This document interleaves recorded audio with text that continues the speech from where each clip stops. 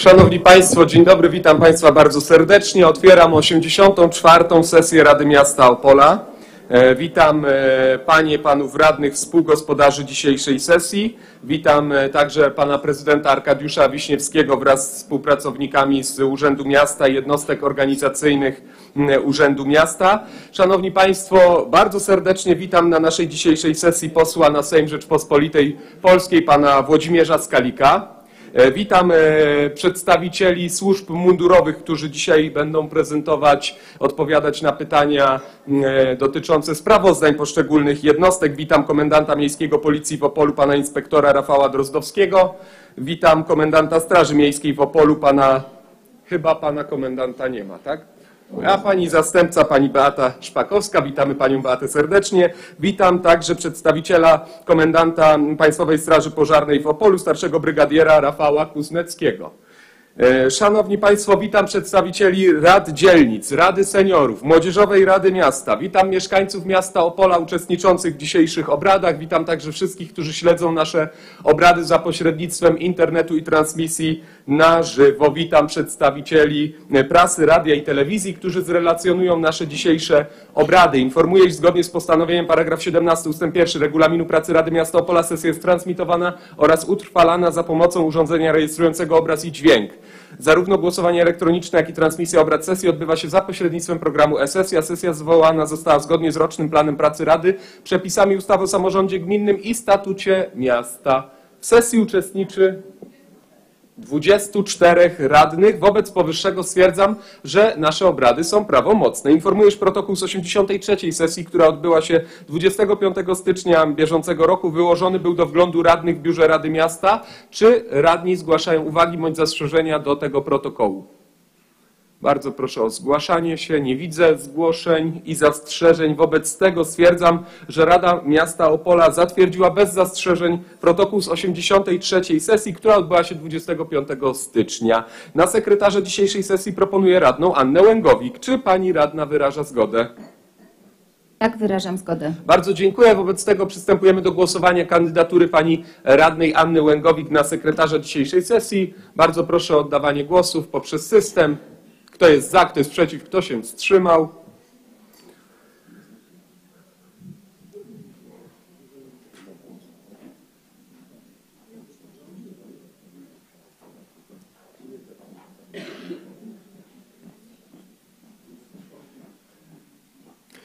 Bardzo dziękuję. Za kandydaturą pani radnej głosowało 23 radnych, nikt nie był przeciwny. Jedna osoba wstrzymała się od głosu. Gratuluję i zapraszam tutaj do nas do stołu prezydialnego.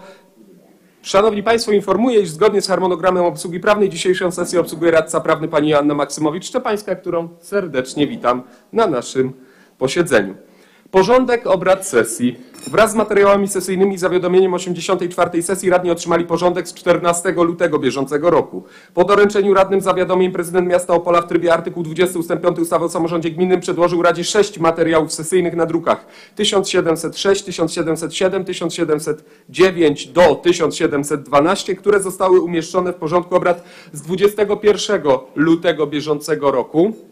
Ponadto informuję, iż prezydent miasta Opola przedłożył, radnym sprawozdanie w sprawie realizacji gminnego programu opieki nad zabytkami miasta Opola na lata 2020-2023 na druku 1713, uchwałę w sprawie udzielenia dotacji celowych na prace konserwatorskie, restauratorskie lub roboty budowlane przy zabytkach wpisanych do rejestru zabytków lub znajdujących się w gminnej ewidencji zabytków położonych na terenie gminy Opole, nie stanowiących wyłącznej własności gminy na druku nr 1716, Uchwała w sprawie apelu Rady Miasta Opola do prezesa Rady Ministrów dotyczącego ustanowienia medalu wolności z okazji 30, 35. rocznicy wyborów 4 czerwca 1989 roku na druku nr 1725.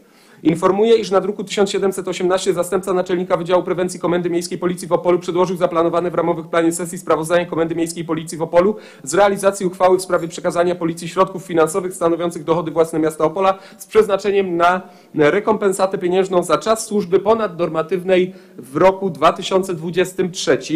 Ponadto Klub Radnych Arkadiusza Wiśniewskiego przedłożył przed sesją projekt uchwały w sprawie przyjęcia deklaracji Rady Miasta Opola dotyczącej poparcia e, dla ogólnopolskiej kampanii społecznej PIESEL Nadaj zwierzęciu tożsamość. To druk 1723.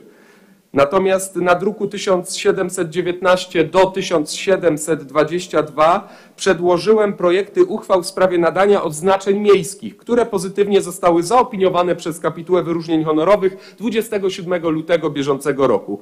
Wprowadzenie projektów uchwał do porządku dzisiejszej sesji wymaga głosowania Rady, co też za chwilę uczynimy.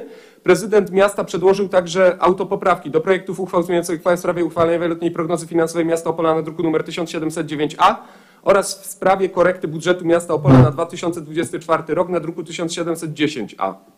Wymienione materiały sesyjne radni otrzymali za pośrednictwem programu e-sesja. Czy po tych wyjaśnieniach radni zgłaszają wnioski bądź uwagi co do porządku, e, porządku posiedzenia? Nie widzę zgłoszeń. Po konsultacji z przewodniczącymi klubów radnych zgłaszam wniosek formalny, aby punkt 18 projektu uchwały zmieniającej uchwałę w sprawie uchwalenia wieloletniej prognozy finansowej miasta Opola na druku 1709 przenieść na siódmy punkt porządku obrad dzisiejszej sesji. Punkt 19 to jest projekt uchwały w sprawie korekty budżetu miasta Opola na 2024 rok na druku 1710 przenieść na ósmy punkt porządku obrad dzisiejszej sesji. Przystępujemy do głosowania zmian w porządku obrad dzisiejszej sesji. Kto jest za przeniesieniem punktu 18, to jest projekt uchwały zmieniającej uchwałę w sprawie uchwalenia wieloletniej prognozy finansowej miasta Opola na druku nr 1709 na punkt 7 porządku obrad dzisiejszej sesji. Bardzo proszę o głosowanie. Kto jest za, kto jest przeciw, kto się wstrzymał. Bardzo dziękuję. Za głosowało 24 radnych jednomyślnie. Projekt uchwały zostanie omówiony jako siódmy punkt porządku obrad sesji. Kto jest za przeniesieniem punktu 19? To jest projekt uchwały w sprawie korekty budżetu miasta Opola na 2024 rok na druku 1710 na ósmy punkt porządku obrad sesji. Przystępujemy do głosowania. Kto jest za, kto jest przeciw, kto się wstrzymał. Projekt uchwały zostanie omówiony jako ósmy punkt porządku obrad jednomyślnie głosami 24 radnych za. Kto jest za wprowadzeniem do porządku obrad dzisiejszej sesji jako dziesiąty punkt sprawozdania Komendy Miejskiej Policji w Opolu z realizacji uchwały w sprawie przekazania Policji środków finansowych stanowiących dochody własne miasta Opola z przeznaczeniem na rekompensatę pieniężną za czas służby ponadnormatywnej w 2023 roku na druku 1718. Kto jest za, kto jest przeciw, kto się wstrzymał, proszę o głosowanie.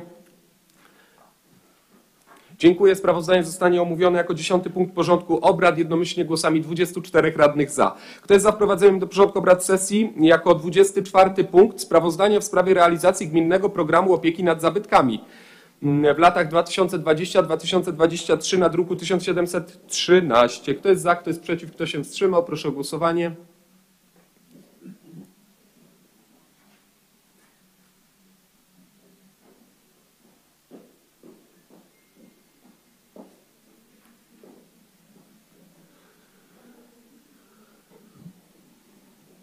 Bardzo dziękuję. Sprawozdanie zostanie omówione jako 24 punkt porządku obrad jednomyślnie głosami 24 radnych za. Kto jest za wprowadzeniem do porządku obrad dzisiejszej sesji jako 25 punkt projektu uchwały w sprawie udzielenia dotacji celowych na prace konserwatorskie, restauratorskie lub roboty budowlane przy zabytkach wpisanych do rejestru zabytków lub znajdujących się w gminnej ewidencji zabytków położonych na terenie gminy Opole nie stanowiących wyłącznej własności gminy na druku 1716.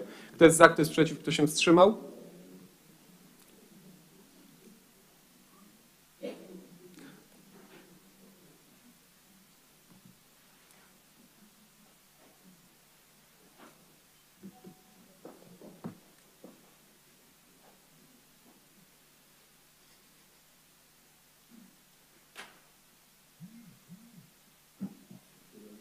Mm-hmm.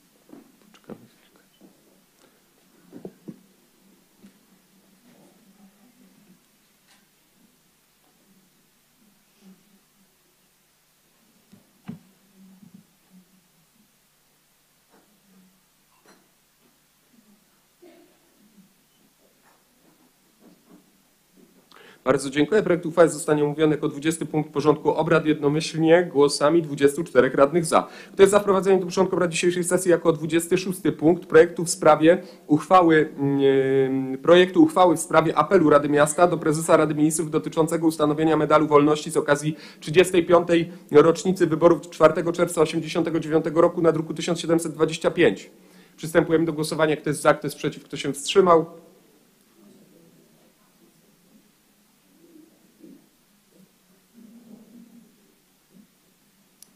Projekt uchwały zostanie omówiony jako 26 punkt porządku obrad większością głosów 21 radnych za, przy braku głosów przeciwnych, trzech głosach wstrzymujących się.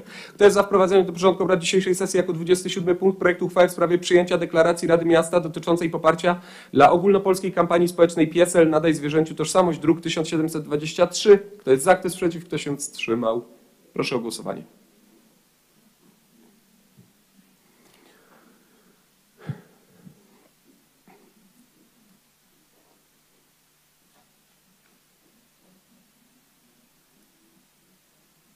Projekt uchwały zostanie omówiony jako 27 punkt porządku obrad jednomyślnie głosami 24 radnych za. Kto jest za wprowadzeniem do porządku mm, obrad dzisiejszej sesji jako 28 punkt projektu uchwały w sprawie nadania tytułu Honorowy Obywatel Miasta Opola panu Franciszkowi Antoniemu Markowi na druku 1719. Przystępujemy do głosowania. Kto jest za, kto jest przeciw, kto się wstrzymał?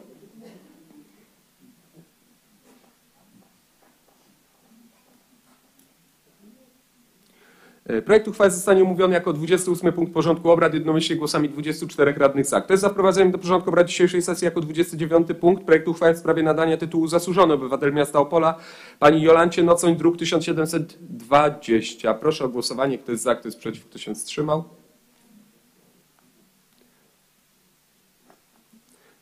Projekt uchwały zostanie omówiony jako 29 punkt porządku obrad sesji jednomyślnie głosami 24 radnych za. Kto jest za wprowadzeniem do porządku obrad dzisiejszej sesji jako 30 punkt projektu uchwały w sprawie nadania tytułu Zasłużony Obywatel Miasta Opola pani Krystynie Czaj, druk, druk 1721. Kto jest za? Kto jest przeciw? Kto się wstrzymał? Proszę o głosowanie.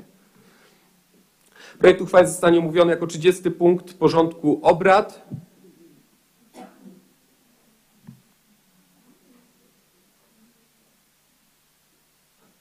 Jednomyślnie głosami 24 radnych za. Kto jest za wprowadzeniem do porządku dzisiejszej sesji jako 31 punkt projektu uchwały w sprawie nadania tytułu Zasłużony Obywatel Miasta Opola panu Lechowi Rubiszowi 1722. Kto jest za, kto jest przeciw, kto się wstrzymał?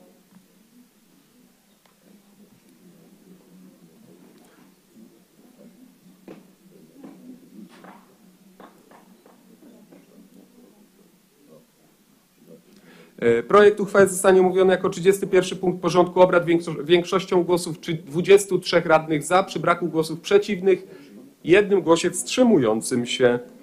Ponadto po konsultacji z przewodniczącymi klubów zgłaszam wniosek formalny.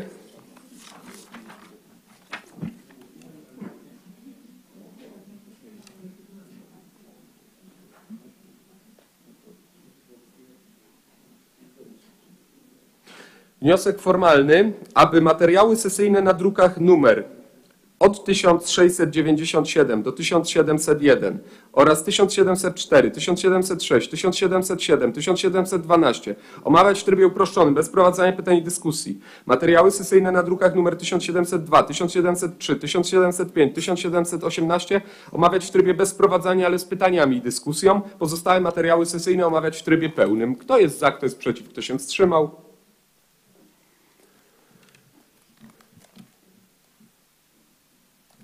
Bardzo dziękuję. Stwierdzam, że Rada Miasta w jawnym głosowaniu przyjęła proponowany system procedowania poszczególnych projektów uchwał jednomyślnie głosami 24 radnych za. Interpelacje radnych. Zgodnie z y, paragrafem, paragrafem 60 ust. 2 Statutu Miasta Opola doręczyłem wszystkim radnym in, informację o odpowiedziach na interpelacje. Y, Czy radni, którzy złożyli mm, interpelacje, zgłaszają uwagi bądź zastrzeżenia do otrzymanych odpowiedzi? Bardzo proszę o zgłaszanie. Bardzo proszę pani radna Elżbieta Kurek. Ja chciałam się odnieść do dwóch moich interpelacji.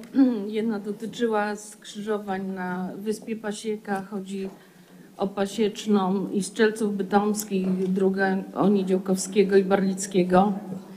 E, Tam przy konsulacie parkują samochody, jest ich coraz więcej. Nie wiem, czy należą tylko do konsulatu, czy też inni mieszkańcy korzystają z okazji i tam zatrzymują samochody. Dostałam odpowiedź, że y, na tych ulicach y, jest kostka brukowa, która ma ograniczać prędkość samochodów.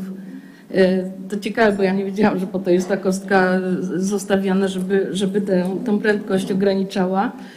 Y, Że tam jest ograniczenie do 30 i, i tam, nie, y, tam nic się takiego nie wydarzy. Tymczasem nie chodzi o to, czy, y, czy samochody mają możliwość mijania się na Strzelców czy na Barlickiego, bo, bo jakoś się pewnie mijają, tylko chodzi o to, że przy wyjeździe nie ma żadnej widoczności, tam nie ma żadnego lustra, tam naprawdę nie widać, czy, czy coś nie, nie jedzie i pewnie do śmiertelnych wypadków przy tych prędkościach tam nie dojdzie, ale do stłuczki może dojść jak najbardziej.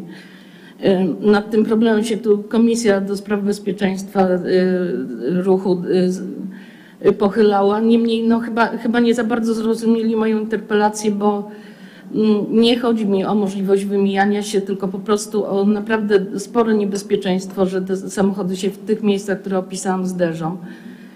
I y, druga interpelacja dotyczyła tego zjazdu od strony Ronda w stronę Luboszyckiej, bo tam jest w tej chwili od Luboszyckiej włączanie się to nowe przebudowane skrzyżowanie jest naprawdę bardzo dobre i wszyscy to chwalą.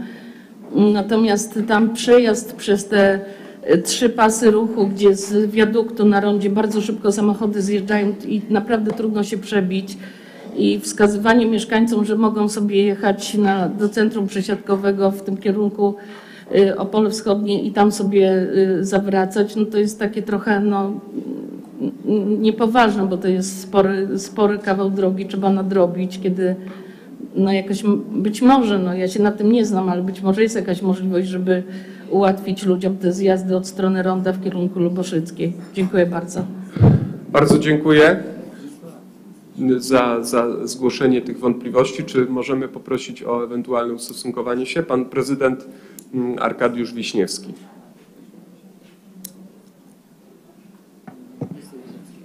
E, Dziękuję bardzo. E, Szanowni Państwo, Panie Przewodniczący, Szanowni Państwo Radni.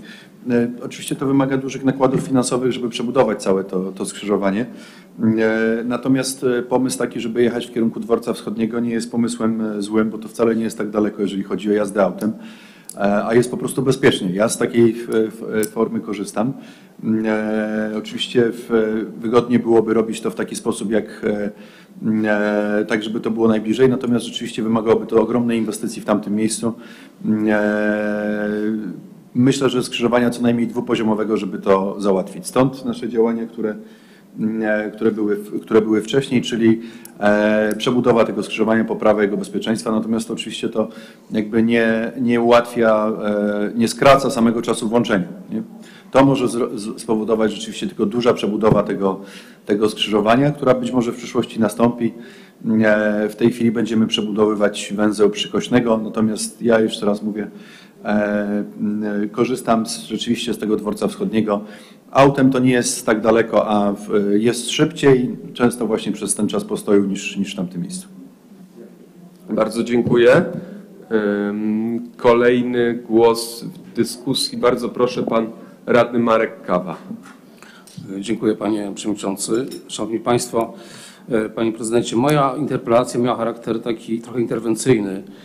Otóż e, widzimy, że w zasadzie już e, aura zimowa jest za nami i nie widziałem nigdzie, aby państwo w taki sposób trochę, no przynajmniej punktowy, e, korygowali to, co się dzieje na naszych głównych jezdniach. Przede wszystkim zwróciłem uwagę na Wrocławską. Jest to główny taki korytarz, którym nasi mieszkańcy, ale też goście spoza pola, którzy tu pracują, czy, czy właśnie przewożą dzieci, przemieszczają się. Ona jest w opłakanym, opłakanym stanie wrocławska.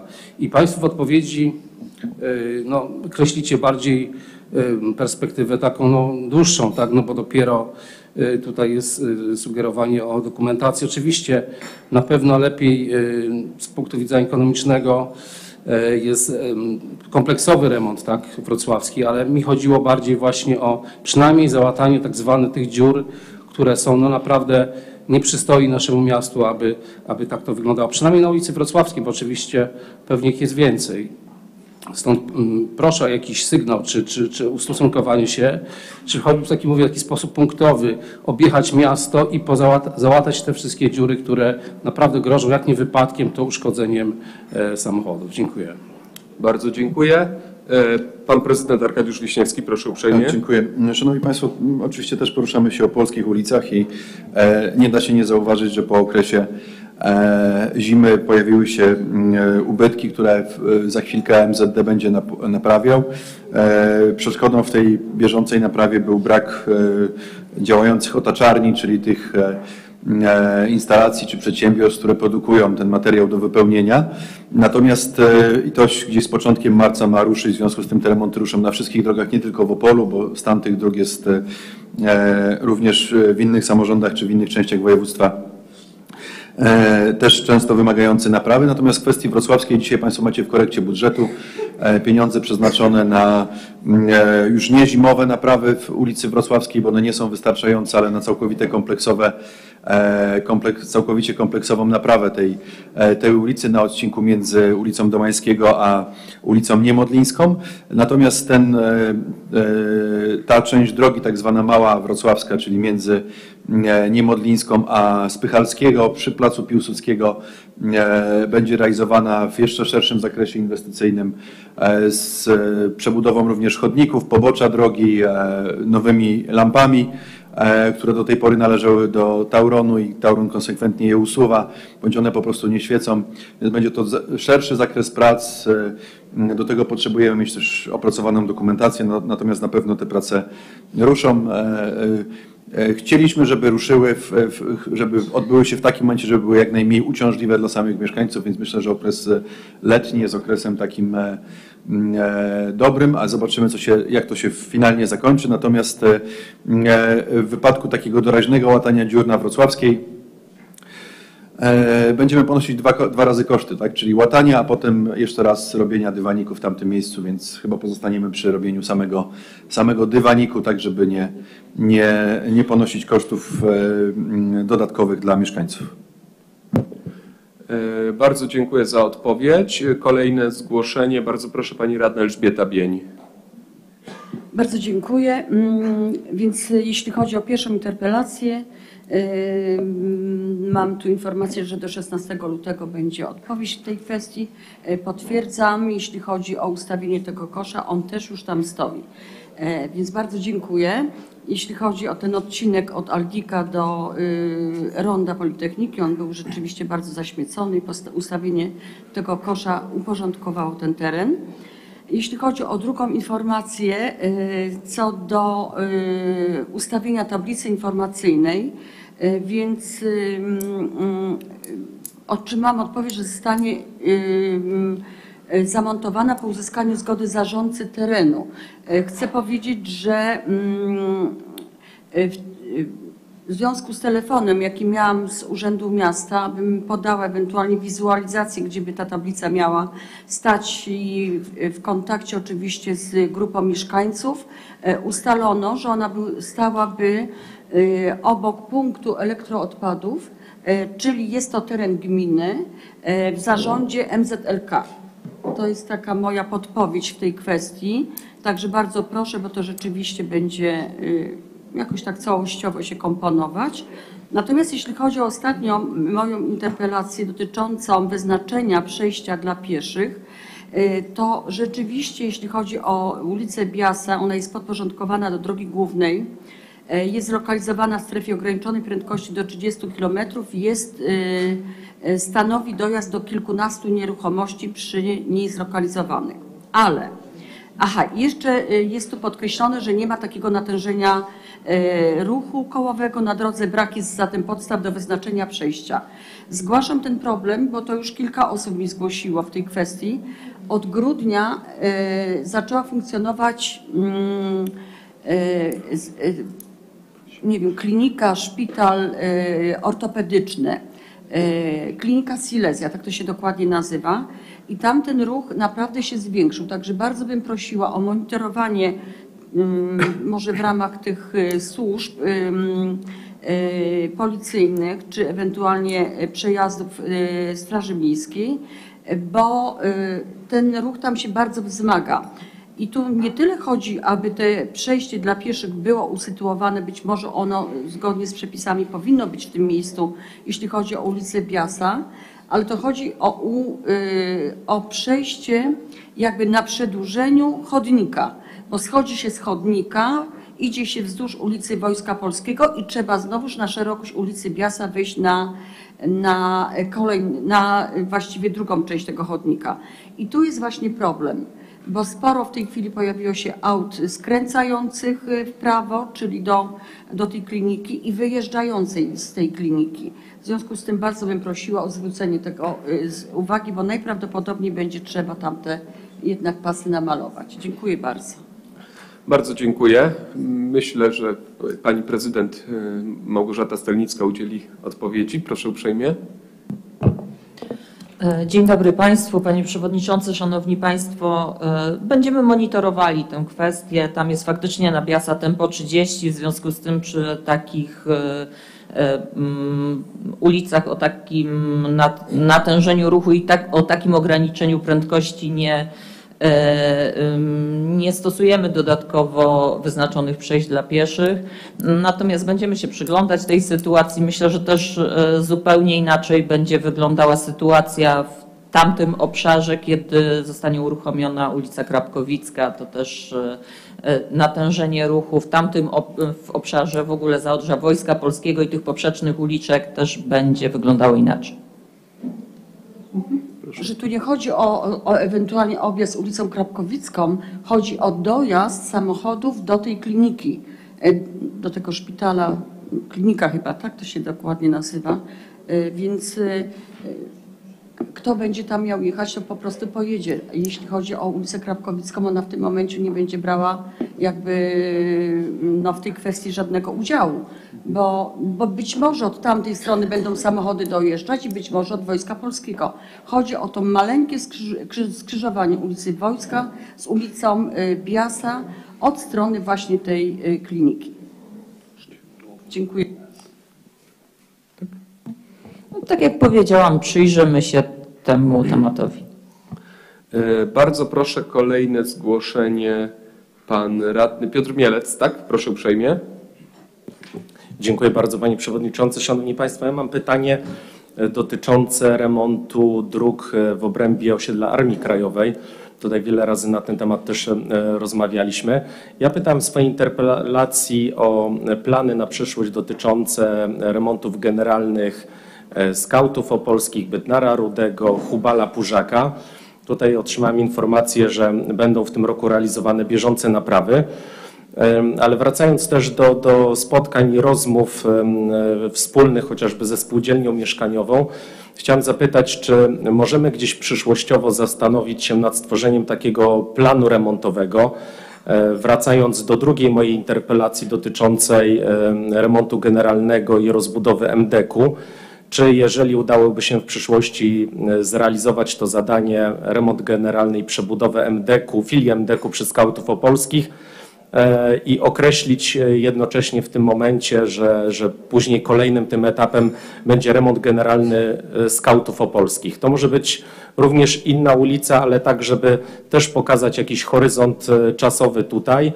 E, Szarek szeregów Grota Roweckiego e, zostały wyremontowane i, i to, wygląda, to wygląda już bardzo dobrze. E, No ale oczywiście mi mieszkańcy oczekują, że inne ulice też zostaną wyremontowane, rozumiejąc tutaj trudności wszelkiego rodzaju. To chciałem właśnie zapytać, czy możemy na przykład w kolejnej kadencji, patrząc na WPF, e, spróbować e, określić jako w jakiś sposób taki wieloletni plan, jeżeli chodzi o ten obręb miasta Opola. Bardzo proszę pani prezydent y, Małgorzata Stelnicka. Rozumiemy potrzeby mieszkańców e, akurat e, osiedla Armii Krajowej i faktycznie te potrzeby tam występują. Mm, Tak jak e, tutaj pan radny powiedział, e, zostały zrobione Grota Roweckiego i Szereg Szeregów, natomiast e, w, m, w kolejnych latach będziemy szukali źródeł finansowania na kolejne inwestycje. Zobaczymy, jaka będzie dostępność środków zewnętrznych i to nam z pewnością pomoże. Też bardzo duże znaczenie dla nas ma faktycznie ta inwestycja, którą e, chcielibyśmy sfinansować ze środków zewnętrznych dotycząca e, m, rozbudowy mm, mm, NDK-u i faktycznie e, być może zaplanujemy to z przebudową dróg w tym obszarze. Także obiecuję nie zostawiać tego obszaru na pewno bez pamięci. Będziemy szukali źródeł finansowania. Na ten moment i w tym budżecie faktycznie nie mamy zaplanowanych środków. Ale czasami jest tak, e, że pojawiają się zewnętrzne źródła finansowania i wtedy e, nasze środki mogą stanowić wkłady własne. Możemy więcej e, tych zadań zrealizować. Choćby nawet w ostatnim czasie podobnym, w podobnym schemacie były też nieplanowane wcześniej w budżecie, a jednak realizowane na przykład Żytomierska Lwowska czy e, ulica Mela. E, W momencie, kiedy pojawiają się źródła finansowania, nasze działania mogą być dużo szersze. Także na pewno będziemy e, e, też poszukiwać tych źródeł finansowania na tę część miasta. Bardzo dziękujemy za tę optymistyczną odpowiedź, pani prezydent. E, Szanowni Państwo, czy ktoś jeszcze chciałby zabrać głos w tym punkcie? Ja chciałem tylko zwrócić uwagę y, na y, interpelację, którą składałem dotyczącą y, organizacji dowożenia dzieci i, i miejsc, w którym dzieci są dowożone, szkol, szkół, przedszkoli i jakby ulic, które prowadzą do tych, do tych placówek. Myślę, że warto by rozważyć takie e, wielostronnicowe e, spotkanie czy pracę nad takim programem, który ułatwiłby funkcjonowanie tych obszarów przyszkolnych, bo wiadomo, że w godzinach szczytu przed y, godziną 8 rano tam gromadzi się bardzo dużo samochodów, y, łączy się też ruch pieszych, jak jest dobra pogoda, czy nawet dzieci starsze dojeżdżają rowerami do placówek oświatowych. No i tworzą się takie konflikty na tych drogach też mieszkańców, którzy po prostu dojeżdżają do pracy tymi samymi ulicami. E, W różnych miastach stosowane są różne, różne rozwiązania, na przykład y, no, te ulice tak zwane szkolne, i tu nie chodzi o nazwę własną, tylko po prostu o, o miejsce, gdzie znajduje się placówka oświatowa, są na przykład na jakiś czas zmieniana organizacja ruchu. Y, Dopuszcza się na przykład postój na y, pasie drogowym do, do komunikacji tak aby uporządkować i maksymalnie, maksymalnie usprawnić te kwestie. To, to jest kilka jakby obszarów, które według mnie powinny zadziać się, to znaczy taki obszar infrastrukturalny, czyli przejścia dla pieszych, doświetlenie tych miejsc, chodniki i to myślę, że się cały czas dzieje, bo gdzieś te placówki oświatowe zawsze z większą troską y, są zauważane przy, przy tych inwestycjach. Natomiast jest jeszcze ten komponent edukacyjny, żeby edukować rodziców, też mieszkańców, którzy poruszają się tymi ulicami, przed tą godziną ósmą robi się tam no niestety gęsto i trzeba troszkę zwolnić, trzeba zwrócić uwagę na dzieci, które z rodzicami czy z dziadkami poruszają się do, do szkoły, a nieraz same. I, jakby tak wielowątkowo do tego tematu, do tego tematu przystąpić. Ja to chciałem tak jakby w tej interpelacji zasygnalizować, bo myślę, że mamy też możliwości, chociażby nawet we współpracy z służbami, z y, przedstawicielami poszczególnych służb, którzy tutaj dzisiaj są, są obecni, bo przecież miasto też w jakiejś części partycypuje w dodatkowych na przykład patrolach policji, więc myślę, że, że ten czas o godzinie 8 mógłby troszkę inaczej przy szkołach czy przedszkolach wyglądać, tylko byśmy musieli tak szerzej to przedyskutować i oczywiście te zadania infrastrukturalne też są, też są bardzo istotne, bo jak nie ma miejsca, no to, to nie będziemy mieli gdzie zatrzymać samochodu. Ale to, to jest tylko tak, aby zasygnalizować, chciałem też Państwu to, to przekazać e, podczas sesji. E, Czy, czy ktoś z Państwa radnych jeszcze chciałby zabrać głos e, tutaj w dyskusji na temat interpelacji? Nie widzę dalszych zgłoszeń. Wobec powyższego zamykam punkt interpelacje radnych. Szanowni Państwo, e, w związku z obecnością, z której się niezmiernie cieszę, e, pana posła Włodzimierza Skalika, pan poseł e, ma takie życzenie, aby zabrać głos, co oczywiście jest dopuszczone statutem miasta. Wobec powyższego, panie pośle, bardzo, bardzo prosimy o, o zabranie głosu. Szanowny Panie Przewodniczący, Wysoka Rado, Szanowni Państwo Radni, Panie Prezydencie, wszyscy zgromadzeni, no i mieszkańcy miasta Opola. Bardzo dziękuję za tą życzliwość i możliwość wypowiedzi w tej części Państwa posiedzenia. Widzimy, jak bardzo ambitny plan dzisiaj sobie Państwo zapieliście. W związku z tym nie chciałbym przedłużać i bardzo syntetycznie odnieść się do kwestii, z którą przychodzimy jako mieszkańcy Opola do państwa. E, Mamy jeden prosty postulat, który wyrażony jest tutaj na banerze, e, który przynieśli ze sobą e, i rodzice dzieci z niepełnosprawnością, jak i również mieszkańcy miasta Opola, którzy nie mają dzieci z niepełnosprawnością na szczęście, ale w pełni identyfikują się z tym postulatem. I zapewniam Państwa, że to jest tylko reprezentacja tej części mieszkańców Opola, która przejmuje się tym problemem. Drodzy Państwo, chcemy nowej szkoły dla naszych dzieci, dla dzieci z niepełnosprawnością. E, Trzeba jasno, wyraźnie powiedzieć, że obecnie stan zespołu szkół specjalnych w mieście Opole jest nie do przyjęcia, nie do zaakceptowania, urąga, urąga e, celom, jakim ten zespół służy.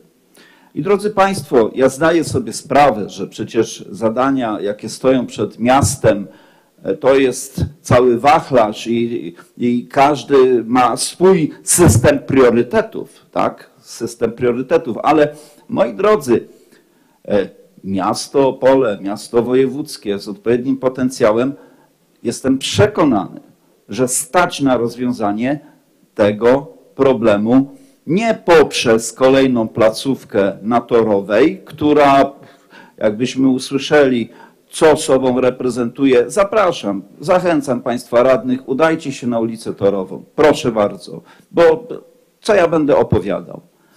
Jestem przekonany, że miasto Opole stać na, również finansowo, na rozwiązanie tego problemu, bo lepszy przykład niż wykład to moje ulubione powiedzenie.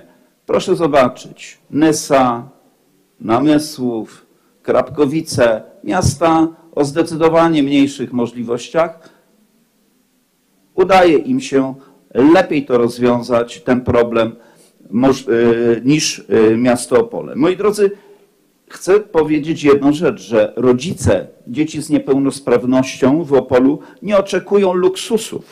Nie o luksusy chodzi.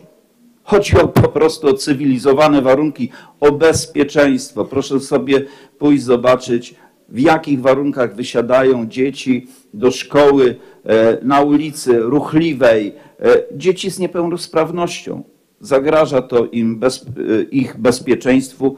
O nic innego nie chodzi, tylko o cywilizowane warunki. Tych dzieci w Opolu nie znowu tak bardzo dużo, ale to jest problem, który narasta. I ten problem e, należy rozwiązać definitywnie, ponieważ tych dzieci z niepełnosprawnością będzie e, przybywać. I e, chciałbym zachęcić również e, pana prezydenta, jak i wszystkich państwa do zapoznania się ze stanowiskiem Stowarzyszenia Nauczycieli i Pracowników Oświaty Nauczyciele dla Wolności w sprawie edukacji włączającej w Polsce. Drodzy Państwo, to jest bardzo wartościowa, syntetyczna, bardzo wartościowa informacja. Nie chcę się w tej chwili, szanując Państwa czas, odnosić do tych niezwykle istotnych warunków, e, e, informacji. Natomiast gorąco polecam Państwa uwadze, tam jest masę argumentów przemawiających za tym, by dla dzieci z niepełnosprawnością wybudować obiekt dedykowany, dedykowany. I y, chciałbym, liczę na to, że w punkcie, w którym Państwo będziecie dzisiaj e, tę kwestię omawiać, e, raport e, radnych, którzy się tym problemem e, zainteresowali, tutaj ogromne podziękowania dla tych, którzy pochylili się w sposób e, szczegółowy nad, e, nad tym problemem. Mam nadzieję, że decyzje, jakie Państwo podejmiecie, nie będą na pożytek medialny, że to nie będą deklaracje po to, by poszło coś, e, co e, uspokoi ten niepokój rodziców. Mm, Liczę na to, że Państwa deklaracje będą, mm, e, nie będą deklaracjami, a konkretnym pomysłem, konkretnym planem działania. Konkre- Czas na działanie. Panie prezydencie, szanowni państwo, czas na działanie w tym względzie, wszak, wszak stosunek do dzieci z niepełnosprawnością jest miarą naszej wrażliwości. Jest miarą naszej wrażliwości. W związku z tym pokażmy, że potrafimy ten problem nie tylko dostrzec, ale i należycie rozwiązać. My będziemy bardzo starannie obserwować, co się w tej kwestii dalej będzie działo. Dzisiaj nie chcemy Państwu tutaj przeszkadzać e, w Waszych pracach. Pozostanie tylko delegacja, moi współpracownicy i przedstawiciele e, mieszkańców, by być obecnym w części posiedzenia, które będzie poświęcone problemowi szkoły dla dzieci z niepełnosprawnością w mieście Opolu i będziemy bardzo e, mocno interesować się, e, jak te decyzje będą podjęte i jak będą realizowane. Nie przedłużając, bardzo dziękuję za uwagę i za e, możliwość zabrania głosu. Ba- Bardzo, dzie- bardzo, dzie- bardzo dziękuję panie pośle za, za zabranie głosu. Szanowni Państwo, tak jest, że ym, w 32 punkcie dzisiejszego naszego posiedzenia mamy rozpatrzenie uwa- ym, zaleceń pokontrolnych zespołu, a w zasadzie komisji rewizyjnej, która je przyjęła poprzez zespół, który dokonał badania, badania zespołu szkół specjalnych, więc myślę, że ta dyskusja merytoryczna też w tym punkcie na pewno, na pewno będzie miała miejsce, tylko pan prezydent chyba chciał się tutaj ustosunkować jeszcze do tych, do tych słów. Bardzo proszę, pan prezydent Arkadiusz Wiśniewski. Oczywiście dziękuję serdecznie. Szanowni Państwo, jak wiecie, mm, od lat oświata przeżywa różne rewolucje, reformy, inne e, działania, które mają poprawić e, jakość o- polskiej szkoły i o polskiej szkoły, a potem jak e, przychodzi rzeczywiście do rozmowy o konkretach, to e, widzicie Państwo, ile jest braków, ile rzeczy do załatwienia. E, W związku z tym e, cieszę się z głosu pana posła, bo wiem, że obecnej koalicji rządzącej jest e, bardzo na sercu to, żeby polską oświatę wreszcie zmienić, zmienić warunki, w jakich uczą się o polskie i polskie dzieci, e, dać im szansę na nowoczesną szkołę, ale też szkołę przyjazną, taką, w której e, znajdą ciepłe, dobre i bezpieczne miejsce. Mm, e, To, że pada taki głos ze strony również posła Konfederacji, to ważne, bo widzę, że więcej będzie zwolenników takich, e, takich rozwiązań. Rozumiem też, że jest e, w tej chwili kampania wyborcza, więc duże emocje e, potrafią rozgrać nawet sprawy, o których rozmawia się od dłuższego czasu, a które też co chcę podkreślić wyraźnie, w Opolu mamy od dawna na pierwszej linii zainteresowania. Świat, najlepszym świadectwem jest to, że już w tym roku pozyskaliśmy, w zeszłym roku, przepraszam, ale to w tym roku ruszy, pozyskaliśmy kolejne pieniądze na rozbudowę, przebudowę i remont w szkole przy Książąt Opolskich, a w ostatnich latach oczywiście w inny sposób również e, rozwijaliśmy rozwijaliśmy bazę e, tamtych miejsc. O tym w szczegółach powie pan prezydent e, Wujec, jest dzisiaj obecny pan naczelnik Wydziału Oświaty, również pan dyrektor szkoły, który również na sesji odpowiadał na pytania radnych, mówiąc o tym, że mm, e, mówiąc o warunkach e, w szkole, które zapraszam pana posła, mm, e, żeby poszedł, zobaczył. Są często znacznie lepsze i wyższe niż w wielu opolskich szkołach. Oczywiście zdaję sobie też sprawę z tego, że są one przystosowane do specjalnych wymagań dla chodzących tam uczniów. E, Natomiast e, często, tak jak jeszcze raz podkreślę, e, są na poziomie ponadstandardowym i takim powinny oczywiście, takim oczywiście powinny być. Lokalizacja przy ulicy Torowej to nie jest lokalizacja nowa. Ona od dziesiątek lat jest lokalizacją, która służy różnym oświatowym przedsięwzięciom. Nie tylko ta szkoła tam jest, ale również szkoły średnie, zawodowe w tamtym miejscu, choćby Staszica się mieszczą. Nie mówiąc o bursie, która za chwilkę też będzie w sposób e, e, ciekawy zagospodarowana, bo rozmawiamy o inwestorze, który niedawno kupił ten budynek od miasta i ma swoje plany rozwoju na, na tamto miejsce. E, To, że w pobliżu jest obiekt, bo słyszałem z Państwa głosów, wymieniacie schroniska dla bezdomnych psów.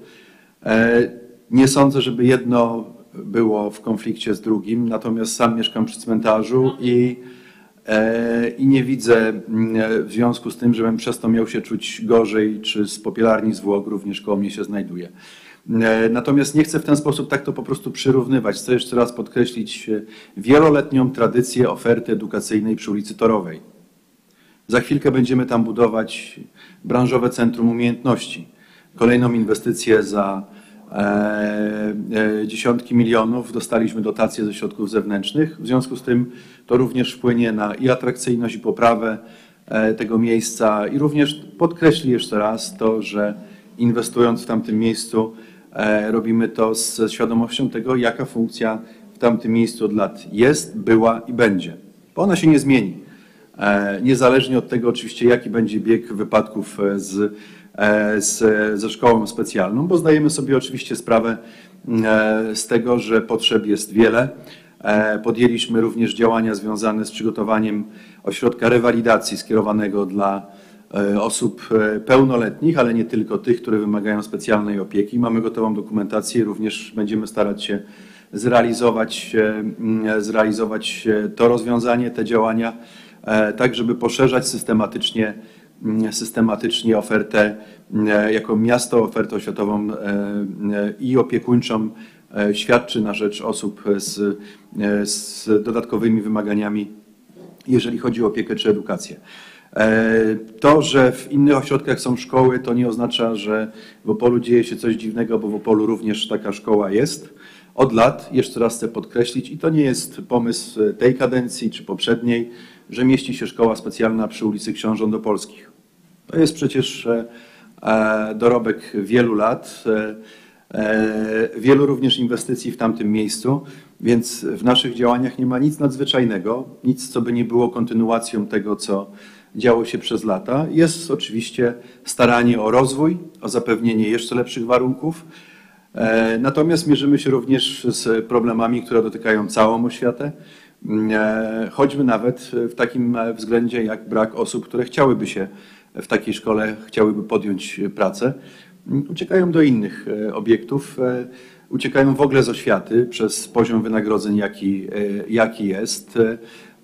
I nie chcę powiedzieć, że jest to uzasadnione czy usprawiedliwione. Po prostu opisuję Państwu sytuację, sytuację która ma miejsce. Wsłuchując się oczywiście w głos, również który płynął z Rady Miasta, bo przecież dzisiaj będziemy rozmawiać o kontroli, która się odbyła w, w szkole w, w, przy ulicy Książąt Opolskich. E, Wspólnie z radnymi Platformy Obywatelskiej podpisaliśmy dzisiaj deklarację programową. Ona jest e, ofertą, która jest ofertą wspólną razem z klubem e, Arkadiusza Wiśniewskiego, czyli klubem moich radnych, którą, e, który od lat działa na forum Rady. I w ramach tej deklaracji jest oczywiście e, refleksja nad e, efektami choćby zabiegów pana radnego Kaliszana, ale nie tylko, żeby starać się w przyszłej kadencji znaleźć zewnętrzne finansowanie i pomyśleć nad rozwojem szkoły specjalnej w Opolu. E, Być może oczywiście nowym budynkiem, e, być może zagospodarowaniem któregoś z wolnych budynków i dostosowaniem go do wysokich standardów. W podobny sposób poszliśmy przecież z opieką nad seniorami e, w tej kadencji, kiedy zbudowaliśmy zupełnie, e, kiedy budujemy, bo cały czas budowa trwa, dom pomocy społecznej dla e, dla e, seniorów, całodobowy dom, bo stary dom e, budowany lata temu przestał spełniać, e, przestał spełniać część warunków, jakie się takim obiektom stara. Więc e, jest to z pewnością kwestia, mm, kwestia otwarta. Rozumiem emocje, e, które dzisiaj się pojawiły na sesji. E, Jako rodzic również e, chciałbym, żeby moje dziecko miało jak najlepsze warunki do nauki i również jako prezydent, nie tylko jako rodzic, staram się o to, żeby dzieci w Opolu miały zapewniony jak najwyższy poziom oświaty. Oczywiście robimy to w ramach też posiadanych możliwości, które, e, które mamy. Stąd e, choćby w tym roku i powstaną mi nowe sale gimnastyczne i będzie rozbudowana szkoła numer 10, zresztą na prośbę rodziców, e, a całkiem niedawno zakończyliśmy budowę dwóch przedszkoli, które e, w mieście Opolu dzisiaj cieszą 250 dzieciaków, które mają zapewnioną tam opiekę i naukę w, w tych obiektach. Także Szanowni Państwo, dziękując za głos Pana Posła, myślę, że tej wrażliwości co do dzieci nikomu z nas nie brakuje. E, Natomiast oczywiście zachęcam do aktywności na forum parlamentarnym, e, wspierania dobrych rozwiązań ze strony e, koalicji, która w tej chwili doszła do władzy, bo rzeczywiście po tych latach różnych reform, które miały usprawnić polską szkołę, sprawić, że będzie adekwatna do oczekiwań rodziców. Jak widzicie Państwo, cały czas wybuchają sprawy problemowe i cały czas trzeba mm, wprowadzać nowe, nowe rozwiązania. Tyle z mojej strony. Poproszę mm, myślę pana prezydenta i też pana dyrektora, być może, bo e, usłyszeliśmy dość negatywną ocenę tego, co się dzieje, a myślę, że warto poznać drugą stronę e, zabiegów i starań e, nauczycieli, dyrekcji szkoły, naszego Wydziału Oświaty o, o te dzieci, bo ta, myślę, mm, ocena polityczna, której byłem świadkiem przed, przed ratuszem, włącznie z e, e, osobistymi, personalnymi atakami na mnie, e, e, jest oczywiście swego rodzaju dopuszczalna w kampanii wyborczej, ale myślę, że przesłania e, zaangażowanie, e, poświęcenie i wkład pracy, jak, jacy ci ludzie wkładają w to, e, żeby jednak usłyszeć inną recenzję o tym, e, jak pracują na rzecz dzieci z niepełnosprawnościami na terenie miasta Opola. Bardzo proszę, pan prezydent Maciej Wujec. E, Panie Przewodniczący, Szanowni Państwo, e, Panie Pośle, e, kontynuując wypowiedź Pana Prezydenta, chciałbym podkreślić naprawdę bardzo wysoki poziom zespołu, który pracuje w szkole specjalnej. Jest to zespół składający się z kilkudziesięciu osób, niesamowicie profesjonalnych i zaangażowanych w te trudne tematy. I i to jest bardzo krzywdzące e, takie sformułowanie, e, które podważa profesjonalizm tych osób. Także jeszcze raz e, chciałbym podkreślić, że dziękuję zespołowi, który e, w trudnych warunkach e, rynkowych przede wszystkim operuje, bo podstawowe Podstawowy problem w nauczaniu specjalnym e, należałoby zdefiniować jako e, e, braki kadrowe i e, to jest problem, z którym na pewno trzeba by się też zmierzyć e, na forum e, parlamentarnym, co zrobić, żeby e, e, zwiększyć możliwości opieki nad e, dziećmi, e, które wymagają specjalnych, e, specjalnego, specjalnych pedagogicznych e, zabiegów. I to jest, e, to jest faktycznie duży problem, natomiast tutaj chylę czoła, oddamy też głos panu e, e, dyrektorowi, całemu zespołowi, który e, całym sercem, całe serce wkłada w to, żeby na odpowiednim poziomie dzieci wychowywać, uczyć i dbać na co dzień, bo trzeba powiedzieć, że są to dzieci, które mają naprawdę bardzo duże problemy w różnych, w różnych sferach.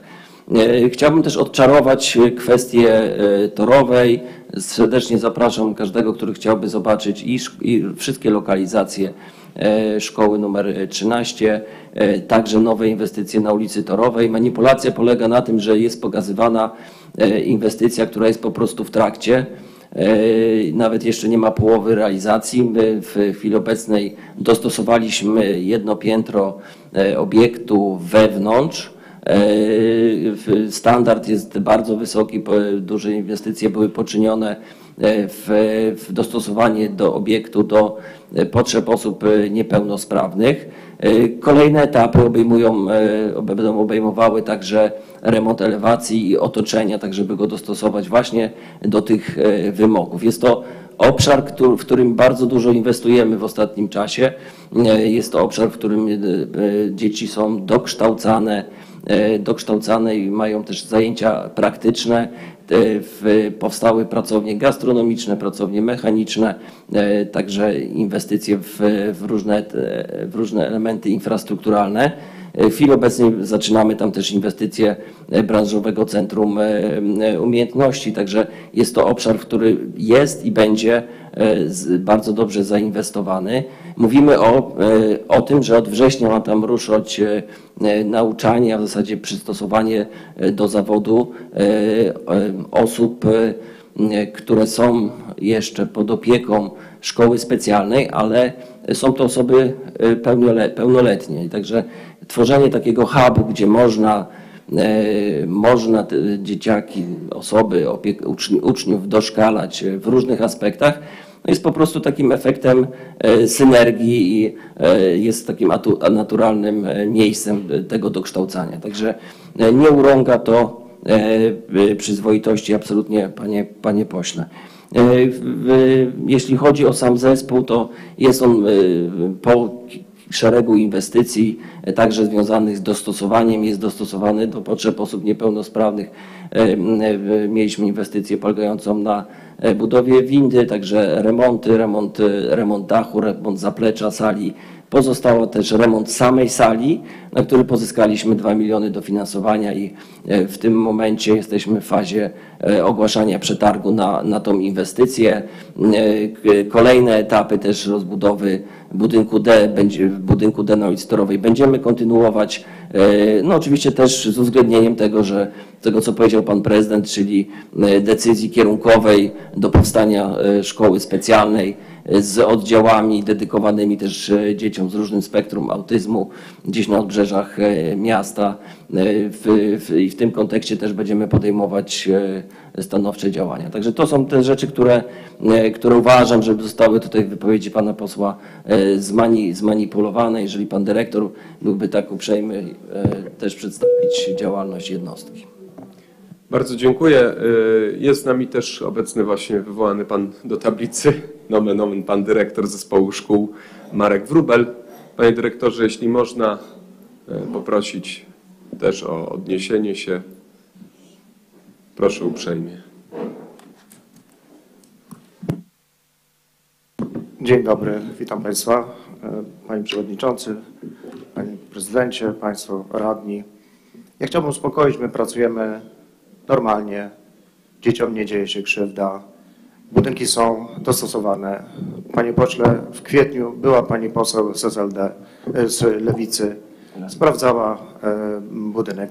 Radni byli w 2000 w czasie pandemii, gdzie rozmawialiśmy o warunkach, o poprawie warunków. E, Teraz pan radny Kaliszan z grupą radnych też był, kontrolował nas komisja, więc są pewne ustalenia dotyczące naszej pracy. Proszę Państwa, to co prezydent powiedział, e, my możemy budować 10 szkół, tylko jest zawsze pytanie, kto tam będzie pracował. E, W tej chwili w zespole szkół specjalnych mógłbym zatrudnić 30 nauczycieli od razu. E, Tu można powiedzieć, że ktoś jest na rynku, ale my bardzo uważnie dobieramy nauczycieli do pracy, bo trzeba mieć naprawdę wyjątkowo, wyjątkowe umiejętności, by pracować dzieci z niepełnosprawnością. Ja przypomnę, że my pracujemy z dziećmi z lekką niepełnosprawnością, którzy realizują normalną podstawę programową. Pracujemy z uczniami z umiarkowaną i znaczną niepełnosprawnością. Pracujemy z uczniami z głęboką niepełnosprawnością. To są osoby, które od trzeciego roku do 25 roku spełniają inny sposób obowiązek szkolny. Prowadzimy zajęcia, e, z, prowadzimy zajęcia wczesnego wspomagania rozwoju dziecka dla dzieci od wykrycia niepełnosprawności do rozpoczęcia nauki. E, Nie wiem, czy ja żyję w bańce informacyjnej, ale generalnie rodzice się, e, rodzice chwalą naszą pracę. E, I przypomnę, że dzieci jest 175. Tutaj widzę na sali kilku rodziców, którzy nie wykorzystali też drogi kontaktu z dyrektorem przez Radę Rodziców, bo jest coś takiego jak Rada Rodziców, która współpracuje z nami. Proszę Państwa, jeszcze raz uspokajam, pracujemy ciężko.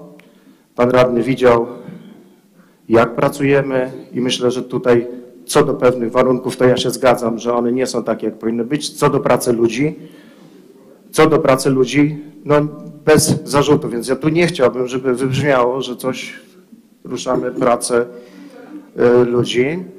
I proszę Państwa, jeżeli chodzi o te remonty, no sytuacja jest taka trudna, ponieważ tak naprawdę w 2019, e, e, 2020, e, 2019 tak, przed pandemią, e, wprowadzono przepisy, które ograniczyły liczbę uczniów i e, bezpieczna liczba uczniów w szkole, to też w, w, w ramach kontroli wyszło. E, Zawsze podawałem, że to jest 32-33 oddziały. No niestety na skutek tych ustaleń na poziomie ministerstwa zwiększono ilość oddziałów do 43. I proszę Państwa, myśmy to ogarnęli. Tak naprawdę w 2020 roku, kiedy wybuchła pandemia, pracowaliśmy przez dwa lata bez dnia przerwy. Nawet w tych trudnych warunkach. Proszę Państwa, proszę Państwa, i rozwiązaniem, które jest na dziś, bo proszę Państwa, nie możemy czekać 20 lat czy 10 lat na to, że coś się zmieni. W tej chwili mamy problem z dziećmi, że nie mamy gdzie prowadzić z nimi zajęcia. I to odpowiedzią jest ulica Torowa. I nieprawdą jest, że jest to budynek e, w stanie, jakim Państwo opisują. Przede wszystkim dwa piętra są już zrobione w sposób e, w najwyższym, na najwyższym poziomie. Tam, proszę Państwa, wymienione jest wszystko. Od e, ścian, e, e, instalacji, wszystkich tak dalej. Budynek nawet jest ogrzewany, mimo że nie ma tam w tej chwili zajęć, żeby podtrzymać to, co zostało zrobione. Jakość dostosowań do osób niepełnosprawnych przewyższa wszystko to, co my mamy do tej pory. Ja chcę przypomnieć, że my jako instytucja publiczna, jako szkoła, która podlega nadzorowi nie tylko z, ze strony organu prowadzącego, ale także od za, organu nadzoru pedagogicznego, jesteśmy sprawdzani. Wszystkie obiekty mają, są cer- certyfikowane do, jeżeli chodzi o dostosowanie do osób z niepełnosprawnościami. I teraz, jeżeli ktoś zarzuca, że nasz obiekt jest niedostosowany, to znaczy zarzuca instytucjom i społecznym, kontrolnym i społecznym, bo społeczne na przykład Wojewódzkie Towarzystwo Walki z Kalectwem, to jest społeczna, czy miejskich, czy urzędów, że tam dochodzi do jakichś fałszerstw. Te certyfikaty my musimy spełniać. Proszę Państwa, to jest XXI wiek, to nie może być tak, że coś jest niedostosowane.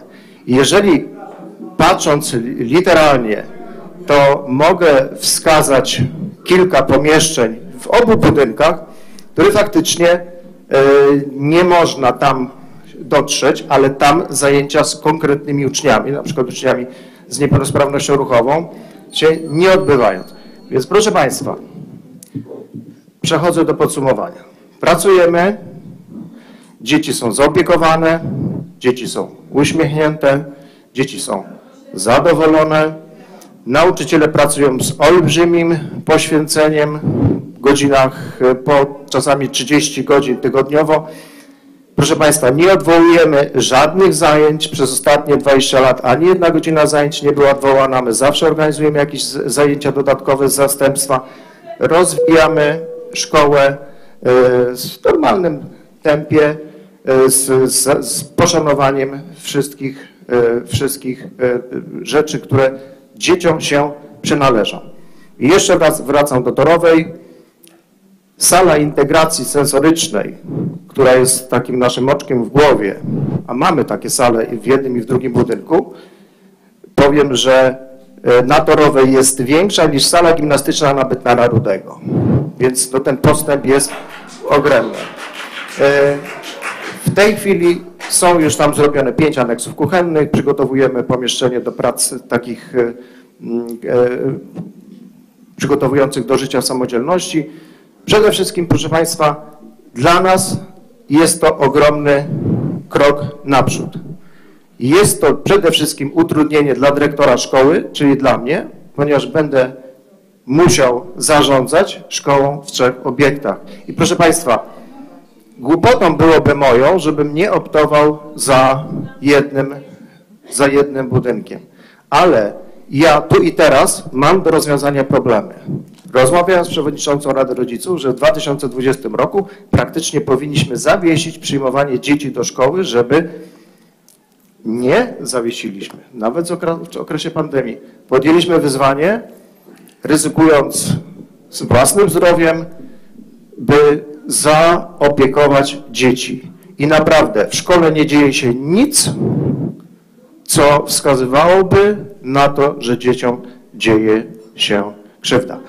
Ale, ale, tak jak w każdej organizacji, tak i w szkole i w gronie pedagogicznym jest przynajmniej 10% nauczycieli, którzy są niezadowoleni. Także będzie 10% rodziców, którzy są niezadowoleni. I ja liczę na Państwa głosy, na rozmowę, bo tutaj z tych siedzących, dzisiaj protestujących, mimo że pracuję przy, otwartym, e, przy otwartych drzwiach, nikt nie podszedł, nikogo nie było, żeby ze mną porozmawiać. Więc Szanowni Państwo, bardzo proszę, dajmy skończyć Panu Dyrektorowi. Proszę Państwa, przypominam, jest Rada Rodziców, ona może reprezentować Radę Rodziców w pełnym składzie i liczę na spotkanie. 19 marca mamy spotkanie z Radą Rodziców, przegadamy, porozmawiamy i spróbujemy e, dojść do porozumienia, bo tutaj ale y, to ja od razu Pani mówię, że chcemy porozmawiać, a nie prezentować się medialnie, prowadzić kampanię. Proszę Państwa, nie chcę, nie chcę, żeby ktokolwiek prowadził kampanię wyborczą, posługując się naszymi e, pracownikami, naszymi dziećmi. E, Naprawdę, dajmy ludziom pracować spokojnie, bezpiecznie.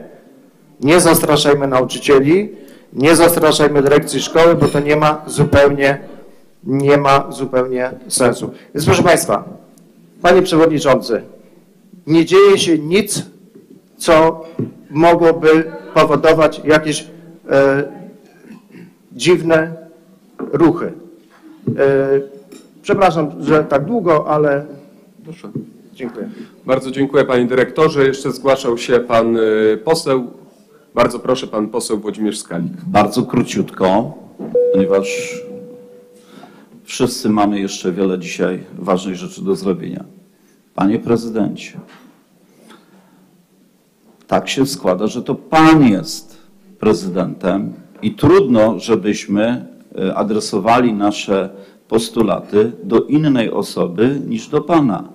Pan odpowiada za miasto i jeżeli uważamy, że coś się złego dzieje w mieście, no to trudno, żebyśmy adresowali to do powiedzmy władz e, Nysy, Namysłowa czy Krapkowic, które sobie z takim tematem poradziły. To po pierwsze.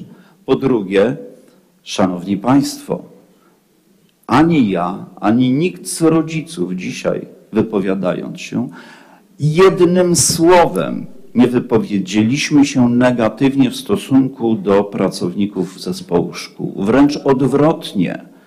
Podziwiamy Waszą pracę, zwłaszcza, że ona jest prowadzona w tych warunkach. Jeżeli Pan, Panie Dyrektorze, słusznie narzeka na brak pracowników, to nasz postulat, jedna szkoła, wychodzi naprzeciw Pana postulatom. ponieważ jeżeli dzisiaj brakuje nauczycieli, brakuje nauczycieli i oni muszą pracować w trzech odległych od siebie placówkach, no to przecież to jest oczywiste, że to jest tylko dodatkowa komplikacja, tak? Więc nasz postulat wychodzi naprzeciw tym trudnościom, zwłaszcza, że dzieci z niepełnosprawnością będzie przybywać. I my nie możemy czekać, aż ten problem się pogłębi. Powinniśmy mieć wystarczająco dużo wyobraźni, żeby wyprzedzać ten proces. Następnie, ostatnia y, kwestia.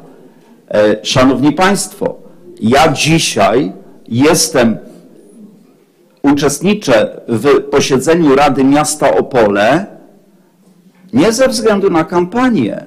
Po prostu dwa tygodnie temu zgłosili się do mnie rodzice tutaj siedzący z prośbą o pomoc, o interwencję, ponieważ są zaniepokojeni ignorowaniem tego problemu przez władze miasta. I e, przykro mi powiedzieć, ale panie dyrektorze, pan nie rozwiąże tego problemu ani Rada Rodziców. To nie jest zadanie dla dyrektora szkoły ani dla Rady Rodziców. Więc proszę, no chyba, że pan e, zadeklaruje, że pan no, na przykład tą nową placówkę pobuduje. No to nie jest pańskie zadanie. Druga rzecz. Druga rzecz, ja zapewniam, ja nie startuję w żadnych wyborach. Bardzo, powiem tak, jestem bardzo zmartwiony i bardzo mi jest przykro, że to pan, panie prezydencie, upolitycznia temat. Bardzo mi jest przykro, że pan upolitycznia. Oświadczam, oświadczam, oświadczam, że ja nie startuję w wyborach samorządowych do żadnego fotela. Dwa, nikt tutaj siedzący również nie uczestniczy w wyborach. Po prostu przychodzimy z problemem. Proszę tego nie upolityczniać i zapewniam Państwa, że po 7, po si- 7 kwietnia będziemy z równą determinacją walczyć o to, by ten postulat został zrealizowany. I naprawdę proszę nie łączyć to z żadną kampanią. Proszę nie odbierać mi prawa wykonywania mojego mandatu, panie prezydencie. Dziękuję bardzo. Bardzo dziękuję. Bardzo dziękuję. Bardzo proszę pan Arkadiusz Wiśniewski, prezydent miasta. Dziękuję serdecznie. Fantastycznie, panie pośle, że przyznał się pan, że dwa tygodnie temu się pan tematem zajął i dowiedział, bo to wcale nie jest kampanijne. Ja pozwolę sobie jeszcze raz powiedzieć o tym, co, o czym co mówił pan dyrektor i nie zgodzę się na wyłączanie pana dyrektora i nauczycieli szkoły z oświaty i z procesu nauczania dzieci. My jako reprezentanci mieszkańców od dłuższego czasu zabiegamy o to, żeby poprawiła się jakość nauczania w opolskich szkołach. I ona dotyczy nie tylko samych nauczycieli. Pamiętacie Państwo strajk nauczycieli, w którym również wychodziłem do nauczycieli i to, jak tych nauczycieli potraktowano. Jak im odmówiono podwyżek, potem stosowano wobec nich kary za to, że mieli się odwagę upominać o godne warunki pracy dla siebie. Pamiętamy wszyscy reformę oświaty, która przecież miała w założeniach zmienić i uporządkować oświatę. I na końcu tego wszystkiego, tych wszystkich słów, deklaracji, znajdują się rodzice, którzy raz tym, raz drugim ufają, że rozwiążą ich problemy. Szczególnie to nasila się przy okazji kampanii wyborczej. I owszem, panie pośle, pan w kampanii nie startuje, ale konfederaci startują w Opolu, w wyborach. Ja sobie pozwolę, i przepraszam państwa za ten cyta- cytat, ale pozwolę sobie zacytować przygotowany przez Ośrodek Monitorowania Zachowań Rasistowskich i Ksenofobicznych cytat z jednego z posłów Konfederacji. Szanowni Państwo, bardzo proszę, bardzo proszę o ciszę. Szanowni Państwo, e, Bardzo proszę o ciszę, szanowni państwo. Dajmy dokończyć państwo. wypowiedź. Jest to po prostu dla mnie swego rodzaju hipokryzją, kiedy jeden poseł Konfederacji przedstawia się jako adwokat, a drugi o dzieciach mówi w ten sposób. Dzieci chore umysłowo do szkół wprowadza się celowo, aby obniżyć poziom edukacji. Nie może być tak, że my godzimy się na bredzenie idioty. Posyłanie idioty do szkoły to jest katorga dla tego debila. Wie pan, kto to powiedział? Pana kolega. Janusz Korwin-Mikke. Z całą pewnością pan się myli, panie prezydencie. Dlatego- Żaden mój kolega się tak nie wypowiedział. I dlatego, Szanowni szanowni, państwo, państwo, jeszcze raz chcę przeprosić za ten cytat, ale to nie jest mój cytat. To jest po prostu pokazanie, wokół jakiej sytuacji się znajdujemy. Jeszcze raz. Szanujemy postulaty rodziców i oczekiwania ich o to, żeby poprawić jakość, w tym wypadku bazy, tak to rozumiem, w której dzieci się uczą. Zamierzamy wyjść temu naprzeciw. Radni Platformy od wielu miesięcy mówili o tym, że warto byłoby pomyśleć nad nowymi rozwiązaniami w tym aspekcie. Mówili najpierw o e, autystach, pokazywaliśmy, że nie do końca będzie to rozwiązanie związane z oświatą włączającą, z e, tym, co mieści się w kanonie Ministerstwa Oświaty i w kanonie edukacji. E, ale też zadeklarowaliśmy po dyskusjach, rozmowach, dzisiaj też wspólnie podpisaliśmy taką deklarację, że oczywiście będziemy starali się o rozbudowę bazy oświatowej przeznaczonej dla dzieci z niepełnosprawnościami. Będzie to bardzo możliwe zupełnie nowa szkoła. Może to będą jeszcze dalsze rozwiązania, które wyjdą naprzeciw tym, które prowadzimy od wielu miesięcy,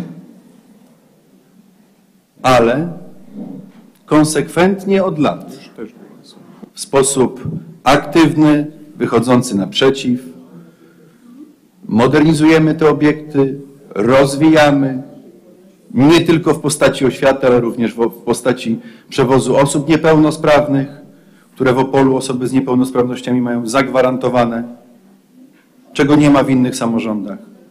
W obliczu, w, poprzez wsparcie dla wielu fundacji, jak Fundacja Jednorogów, Fundacja Triso, której przekazywaliśmy pomieszczenia, budynki, przekazujemy dotacje, Fundacja Free i dziesiątek innych rozwiązań. Po prostu. Więc, więc mając e, jeszcze raz otwartość i życzliwość dla problemów, które są zgłaszane, taką deklarację dzisiaj złożyliśmy. To, że odbywa się przy okazji taka dyskusja kampanii e, wyborczej, nie pierwszy raz się takie dyskusje odbywają, więc e, rozumiem, że jest to czas do dyskusji o takich problemach, czym e, co w sposób naturalny przyjmuję. I tak jak mówię, szykujemy odpowiedź, oprócz trwających już różnych inicjatyw przez nas przygotowanych, których, e, w których mało kto nam pomagał. Dziękuję bardzo. Dziękuję Bardzo serdecznie. dziękuję e, panie prezydencie. Szanowni Państwo, e, bardzo dziękuję panu posłowi za zabranie głosu, za przedstawienie sprawy, z którą zwrócili się rodzice. Tak jak powiedziałem na wstępie, w, 30 punkcie, w 32 punkcie porządku obrad mamy rozpatrzenie wyników kontroli prowadzonych przez Komisję Rewizyjną. To jest dyskusja e, skierowana do Państwa radnych, także jeżeli Państwo chcecie e, pozostać, bo radni też być może będą chcieli dopytać jeszcze o tą kwestię, to wtedy zachęcam do wzięcia udziału w dyskusji. E, Szanowni Państwo, e, i zarządzam w tej chwili 20 minut przerwy. Bardzo dziękuję.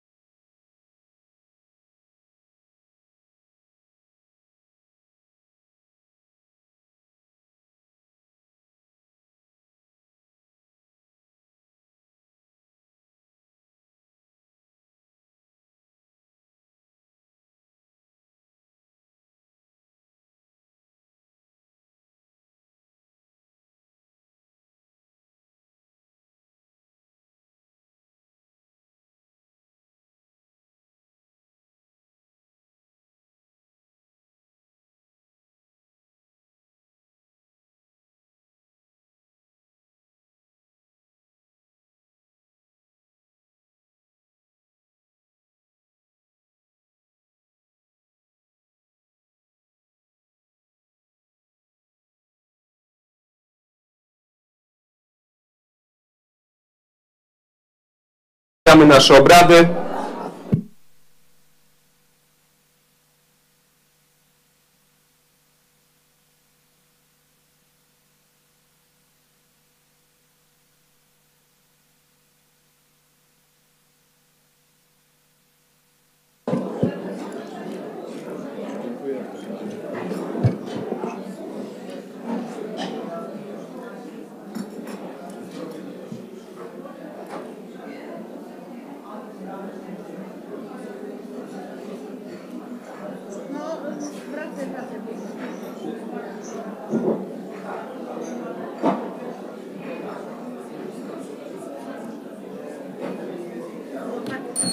Przepraszam, ale tego człowieka wiadomo, że nie można go nie wpuścić, bo bo powie, że wolność osobista, to my zawsze chcieliśmy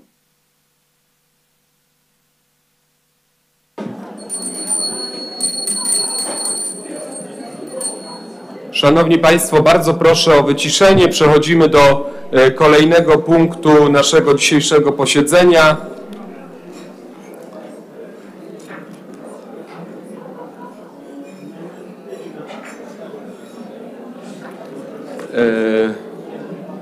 Uchwała zmieniająca uchwałę w sprawie uchwalenia wieloletniej prognozy finansowej miasta Opola na druku 1709 oraz autopoprawka do projektu uchwały na druku 1709a. W imieniu pana prezydenta, pan naczelnik Wydziału Budżetu Marcin Baraniewicz. Bardzo prosimy o wprowadzenie. Bardzo dziękuję Panie Przewodniczący, Szanowni Państwo Radni. Zmiana wieloletniej prognozy finansowej to oczywiście w dużej części zmiany, które dotyczą wykazu przedsięwzięć i oczywiście w związku z tymi zmianami, w związku ze zmianami, które zaproponowane zostały w korekcie budżetu, zmianie również ulega załącznik numer 1, czyli sama wieloletnia prognoza finansowa. I tak jeśli chodzi o wykaz przedsięwzięć, pierwsze z nich to wodny świat czesko-polskiego pogranicza. Tutaj zwiększamy wartość zadania i wydatki w roku bieżącym o 13 194 zł. To jest to jest zwrot, którego musimy dokonać do instytucji zarządzającej, zwrot, który wpłacony został przez naszego czeskiego partnera ZO Dwór Kralowe i to jest rozliczenie tego projektu. Kolejne zadanie Zielona Przestrzeń Rekreacyjna z budową placu zabaw dla dzieci na Zakrzowie. Tutaj zwiększamy wartość zadania o 260 700 zł. To są zwiększone koszty tej inwestycji. Kolejne zadanie oświetlenie bocznego odcinka ulicy Bierkowickiej i również ulicy Lajkonika. Tutaj również zwiększamy o 83 tysiące złotych. Tutaj nastąpiło rozszerzenie zakresu tej inwestycji. Kolejna zmiana, zwiększenie wartości dokumentacji przyszłościowej opracowywanej przez Wydział Oświaty. Chodzi o mm, y, opracowanie koncepcji budowy boiska dla młodzieży zespołu szkół imienia prymasa tysiąclecia. I to jest, y, chodzi o teren parkingu Sądu Okręgowego przy ulicy Daszyńskiego. Wartość tego zadania zwiększamy o 30 tysięcy złotych. Kolejne zadanie to jest y, projekt unijny Kompetencje uczniów to sukces 2023. Tutaj przenosimy środki, które nie były w roku ubiegłym wykorzystane na rok bieżący. To jest kwota 168 tysięcy złotych. Kolejne dwie zmiany to jest pomniejszenie wydatków w związku z powstałymi oszczędnościami. W przypadku opracowania dokumentacji technicznej budowy obwodnicy Piastowskiej pomniejszamy wartość tego przedsięwzięcia o 40 tysięcy złotych i druga dokumentacja dotycząca rozbudowy ulicy Łąkowej i ulicy Spychalskiego. Tutaj pomniejszamy o kwotę 70 tysięcy złotych. Następna zmiana to program rozwoju ogrodów działkowych na lata 2024-2028. Tutaj w związku z dużą liczbą złożonych wniosków na udzielenie dotacji zwiększamy wartość wydatków w roku bieżącym o 311 tysięcy złotych. Ta kwota przechodzi na rok bieżący z roku 2028. Kolejna zmiana to przebudowa rzeki Ryjec. I tutaj y, przesuwamy środki z roku bieżącego na rok 2025. 282 tysiące złotych to będą środki, które przeznaczone będą za, y, na wykonanie dokumentacji technicznej przebudowy tej rzeki. Kolejne zadanie, budowa domy pomocy społecznej w Opolu. Tutaj to zadanie jest już w ostatniej, końcowej fazie. Y, Trwają odbiory, y, y, odbiory techniczne wybudowa- wybudowanego nowego obiektu domu pomocy społecznej. Kwota, którą proponujemy zwiększyć 340 tysięcy złotych posłuży zakupowi sprzętu telefonicznego i audiowizualnego. Kolejna zmiana, zwiększenie y, wydatków w roku bieżącym o 930 tysięcy złotych. To jest współorganizacja Krajowego Festiwalu Polskie Piosenki w Opolu. Kolejne zadanie to przebudowa wylotu kanalizacji deszczowej przy ulicy Kurpiowskiej. Tutaj y, zmniejszamy wartość zadania o 18 130 zł. To są oszczędności powstałe po podpisaniu umowy z wykonawcą. Kolejne y, zadanie to przebudowa kanału deszczowego. Tym razem chodzi o lokalizację przy ulicy Budowlanych 52 i tutaj kwota, która z poprzedniego zadania stanowi oszczędność, y, zwiększa wartość tego zadania przy ulicy Budowlanych, czyli również kwota 18 130 zł. Kolejne zadanie to przebudowa układu komunikacyjnego dla poprawy dostępności mieszkańców całego województwa do centrów usług wspólnych. Przypomnę, że to jest zadanie, w ramach którego planowana jest budowa układu komunikacyjnego w ciągu ulicy y, Kośnego przy budynku nowo wybudowanego Centrum Usług Publicznych. Przy tym zadaniu środki bieżące przepraszam, wydatki y, majątkowe y, przechodzą na rok 2026, tak aby można było y, w tym ostatnim roku dokonać ostatnich płatności za usługi nadzoru autorskiego. Przypomnę, że na realizację tego zadania planujemy pozyskać środki w ramach y, środków unijnych, y, w ramach pro, programu Fundusze Europejskie dla Opolskiego. Kolejna zmiana to jest również oszczędność pomniejszamy o 20 tysięcy złotych opracowanie dokumentacji na bu- rozbudowę ulicy Ozimskiej. I Szanowni Państwo, jeśli chodzi o wykaz przedsięwzięć, proponujemy wpisać cztery nowe przedsięwzięcia. Pierwsze z nich to jest remont wiaduktu łukowego nad linią PKP w ciągu ulicy Rejmonta. Tutaj zachodzi konieczność wykonania prac remontowych. W związku z tym wartość tego zadania w dwóch latach to jest 1 700 tysięcy złotych, z czego 300 tysięcy złotych w roku bieżącym to będą środki przeznaczone na opracowanie dokumentacji technicznej, natomiast same prace remontowe na tym obiekcie wykonane zostaną w roku 2025 i w tym właśnie roku środki na realizację tego zadania to będzie kwota 1 400 tysięcy złotych. Kolejne zadanie to jest zadanie, które uzyskało dofinansowanie w ramach rządowego programu odbudowy zabytków.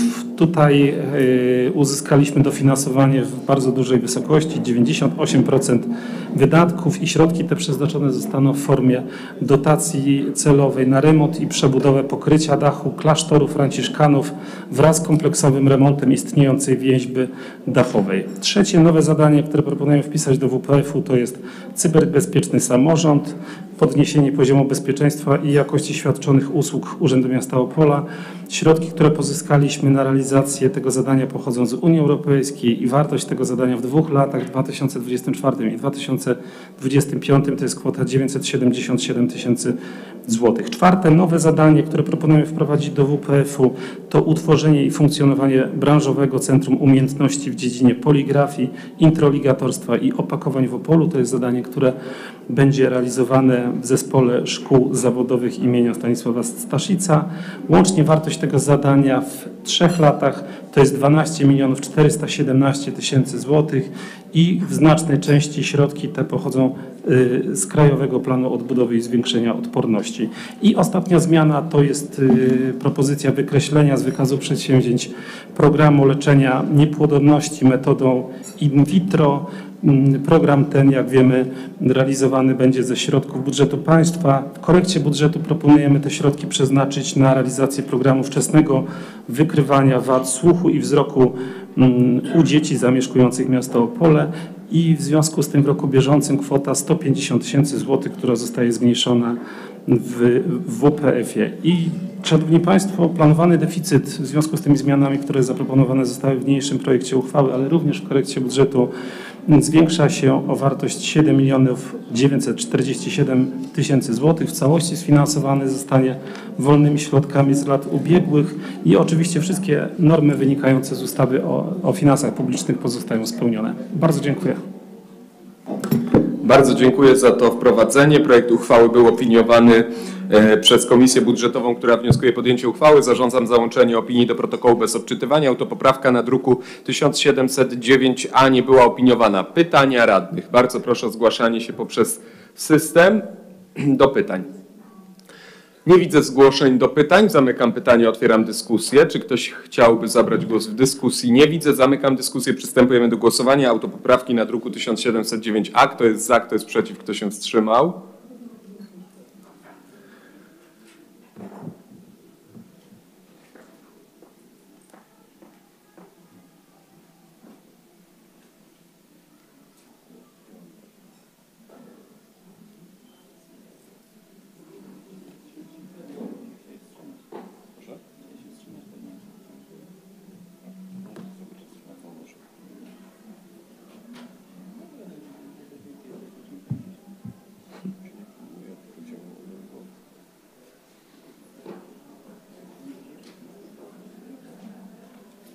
Bardzo dziękuję. Za przyjęciem autopoprawki głosowało 18 radnych, nikt nie był przeciwny, czterech radnych wstrzymało się od głosu. Autopoprawka została przyjęta. Przystępujemy do głosowania uchwały wraz z przegłosowaną autopoprawką. Kto jest za, kto jest przeciw, kto się wstrzymał? Uchwała na druku 1709. Bardzo proszę o oddawanie głosów.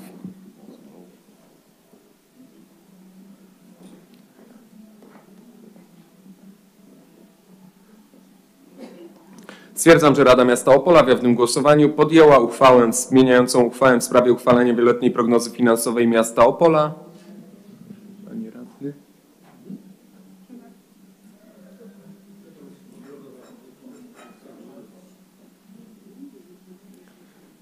Większością głosów 19 radnych za, przy braku głosów przeciwnych, 4 głosach wstrzymujących się. Uchwała w sprawie korekty budżetu miasta Opola na 2024 rok na druku 1710 oraz autopoprawka do projektu uchwały na druku 1710a.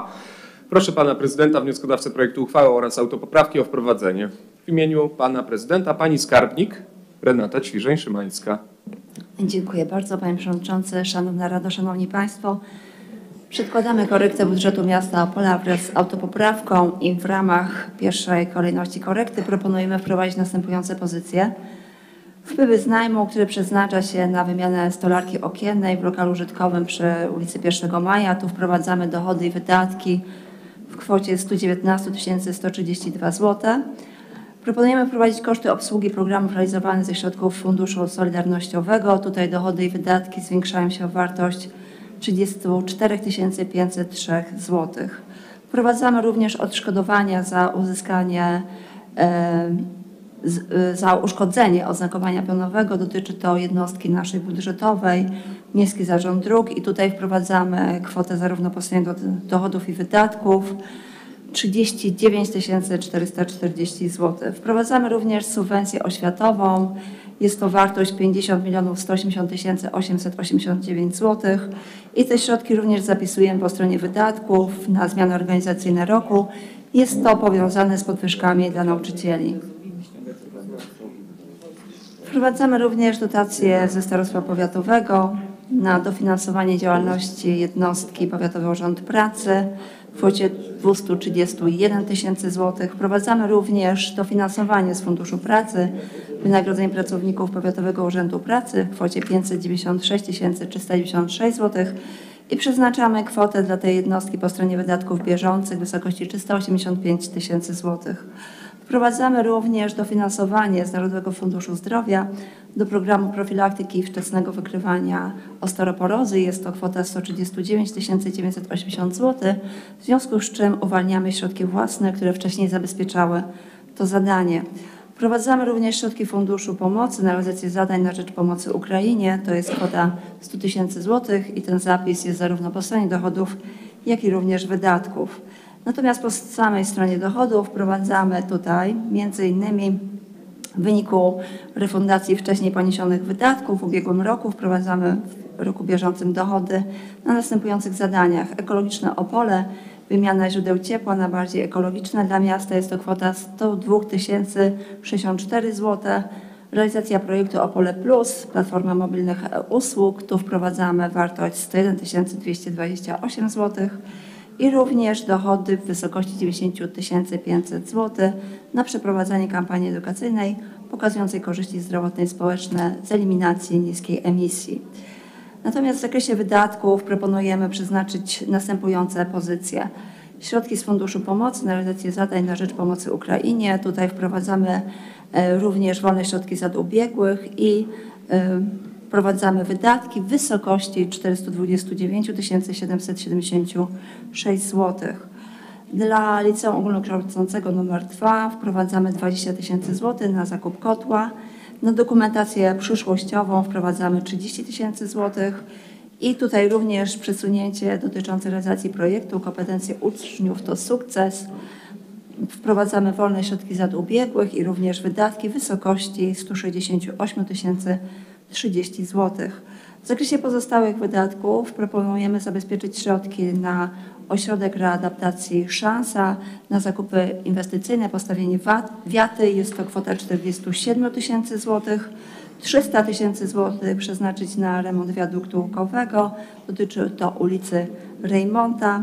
340 209 zł przeznaczyć na zakupy wyposażenia informatycznego dla budowy Domu Pomocy Społecznej w Opolu. 311 098 zł jest to program rozwoju ogródków działkowych na lata 2024-2028. Proponujemy tutaj przesunąć z roku 2028 tą kwotę w związku z większym zapotrzebowaniem w roku bieżącym na takie wsparcie dotacyjne.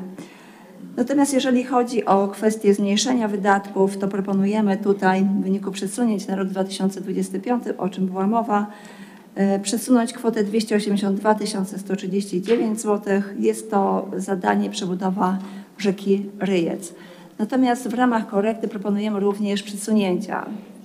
Są to wydatki zgłaszane przez Rady Dzielnic, dzielnica druga, 260 tysięcy złotych. Proponujemy przeznaczyć na zielona przestrzeń rekreacyjna z budową placu zabaw dla dzieci na Zakrzowie. Przesunięcie wysokości 50 tysięcy złotych dotyczy Rady Dzielnic numer 8 i tutaj Rada chce przeznaczyć na siłownię na powietrzu 10 tysięcy złotych i 40 tysięcy złotych na zagospodarowanie podwórza u zbiegu ulicy 1 Maja, Drzymały, Plebiscytowej i Kasprowicza.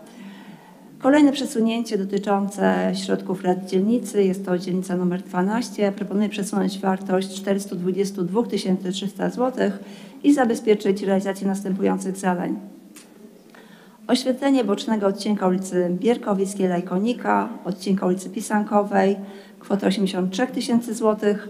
Na remont drewnianego podestu przy stawie w Opolu 7800 złotych na przebudowę drogi w zakresie budowy oświetlenia ulicy Rajskiej 34 tysiące złotych, 10 tysięcy złotych przeznaczyć na remont systemu nawadniania na boisku Sławice, 72 200 złotych na wykonanie systemu nawadniania boiska sportowego we Wrzoskach, 70 tysięcy złotych przeznaczyć na zakup i montaż oświetlenia ulicznego przy ulicy Opolskiej, 55 300 zł na budowę ścieżki i montaż ławek i kosza na śmieci przy placu zabaw PSP numer 9. 90 tysięcy złotych będzie to zadanie dotyczące zesta- zestawu, zakupu zestawu do ćwiczeń i treningu.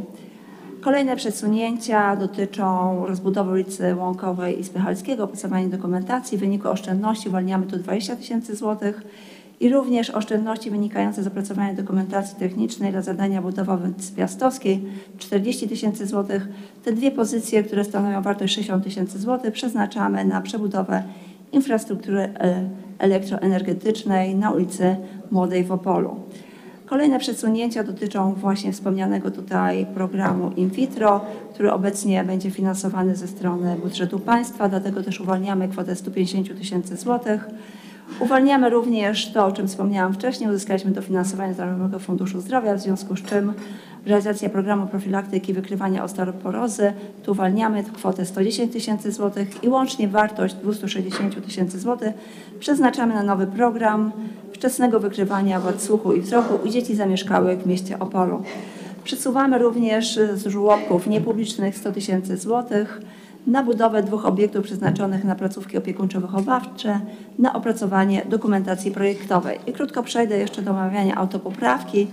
I w ramach autopoprawki wprowadzamy po stronie dochodów i wydatków y, koszty obsługi programu Aktywny Samorząd w wysokości 41 905 zł.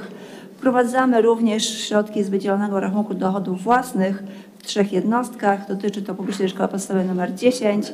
Dochody zwiększamy o 7 426 zł, natomiast wydatki do tej jednostki to 14 630 zł. Dotyczy to również zespołu placówek oświatowych. Tutaj zwiększamy kwotę po stronie wydatków 65 250 zł. Dochody zwiększają się nam o 46 243 zł. I LO numer 1 to również środki e, tej jednostki, która zwróciła z początkiem roku. Jest to 24 820 zł. I te środki również trafiają do tej jednostki celem uzupełnienia wydatków bieżących.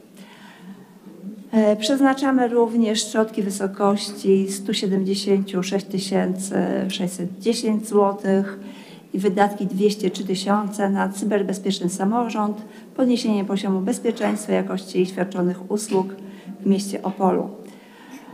E, Wprowadzamy również środki na remont i przebudowę pokrycia dachu klasztoru Franciszkanów. Jest to wkład własny do projektu rządowego odbudowy zabytków i tutaj po stronie dochodów i wydatków wprowadzamy wartość 38 105 zł.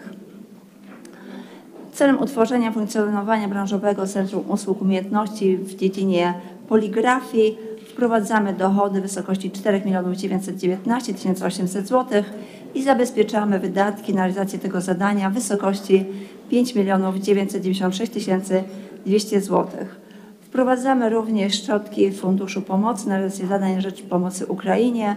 Jest to wartość 10 tysięcy złotych. Po stronie dochodów wprowadzamy również w wyniku refundacji wydatków wcześniej poniesionych kwotę 256 612 zł. Są to środki związane z likwidacją indywidualnych źródeł ciepła w obiektach ogrodu zoologicznego.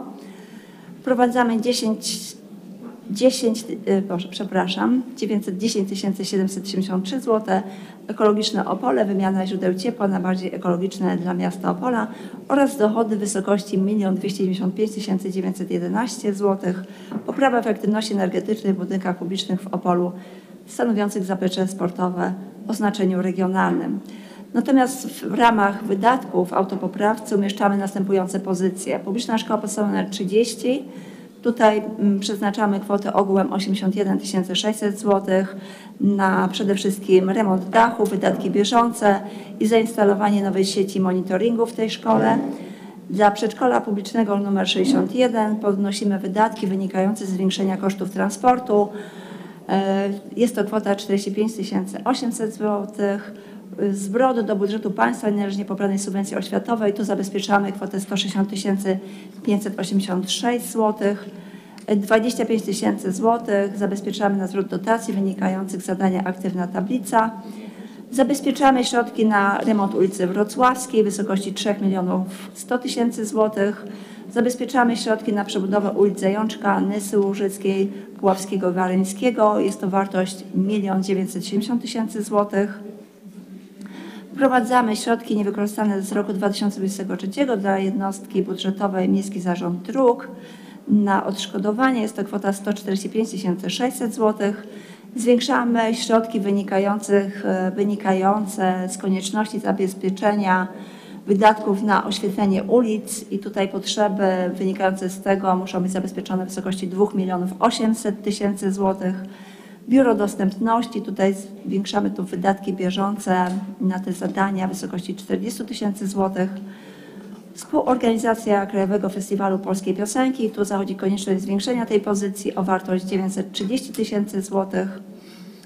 E, Jeżeli chodzi o wydatki bieżące, pozostała działalność, koszty usług doradczych w wyniku odzyskania podatku VAT. Wprowadzamy dochody w wysokości 1 120 tysięcy złotych, natomiast zabezpieczamy wydatki w wysokości 556 tysięcy złotych. Miejski Ośrodek Pomocy Rodzinie, wkład własny do projektu, Korpus Wsparcia Seniorów, tu zabezpieczamy kwotę 5128 zł. Remont ogrodzenia terenu rekreacyjnego przy ulicy Szkolnej, to wartość wydatków e, 44 tysiące złotych. Zmniejszamy plan wydatków w wyniku przesunięcia na rok 2026 na zadaniu przebudowa układu komunikacyjnego dla poprawy dostępności mieszkańców całego województwa do Centrum Usług w Opolu. W zakresie przesunięć proponujemy przesunąć wydatki zgłaszane przez Rad Dzielnic, dzielnica 9, 50 tysięcy złotych, na realizację następujących zadań. Zagospodarowanie skweru 10 tysięcy złotych, zakup instalacja sprzętu rekreacyjnego na skwerze ulicy Powstańców Śląskich a Pasieczną 6 tysięcy złotych, zakup i montaż klimatyzatora w przedszkolu publicznym nr 3 10 tysięcy złotych, upamiętnienie skweru Herberta 10 tysięcy złotych, nasadzenie drzew 14 tysięcy złotych. Przesuwamy również zadania utrzymanie mobilnych łąk kwietnych, to jest 10 tysięcy złotych, na zadanie współorganizacja wydarzenia plenerowego Święto Lata. 18 130 zł przesuwamy przebudowa wylotu kanalizacji deszczowej ulicy Kurpiowskiej na zadanie przebudowa kanału deszczowego przy ulicy Budowlanych. Kolejne przesunięcie dotyczy również wydatków rad dzielnic numer 13 i tutaj 375 tysięcy złotych. Rozpisujemy na dwa zadania. Rozbudowa ulicy Laurowej 250 tysięcy złotych i zagospodarowanie terenu rekreacyjnego Żerkowice 125 tysięcy złotych.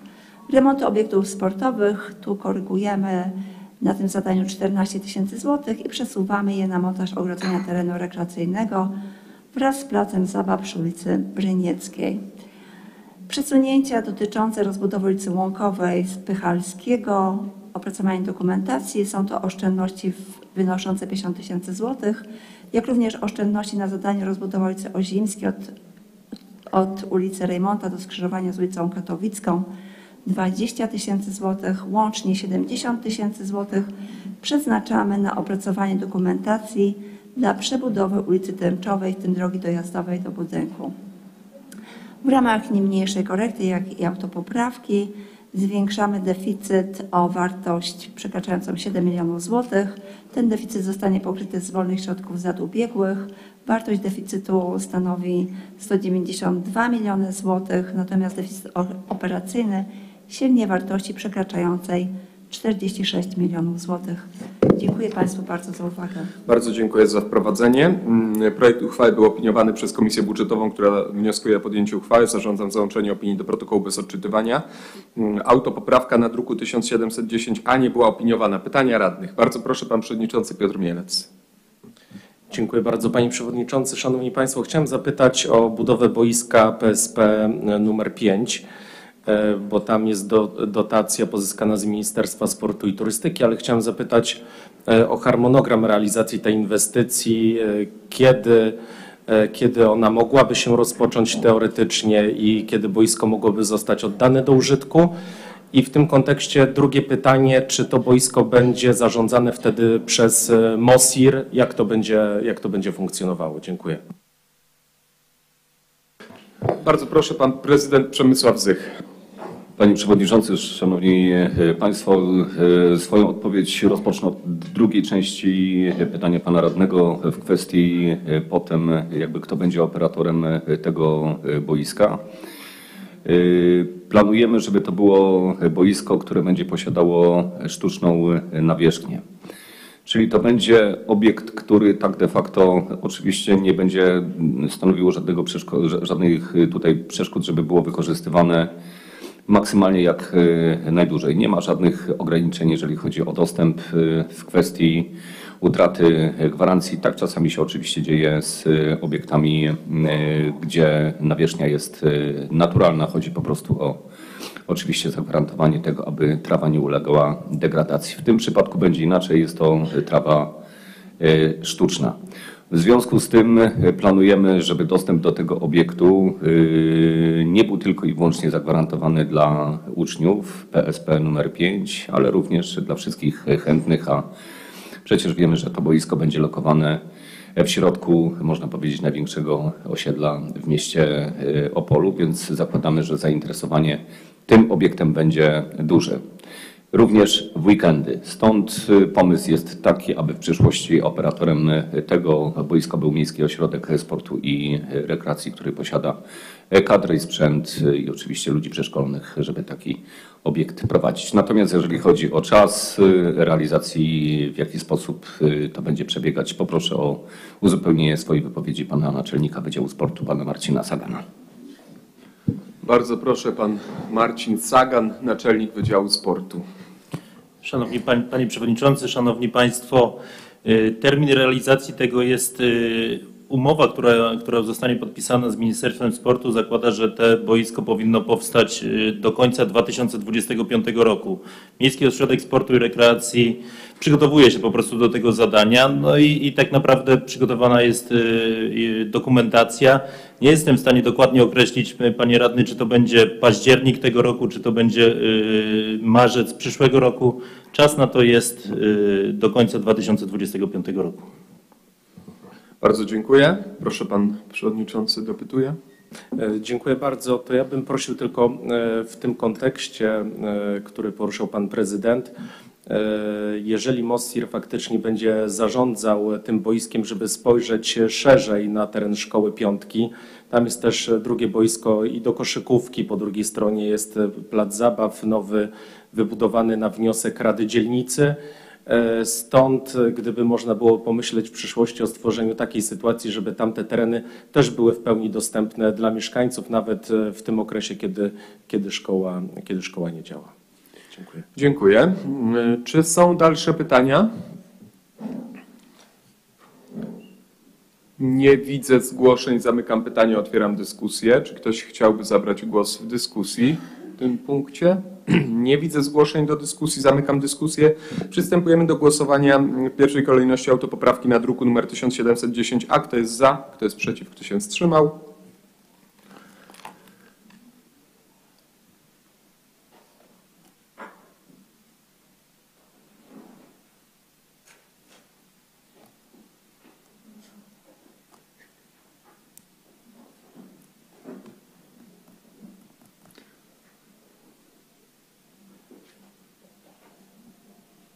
Bardzo dziękuję. Autopoprawka została przyjęta większością głosów 18 radnych za przy braku głosów przeciwnych, 4 głosach wstrzymujących się.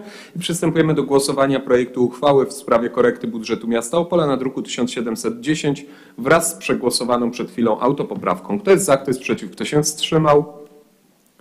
Stwierdzam, że Rada Miasta Opola w jednym głosowaniu podjęła uchwałę w sprawie korekty budżetu miasta Opola na 2024 rok. Większością głosów 18 radnych za przy braku głosów przeciwnych, 4 głosach wstrzymujących się. Sprawozdanie ze stanu bezpieczeństwa i porządku na terenie działania Komendy Miejskiej Policji w 2023 roku. Zanim przejdziemy do tego sprawozdania, to dosłownie minuta przerwy, ponieważ część, e, część pracowników opuszcza salę, więc nie będziemy tutaj e, się przekrzykiwać chwilę czasu i przechodzimy do sprawozdań, które są w trybie uproszczonym z możliwością zadawania pytań lub dyskusji, więc jeżeli ktoś z Państwa radnych ma takie pytania, to proszę sobie przygotować je. Zaraz będziemy przechodzić do poszczególnych sprawozdań Straży Pożarnej, Policji, Straży Miejskiej. Dziękuję pracownikom Urzędu Miasta, którzy do tej pory tutaj byli i czekali na pytania w gotowości. Yeah.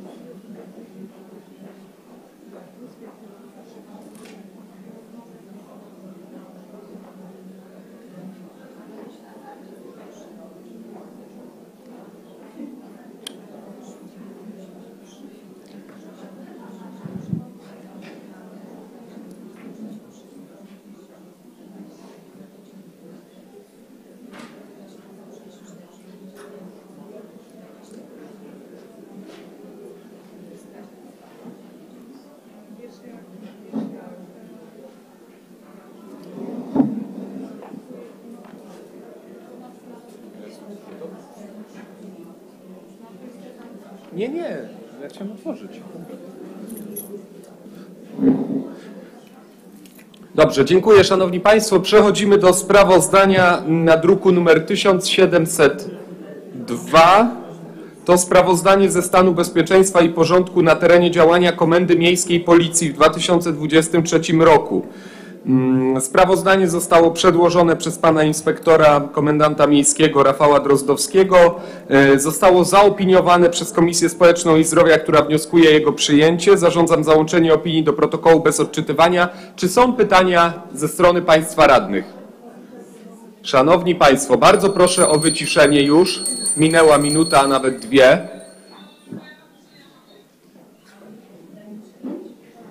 Pani radna, czy to pytanie do pana komendanta, czy towarzyskie? A do pani radnej. Bardzo proszę, szanowni państwo, o wyciszenie.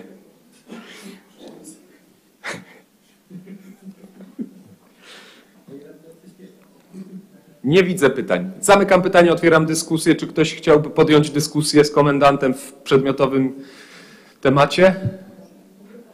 Nie widzę chętnych do dyskusji z komendantem, to nie znaczy, że nie chcielibyśmy z panem porozmawiać, ale, ale akurat w przedmiocie sprawozdania takiej dyskusji nie ma. Proszę, pan komendant chciałby. Jestem zawiedziony, byłem przygotowany na tę półtora godzinną wypowiedź, żeby omówić te wszystkie tabelki, wykresy statystyczne, E, ale tak zupełnie poważnie, Szanowni Państwo, e,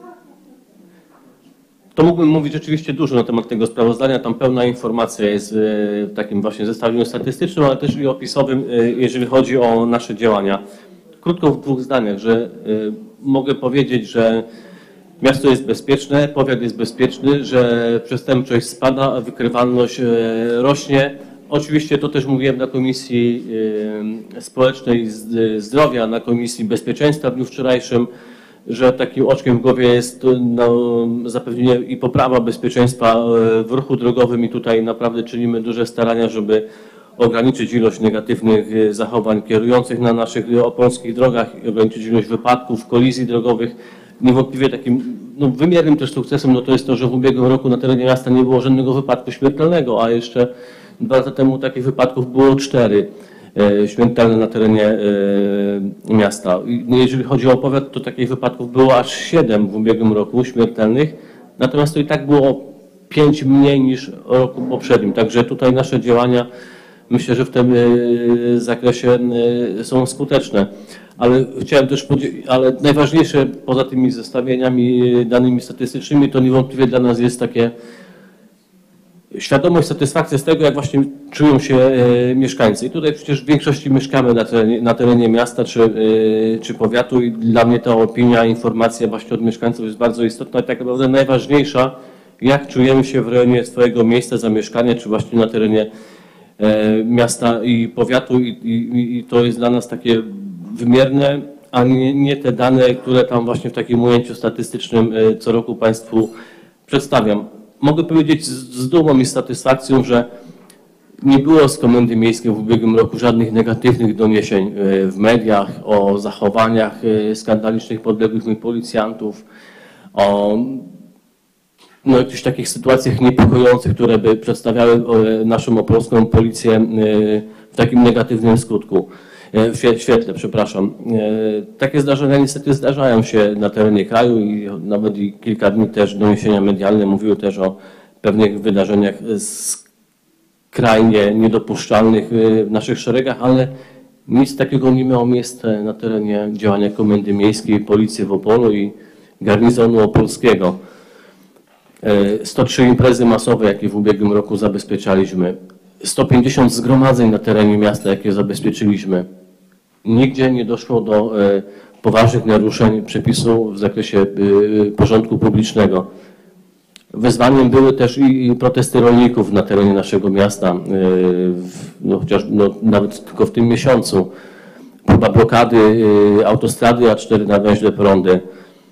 Myślę, że te nasze działania no, skutecznie zapobiegły eskalacji i w miarę możliwości również tutaj za współpracą właśnie e, z ratuszem, że e, generowaliśmy objazdy, organizowaliśmy właśnie, żeby ta uciążliwość była jak najmniejsza tych protestów i nie doszło do jakichś poważniejszych incydentów w ścisłym centrum miasta, czyli na ulicy Piastowskiej, czy też przyległych. I, i mógłbym mówić wiele o takich właśnie pozytywnych e, zachowań, ale ta opinia właśnie państwa e, i mieszkańców jest dla nas najważniejsza. Nie chciałbym się właśnie sam chwalić i popadać w sam zachwyt. Ale w tym miejscu dziękuję za Państwa wsparcie, wyrozumiałość, za współpracę, za wsparcie finansowe, jeżeli chodzi o służby ponadnormatywne. Te 80 tysięcy pozwoliło nam przeprowadzić 160 służb na terenie miasta. E, Dziękuję za wsparcie i przychylność, e, jeżeli chodzi o e, projekt związany z renowacją elewacji Komendy Miejskiej Wojewódzkiej, który planujemy w tym roku. I oczywiście liczę na dalszą przychylność e, pana przewodniczącego, państwa radnych, pana prezydenta i jego zastępców, e, bo to wsparcie finansowe, jakie otrzymujemy, to nie dostaje Drozdowski czy inny policjant. To pomaga nam e, wykonywać nasze zadania lepiej, profesjonalniej, właśnie w jednym kierunku, w kierunku poprawy bezpieczeństwa na terenie miasta. Chylę nisko czoła przed Państwem. Dziękuję za dotychczasową współpracę i oczywiście liczę na dalszą. Dziękuję bardzo. Dziękujemy bardzo. E, Szanowni Państwo, czy ze strony Państwa radnych nie widzę zgłoszeń? E, Zamykam wobec tego dyskusję. Tak, bardzo proszę Pani radna, do czego Pani się zgłaszała? Do... Bardzo proszę Pani radna Alicja Wiśniewska. E, Dziękuję bardzo. Ja tutaj chciałabym poruszyć dwie kwestie. Przede wszystkim chciałam też e, podziękować za to, za inicjatywę, z którą e, wyszła policja, mianowicie samoobronę dla kobiet, którą udało nam się wspólnie zrealizować. To też są działania dodatkowe bardzo ważne, które zwiększają też to poczucie bezpieczeństwa i wyposażają bezpośrednio mieszkanki, które się zapisują. To już jest kolejna edycja, więc ja też widzę tą tutaj inicjatywę względem edukowania i wykorzystywania państwa potencjału, za co też e, serdecznie dziękuję za, e, za tą inicjatywę i za tą współpracę, ale też chciałabym zapytać odnośnie incydentów, e, które dzieją się w, w miejskim transporcie publicznym, bo często też gdzieś widzimy, otrzymywałam takie sygnały pewnych sytuacji, czy, czy, czy mamy jakieś dane, najczęściej jakie to są sytuacje albo kogo dotyczą, jak to bezpieczeństwo w, nie tylko w samej komunikacji, ale też mówię tutaj o, o przystankach e, i, i o całym tym, e, tym ciągu wygląda. Bardzo proszę, pan komendant. No, Z pewnością reagujemy na każde zgło- zgłoszenie, jeżeli chodzi o kradzieże w komunikacji miejskiej, bo rozumiem, że do, do tego Pani pytanie zmierzało. Czy też dewastacji mienia, które najczęściej obserwujemy w rejonach przystanków autobusowych. E, Część z tych zdarzeń oczywiście zakończona jest pozytywnie, czyli ustalamy sprawcę dzięki monitoringowi miejskiemu, ale też my wiemy, że te miejsca są wyposażone też w dodatkowe kamery monitoringu. Także w miarę możliwości e, ustalamy sprawców, rozliczamy ich, na- natomiast nie jest to jakieś też zagadnienie, które by generowało jakąś, nie wiem, dużą skalę tego typu zdarzeń. Dziękujemy I to są incydenty pojedyncze, które najczęściej kończą się z korzyścią y, ustalenia sprawcy i, i, poniesienia konsekwencji. Przy, przypadki incydentalne, dokładnie tak. yy, I w każdym przypadku, jeżeli jest dewastacja, otrzymujemy takie zgłoszenie z miasta, bo to jest to przestępstwo ścigane na wniosek pokrzywdzonego. I oczywiście w miarę możliwości dążymy do ustalenia i rozliczenia sprawcy yy, takiego aktu wandalizmu. Super, dziękuję. Bardzo dziękuję. E, Nie widzę dalszych zgłoszeń. Wobec powyższego zamykam dyskusję. Przystępujemy do głosowania sprawozdania na druku 1702. Kto z Pań i Panów Radnych jest za, kto jest przeciw, kto się wstrzymał? Bardzo proszę o głosowanie. Stwierdzam, że Rada Miasta Opola w jednym głosowaniu na podstawie paragraf 31 ust. 2 Statutu Miasta Opola przyjęła sprawozdanie ze stanu bezpieczeństwa porządku na terenie działania Komendy Miejskiej Policji w 2023 roku. Jednomyślnie głosami 23 radnych za. Sprawozdanie Komendy Miejskiej Policji w Opolu z realizacji uchwały w sprawie przekazania Policji środków finansowych stanowiących dochody własne miasta z przeznaczeniem na rekompensatę pieniężną za czas służby ponadnormatywnej w 2023 roku na druku 1718. Sprawozdanie zostało również przedłożone przez pana komendanta. Sprawozdanie nie było opiniowane przez komisje stałe, gdyż zostało wprowadzone do porządku obrad głosowaniem Rady. Czy w tym względzie są pytania ze strony państwa radnych? Nie widzę zgłoszeń do pytań. Zamykam pytanie, otwieram dyskusję. Czy ktoś chciałby wziąć udział w dyskusji? Nie widzę y, zgłoszeń do dyskusji. Zamykam dyskusję i przystępujemy do głosowania przyjęcia tegoż sprawozdania. Na druku 1718 kto jest za, kto jest przeciw, kto się wstrzymał. Stwierdzam, że Rada Miasta Opola w jednym głosowaniu na podstawie paragraf 31 ust. 2 Statutu Miasta Opola przyjęła sprawozdanie Komendy Miejskiej Policji w Opolu z realizacji uchwały w sprawie przekazania Policji środków finansowych stanowiących dochody własne Miasta Opola z przeznaczeniem na rekompensatę pieniężną za czas służby ponadnormatywnej w 2023 roku jednomyślnie głosami 23 radnych za. Sprawozdanie z działalności Straży Miejskiej w Opolu za 2023 rok na druku 1703. E, Sprawozdanie zostało przedłożone przez zastępcę komendanta Straży Miejskiej w Opolu, panią Beatę Szpakowską oraz zaopiniowane przez Komisję Społeczną i Zdrowia, która wnioskuje jego przyjęcie. Zarządzam załączenie opinii do protokołu bez odczytywania pytania radnych. Czy ktoś chciałby zadać pytanie względem tegoż sprawozdania z działalności Straży Miejskiej? Nie widzę pytań. Zamykam pytania. Bardzo proszę w pytaniach, pani radna? Tak? Bardzo proszę, pani radna Elżbieta Kurek. Proszę uprzejmie. Y, Ja się chciałam zapytać o kwestię nieprawidłowego parkowania w mieście Opolu, bo bardzo dużo mieszkańców ten problem zgłasza. Ja dostałam odpowiedź na interpelację, że y, jest wystawianych sporo mandatów, że to jest kontrolowane. No niemniej jest to naprawdę duży problem i może prze- przedsięwziąć jakieś inne środki y, i więcej po prostu tutaj tych kontroli, bo to wraca jak bumerang. No nie te, ileś miesięcy temu y, mieszkaniec ulicy Szpitalnej pytał się mnie o to parkowanie, dostał odpowiedź ze Straży Miejskiej, że będzie to kontrolowane i znowu ten sam mieszkaniec, że nic się nie poprawiło. Jeszcze jest kwestia, którą ja kiedyś zgłaszałam, a mianowicie y, możliwości parkowania i, i, i sprawdzania tego y, na miejscach parkingowych przez busy, bo na przykład na Habrach bardzo często jest tak, że y, te busy ze względu na gabaryty parkując po prostu za, zajmują część y, ścieżki rowerowej i ludzie mają problemy z, przejazdami i chciałam się zapytać, jak Państwo w ogóle sobie z tym będziecie radzić, bo, no bo mówię, tych zgłoszeń ze strony mieszkańców przypuszczam, że wszyscy radni mają bardzo dużo. Dziękuję. Bardzo proszę pani komendant Beata Szpakowska. Tak, dziękuję za głos, panie przewodniczący, panie prezydencie, państwo radni. Rzeczywiście, jeżeli chodzi o nieprawidłowe parkowanie, to jest to problem całego Opola.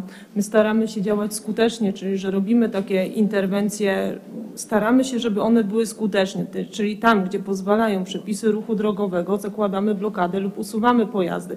Ale te nasze akcje takie skondensowane po jakimś czasie, jaki tam nie ma tego nagminnie i, i nie kontrolujemy tego codziennie, to mieszkańcy znowu nie stosują się do przepisów ruchu drogowego i to wraca. My staramy się oczywiście jak najbardziej, żeby to było skuteczne, że- żeby tutaj te, te nasze akcje nie wdrożyły mieszkańców do poszanowania tutaj przepisów ruchu drogowego. No nie, nie zawsze jest to różnie z tym, więc staramy się oczywiście jak najbardziej w każdym miejscu być, ale rzeczywiście tego, jeżeli zgłoszeń dotyczących nieprawidłowego parkowania jest tak dużo, że nie w każdy dzień możemy być w każdym miejscu, ale jak najbardziej próbujemy to ogarnąć. Mamy też monitoring. Nie zawsze nas widać w tych miejscach, gdzie są nieprawidłowe parkowania, dlatego także, że- ponieważ prowadzimy postępowania dotyczące tych nieprawidłowości poprzez monitoring, czyli wszczynamy tutaj postępowanie i później już to jest realizowane przez nas wy- Wydział naszych y, do spraw wykroczeń. Bardzo Dziękuję. dziękuję. dziękuję za odpowiedź. Mm, Czy ktoś chciałby jeszcze w kwestii pytań? Bardzo proszę, pan radny Marek Kawa. Y, Dziękuję. Y, Panie Przewodniczący, Panie Prezydencie, Pani Komendant. Postanowiłem zadać to pytanie, ponieważ obserwuję Państwa już kolejną kampanię wyborczą, Państwa działa, jakby no, funkcjonowanie. Mam sporo takich, no, powiedział, dwuznacznych. Nie chcę ich formułować teraz, ale proszę mi powiedzieć, czy Państwo w czasie kampanii wyborczych, zwłaszcza samorządowych, która teraz jest przed nami, czy Państwo macie jakieś swoje, nie wiem, okulnik, swoje jakieś regulacje? Ponieważ choćby w przypadku ostatniej kampanii wyborczej, kiedy y, miałem sygnały od Państwa, także, że zdjęliście na przykład mój plakat czy baner, jest on do odebrania. Później okazuje się, że tego nie ma, ponieważ jest tak zniszczony, że, że, że nie, nie można go znaleźć. Więc trochę tak na, na przyszłość chciałem zapytać, czy, czy Państwo mają jakieś swoje, swoje procedury, mm, dotyczące właśnie pod tym kątem. Oczywiście Państwa zadaniem jest pilnowanie porządku i również tego, gdzie należy wywieszać, gdzie powinni prawda, kandydaci się reklamować i w jaki sposób, ale z drugiej strony też nie chcę nic sugerować, no, podlegacie pod, pod prawda, pana prezydenta. Y, Czy, czy tutaj są jakieś regulacje, czy Was obowiązuje po prostu e, uchwała tak, uchwała reklam, o, o reklamach, tak, czy, czy kwestie związane mm, e, ogól, ogólnopo- ogólnopolskie, które obowiązują we wszystkich, we wszystkich miastach. Mm, W jaki sposób Państwo się przygotowujecie, przygotowuje, Bardzo- przygotujecie do, mhm. tej, do, do, do kampanii? Bardzo dziękuję. Bardzo proszę panią komendant. Jeżeli chodzi o wybory, to my opieramy się na podstawie ustawy Kodeks Wyborczy i na tej podstawie działamy. Yy, Usuwamy plakaty rzeczywiście z tych miejsc niedozwolonych, w- miejscach, które zagrażają bezpieczeństwu yy, w ruchu drogowym, zagra- zagrażają bezpieczeństwu mienia i z tych miejsc te plakaty usuwamy. Szanujemy każdy plakat, który jest usunięty. Yy, Jeżeli jego stan yy, był jakiś niezadowalający, to na pewno nie z naszej winy, tylko może tutaj z jakichś warunków atmosferycznych, nie wiem, trudno mi powiedzieć. Na pewno taki plakat szanujemy. Taki plakat jest składany u nas y, w naszej komendzie i zawsze informujemy każdy komitet o ściągnięciu plakatu i miejscu, gdzie ten plakat można odebrać. Ale jak najbardziej obowiązuje nas w tym momencie ustawa Kodeks Wyborczy. Mhm. Bardzo dziękuję. E, Bardzo proszę, pan radny jeszcze. Czyli rozumiem, że Państwo nie macie swoich wewnętrznych procedur.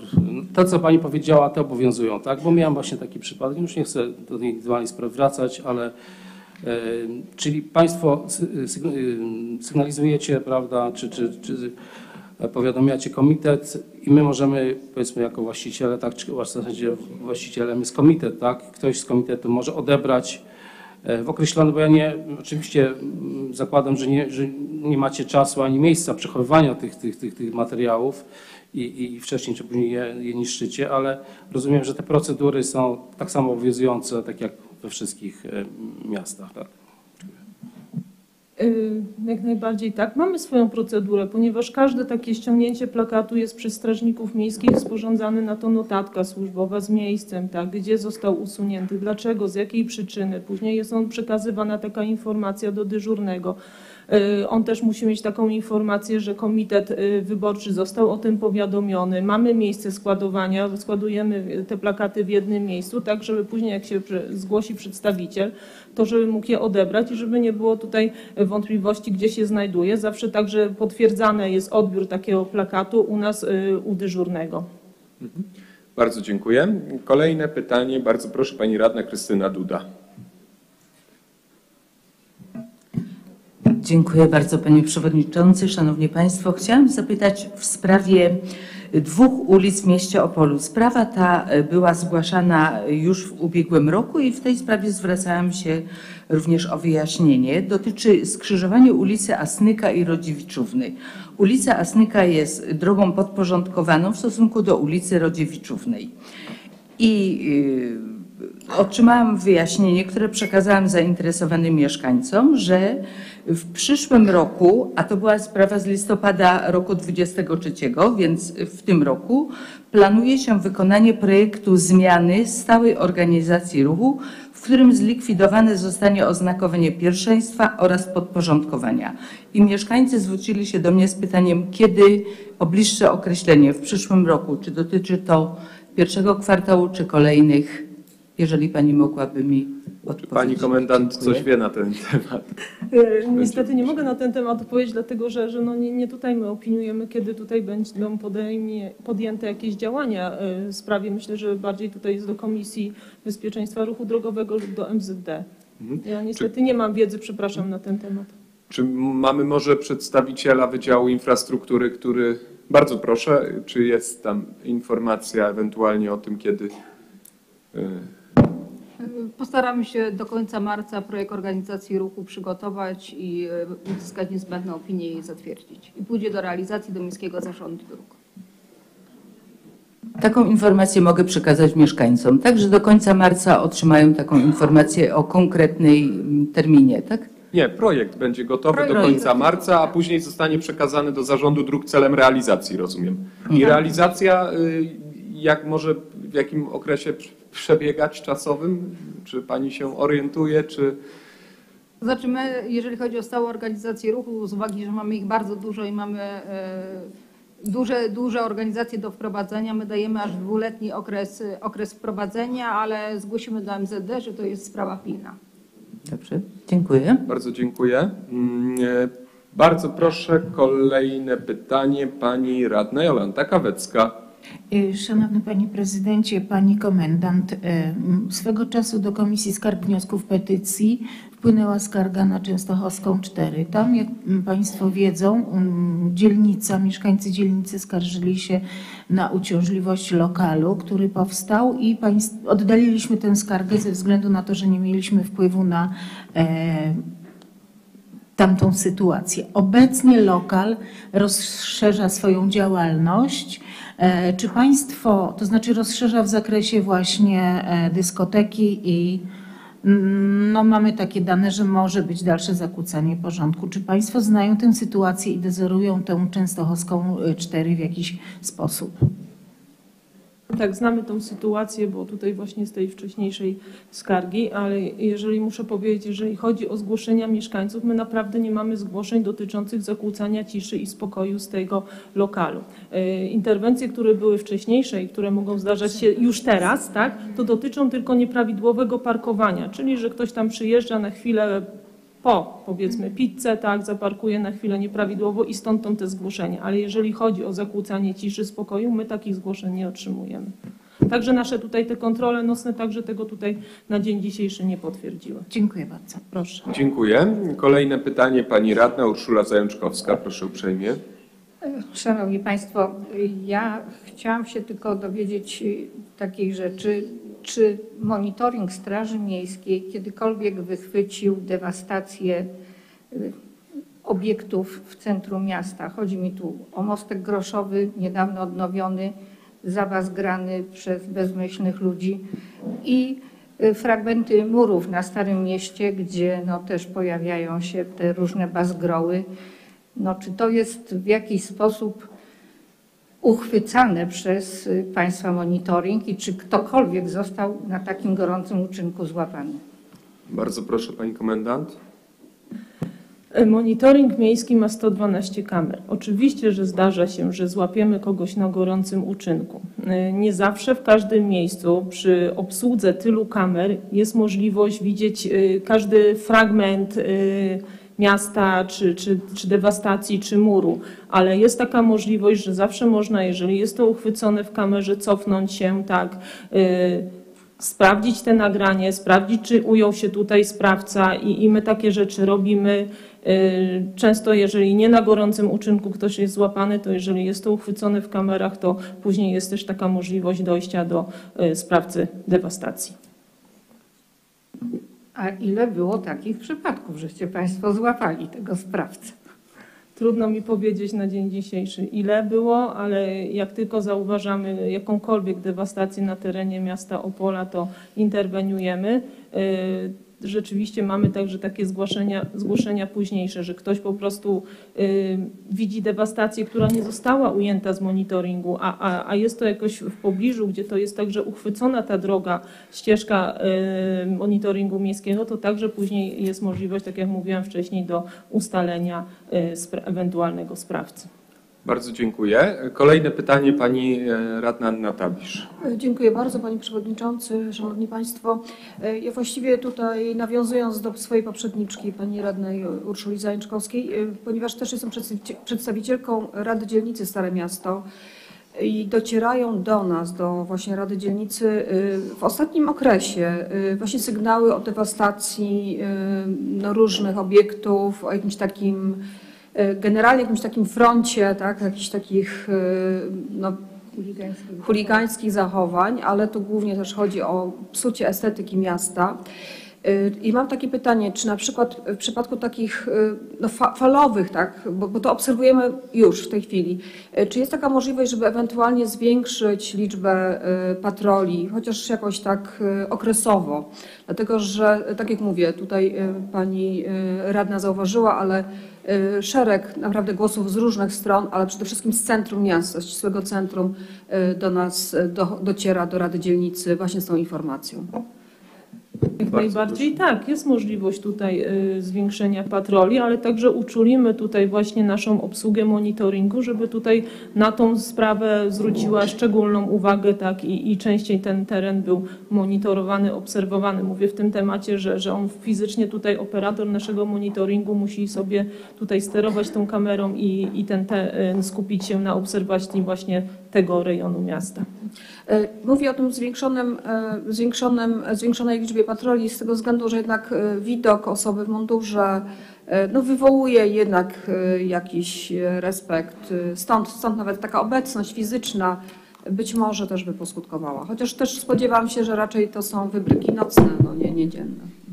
Dziękuję. Tak, jeżeli chodzi o takie właśnie dewastacje, to zachęca na pewno to, na to pora nocna, ale my mamy tutaj właśnie objęty tutaj ten e, rejon e, ści- ścisłego centrum patrolowaniem, bo nie tylko tutaj mamy, te, wystawiamy patrole nasze strażnicze, ale także współpracujemy tutaj z policją właśnie i, i, i także patrolujemy właśnie śródmieście e, pod tym kątem.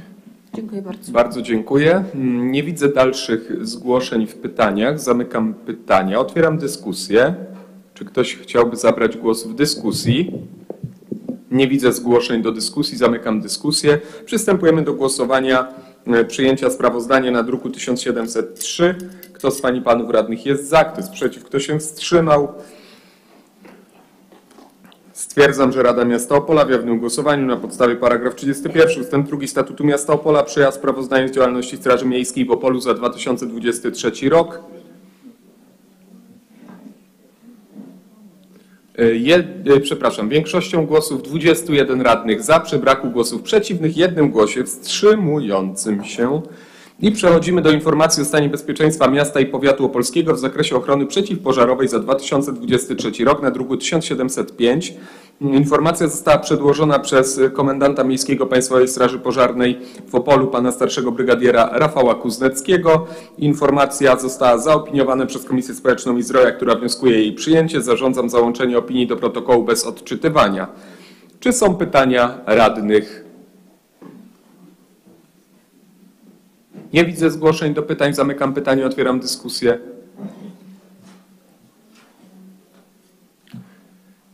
Bardzo proszę, pan y, komendant Rafał Kuznecki.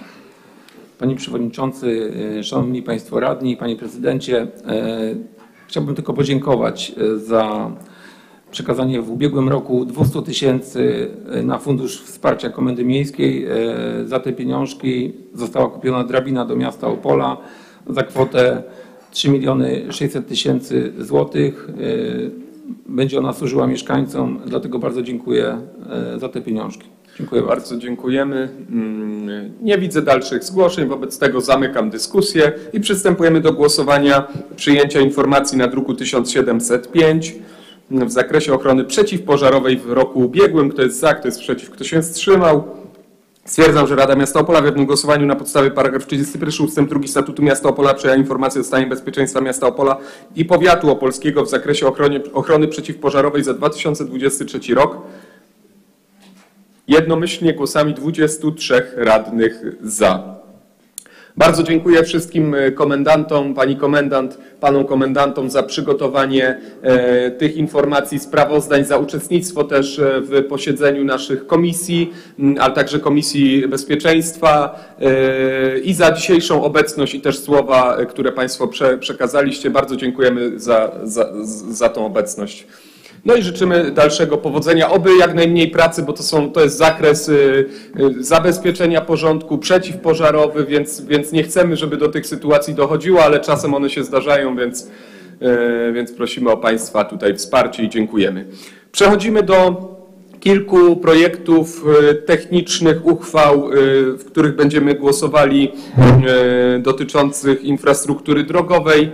Bardzo proszę o czujność, bo tych głosowań troszkę tutaj jest, więc przechodzimy do uchwały w sprawie ustalenia przebiegu dróg gminnych numer 103 533 o i numer 103 534 o na druku numer 1697. Tryb uproszczony bez wprowadzania pytań i dyskusji. Wnioskodawcą jest prezydent. Projekt uchwały opiniowała Komisja Infrastruktury, która wnioskuje o podjęcie uchwały. Zarządzam załączenie opinii do protokołu bez odczytywania. Przystępujemy do głosowania. Kto jest za, kto jest przeciw, kto się wstrzymał?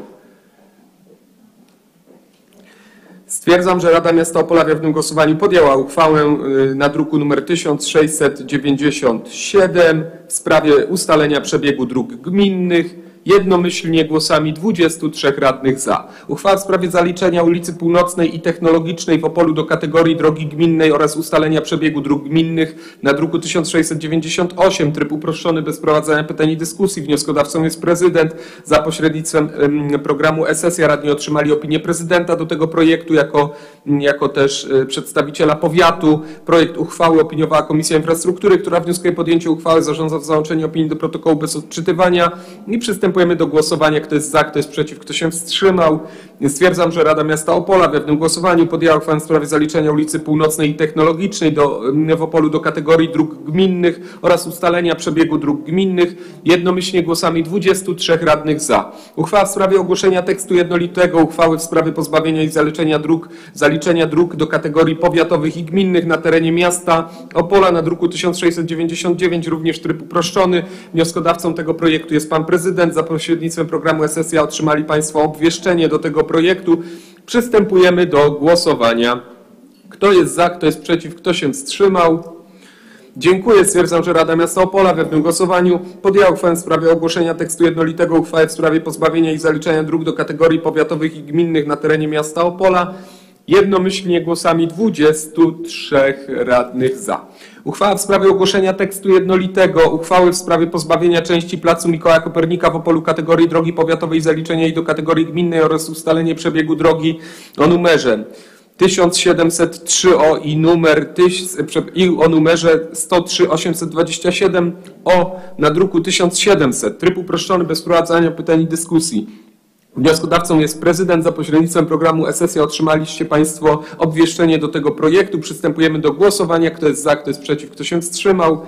Stwierdzam, że Rada Miasta Opola w jednym głosowaniu podjęła uchwałę w sprawie ogłoszenia tekstu jednolitego uchwały w sprawie pozbawienia części placu Mikołaja Kopernika e, kategorii drogi powiatowej zaliczenia jej do kategorii gminnej oraz ustalenia przedmiotowych przebiegów dróg jednomyślnie głosami 23 radnych za. Uchwała w sprawie ogłoszenia tekstu jednolitego uchwały w sprawie zaliczenia Alei Solidarności w Opolu do kategorii drogi powiatowej oraz ustalenia przebiegu drogi powiatowej numer 2003O na druku 1701 Tryb, przepraszam, tryb uproszczony, bez prowadzenia pytań i dyskusji. Wnioskodawcą projektu uchwały jest prezydent miasta Opola. Za pośrednictwem programu e-sesja radni otrzymali obwieszczenie do tego projektu. Przystępujemy do głosowania. Kto jest za, kto jest przeciw, kto się wstrzymał.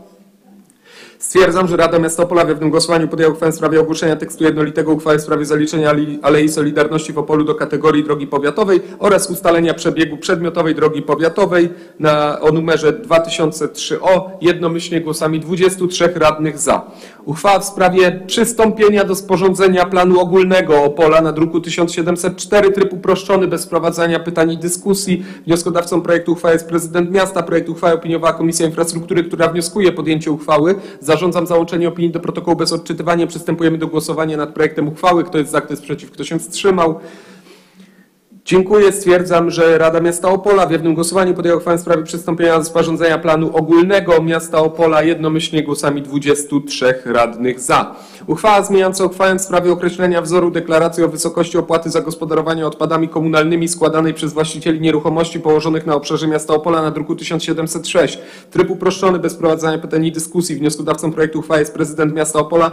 Projekt uchwały opiniowała Komisja Infrastruktury, która wnioskuje podjęcie uchwały. Zarządzam załączenie opinii do protokołu bez odczytywania. Przystępujemy do głosowania. Kto jest za, kto jest przeciw, kto się wstrzymał. Stwierdzam, że Rada Miasta Opola w jednym głosowaniu podjęła uchwałę zmieniającą uchwałę w sprawie określenia wzoru deklaracji o wysokości opłaty za gospodarowanie odpadami komunalnymi składanej przez właścicieli nieruchomości położonych na terenie miasta Opola.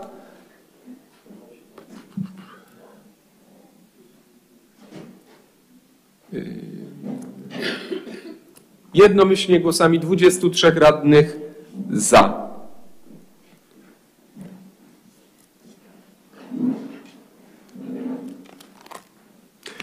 Uchwała w sprawie przyjęcia programu wczesnego wykrywania wad słuchu i wzroku u dzieci zamieszkujących Opole na druku 1708. Proszę radnego Piotra Mielca, przewodniczącego klubu radnych Arkadiusza Wiśniewskiego jako przedstawiciela wnioskodawców projektu uchwały o wprowadzenie do omawiania. Bardzo proszę. Dziękuję bardzo Panie Przewodniczący, e, Panie Prezydencie, Pani Prezydent, Panowie Prezydenci, Pani Prezydent, Szanowni Państwo. Wrócę do, do początku, do programu in vitro, bo, bo to ma ścisły związek.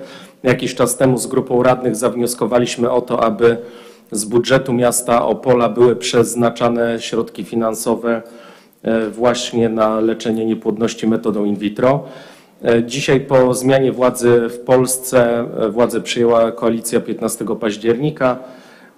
Jedną z pierwszych decyzji, jedną z pierwszych decyzji było to, aby to budżet państwa finansował metodę in vitro, metodę leczenia niepłodności. W związku z tym uwalniają nam się środki e, z budżetu miasta Opola, które były e, zagwarantowane, przeznaczone na ten cel. E, Zastanawialiśmy się wspólnie tutaj w ramach klubu, na co te środki mogą być przeznaczone. Były prowadzone rozmowy tutaj z panem prezydentem Zychem, z panią naczelnik Rutkowską. Były, pojawiały się różne pomysły, między innymi pomysł na to, aby te środki przekazać na psychiatrię dziecięcą, no ale też, też wiadomo, że e, tutaj pula środków e, z budżetu centralnego właśnie pokaźna pula środków z budżetu centralnego została przekazana na psychiatrię e, dziecięcą. Jednocześnie już jakiś czas temu tutaj miasto Opole z własnej inicjatywy prowadziło e, prace dotyczące stworzenia programu profilaktycznego dla, e, dotyczącego badania słuchu i wzroku. Stąd uznaliśmy wspólnie, że warto pójść tą drogą e, i przygotowaliśmy wspólnie tutaj założenia i projekt uchwały. Kilka słów szczegółów, szczegółowych dotyczących założeń tego programu. Program jest przeznaczony dla uczniów e, klas pierwszych. Najczęściej to są uczniowie wieku 7-8 lat, ale w szczególnych przypadkach dotyczy to e, również dzieci z różnymi niepełnosprawnościami, może być to 9 e, lat. Wzięto liczebność klas pierwszych średniorocznie za ostatnie 4 lata wynosi 1320 dzieci. W tej chwili w roku szkolnym 2023-2024 liczba dzieci w klasach pierwszych e, w Opolu wynosi 1357. Założyliśmy roczny budżet tego programu 260 tysięcy i część środków to są środki pochodzące z in vitro, o czym przed chwilą mówiłem, ale uwolniła się też część środków przeznaczona na badania osteoporozy. E, ma to związek z tym, że udało się pozyskać tutaj e, również e, środki z NFZ-u. Stąd łączna kwota 260 tysięcy złotych, z tego 9250 złotych będzie przeznaczone na kampanię informacyjno-promocyjną. Chodzi o to, aby dzieci, rodzice, opiekunowie, nauczyciele mieli dokładną wiedzę, jak ten program wygląda, gdzie można się zgłosić na badania. E, wiemy już dzisiaj, że dwie przychodnie miejskie będą przygotowane tutaj technicznie do tego, aby takie badania wykonywać. To jest przychodnia przy ulicy Kościuszki Waryńskiego. Natomiast zobaczymy jeszcze, czy w tych dwóch przychodniach te badania będą wykonywane, czy tylko e, na ulicy, e, na ulicy Kościuszki. Koszt jednostkowy takiego badania to w tej chwili według obowiązujących stawek to jest 590 zł.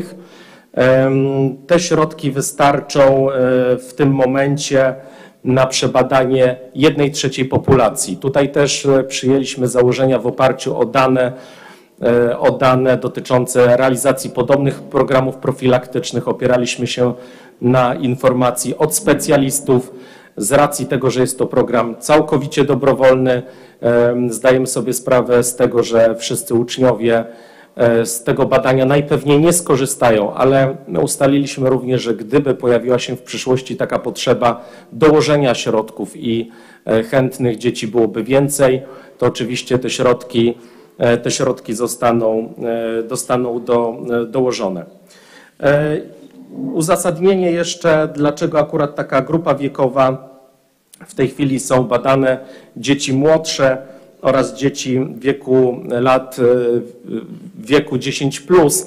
Natomiast, natomiast tutaj specjaliści też mówią, że ten okres pomiędzy jest bardzo ważny e, i wiele wad wzroku i słuchu jest uwidaczniana właśnie wtedy, rozwija się wtedy, a później się często okazuje, kiedy dzieci idą na badania, e, kiedy są już starsze, czasami jest za późno przeciwdziałać pewnym zmianom, które już, e, e, które już postępują. Oczywiście rodzic opiekun musi podpisać zgodę na udział dziecka w tym programie i w badaniach. To jest jeszcze pytania się pojawiają, dla kogo jest adresowane. Chodzi o dzieci mieszkańców miasta Opola, więc to jest program dedykowany mieszkańcom e, Opola. No i oczywiście e, brak stałych lub czasowych przeciwwskazań dyskwalifikujących wykonanie takiego badania, więc to chodzi na przykład o różnego rodzaju schorzenia, a nawet po prostu o przeziębienia. W takim przypadku ustalany jest nowy termin takiego, takiego badania.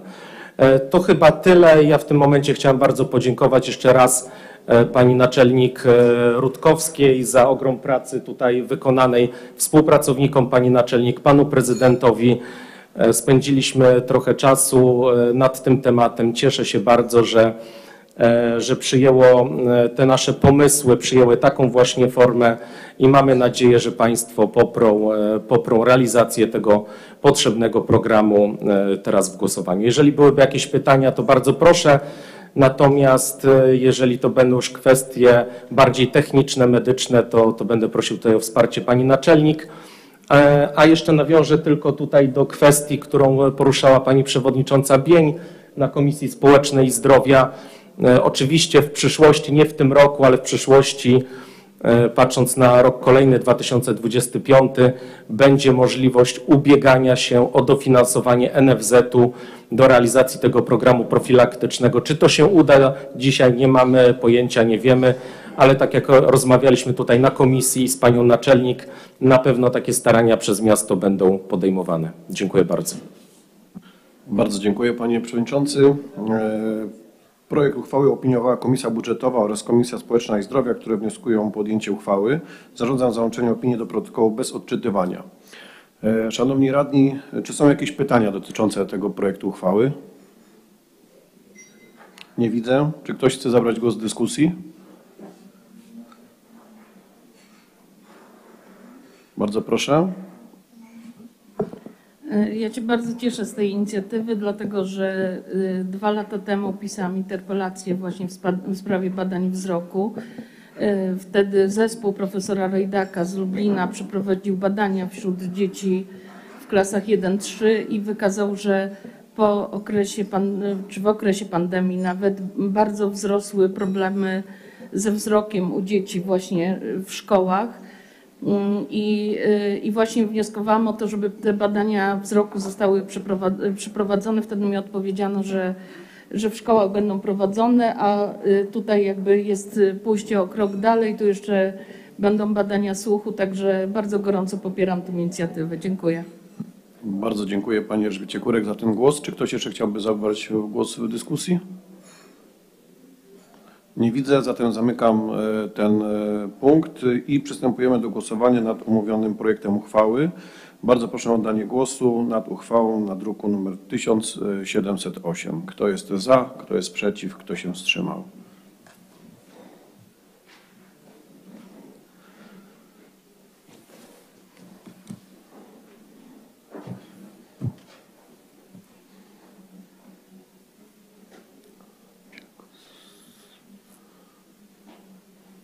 Dobrze, bardzo dziękuję za e, oddanie głosu. Stwierdzam, że Rada Miasta e, w jawnym głosowaniu podjęła uchwałę w sprawie przyjęcia programu wczesnego wykrywania wad słuchu i wzroku u dzieci mieszkających, e, zamieszkujących miasto Opole jednogłośnie 20 głosami za. Bardzo dziękuję za przychylne nastawienie się do tej inicjatywy. Przechodzimy do e, kolejnego punktu dzisiejszych obrad, czyli do uchwały zmieniającej uchwałę w sprawie szczegółowych zasad ponoszenia odpłatności za pobyt w ośrodkach wsparcia i mieszkaniach ochronnych w Opolu na druku 1707. Tryb uproszczony to jest bez wprowadzania, bez, wprowadzania, e, bez pytań i dyskusji. Wnioskodawcą projektu uchwały jest prezydent miasta Opola. Projekt uchwały opiniowała Komisja Społeczna Zdrowia, która wnioskuje podjęcie uchwały. Zarządzam załączenie opinii do protokołu bez odczytywania. Przystępujemy do głosowania nad omówionym projektem uchwały na druku 1707. Kto z Państwa radnych jest za, kto jest przeciw, kto się wstrzymał? Bardzo proszę o oddanie głosu.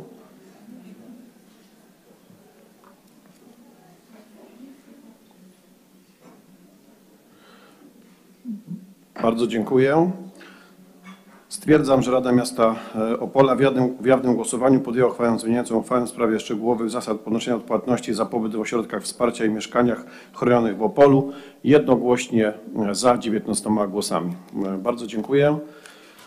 Przechodzimy do kolejnego punktu. Uchwała zmieniająca uchwałę w sprawie szczegółowych warunków przyznawania odpłatności za usługi opiekuńcze i specjalistyczne usług opiekuńcze oraz szczegółowe warunki częściowego lub całkowitego zwalniania z opłat, jak również tryb ich pobierania na druku 1711. Proszę pana prezydenta wnioskodawcę projektu uchwały o wprowadzenie do omawiania.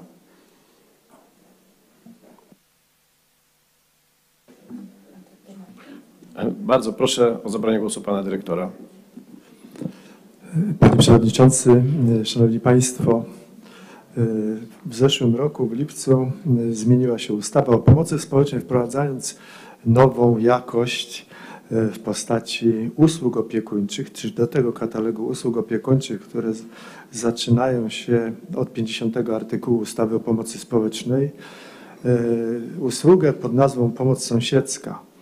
I by wprowadzić tą tą usługę w naszą nową jakość, musielibyśmy i takie zobowiązanie by znalazło się w naszych ustaleniach na poziomie uchwały Rady Miasta Opola, że Rada Miasta Opola godzi się na to, zleca i my będziemy to po prostu wdrażać. I zresztą zastrzeżenie to jest tam również w ustawie zapisane, że po wprowadzeniu tej e, usługi uchwałą Rady Miasta. No więc przedstawiam Państwu e, projekt tej uchwały.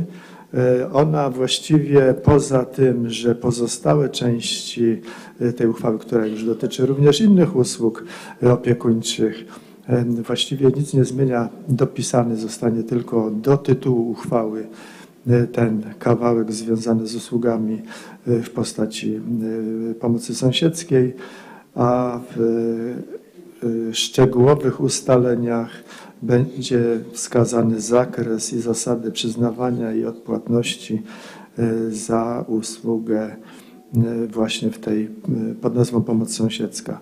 I w zasadzie, jeśli Państwo mielibyście pytanie, bo tu w tej uchwale właściwie wszystko jest wypisane, to chętnie odpowiem i bardzo proszę o przyjęcie. Dziękuję. Bardzo dziękuję panu dyrektorowi za to wprowadzenie. Projekt uchwały opiniowała Komisja Społeczna i Zdrowia, która wnioskuje e, podjęcie uchwały. Zarządzam załączenie opinii do protokołu bez odczytywania. Pytania radnych. Bardzo proszę. Nie widzę pytań. Przechodzimy do mm, dyskusji. Czy są głosy w dyskusji? Również e, nie widzę. Zamykam e, ten punkt. Przystępujemy do głosowania nad omówionym projektem uchwały na druku 1711. Bardzo proszę o oddanie głosu za, przeciw lub wstrzymującego.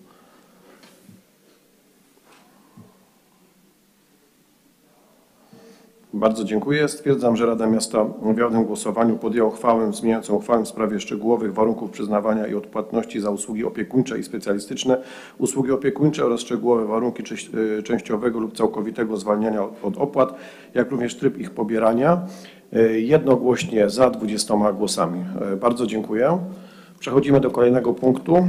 Uchwała w sprawie przyjęcia miejskiego programu osłonowego Korpus Wsparcia Seniorów na druku 1200, e, 1024. Tryb u- uproszczony to jest bez prowadzenia, bez pytań i dyskusji. Wnioskodawcą projektu uchwały jest prezydent miasta Opola. Projekt uchwały opiniowała Komisja Społeczna i Zdrowia, która wnioskuje podjęcie uchwały. Zarządzam załączenie opinii do projektu bez odczytywania. Przystępujemy do głosowania nad omówionym projektem uchwały na druku 1712. Bardzo proszę o oddanie głosu. Kto jest za, kto jest przeciw, kto się wstrzymał?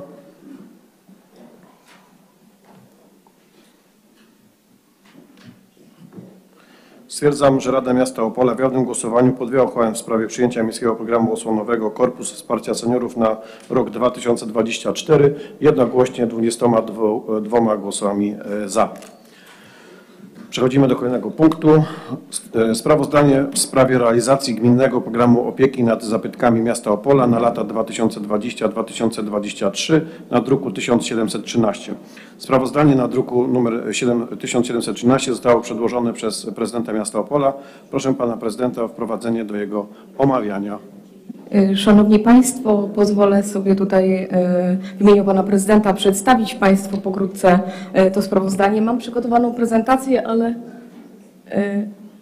tak, o, dziękuję bardzo. Y, Szanowni Państwo, y, sam y, program gminny opieki nad zabytkami miasta Opola na lata 2020-2023 y, oczywiście powstał z racji tego, że nakłada na prezydenta i na wszystkie samorządy taki obowiązek ustawa o ochronie zabytków i opiece nad zabytkami I co cztery lata taki program sporządzamy i również z zapisu tej ustawy wynika oczywiście sprawozdawczość. E, Sam program jest dokumentem planistycznym, który takim dokumentem kierunkowym dla, e, dla naszego miasta, mm, w którym ujmujemy najważniejsze zadania i kierunki związane przede wszystkim właśnie z ochroną substancji zabytkowej e, w naszym mieście i wszelkich działań, które służą do promocji i upowszechniania dziedzictwa kulturowego Opola. E, Tutaj oczywiście przedstawiamy Państwu e, korelację tego dokumentu z innymi e, dokumentami programowymi na szczeblu regionalnym i krajowym, między innymi z Krajowym Programem Ochrony Zabytków, opieki nad zabytkami, z Koncepcją Zagospodarowania Przestrzennego Kraju, wspomnianą przeze mnie oczywiście ustawą, z ale także z dokumentami regionalnymi, czyli z planem zagospodarowania przestrzennego województwa polskiego oraz z samym programem opieki nad zabytkami województwa polskiego i naszą strategią rozwoju Opola, w której również do roku 2030 zawarliśmy istotne zapisy związane właśnie z ochroną dziedzictwa kulturowego.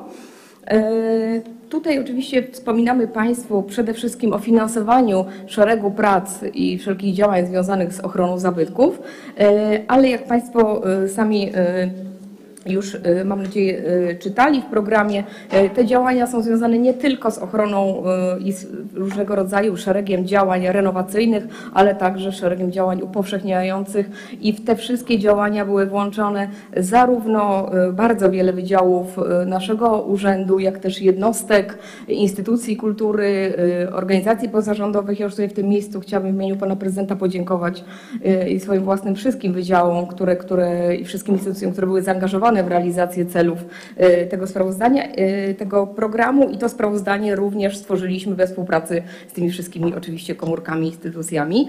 Mm, Ja pokrótce chciałabym Państwu e, omówić, oczywiście sam program ma, ma dwa główne cele. Pierwszym jest to dziedzictwo kulturowe i przyrodnicze wyznacznikiem zrównoważonego rozwoju miasta i tu przede wszystkim skupiają się te wszystkie działania związane z konserwacją zabytków, z ochroną zabytków, wszelkie działania renowacyjne.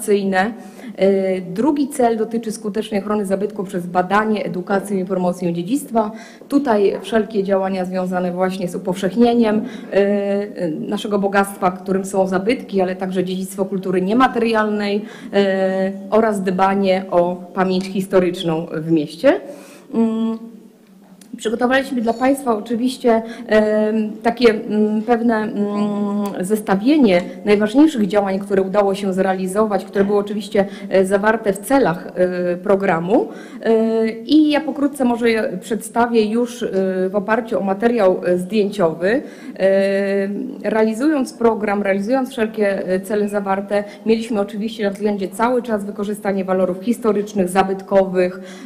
Przeczytacie Państwo w sprawozdaniu również o szlakach turystycznych, przede wszystkim o naszym szlaku pomników i e, zatytułowanym Poznaj historię, ale także e, innych szlakach związanych na przykład ze sławnymi postaciami związanymi z Opolem czy e, dziedzictwem piastowskim miasta. I oczywiście wykorzystywaliśmy również tutaj tradycje wielokulturowe naszego miasta.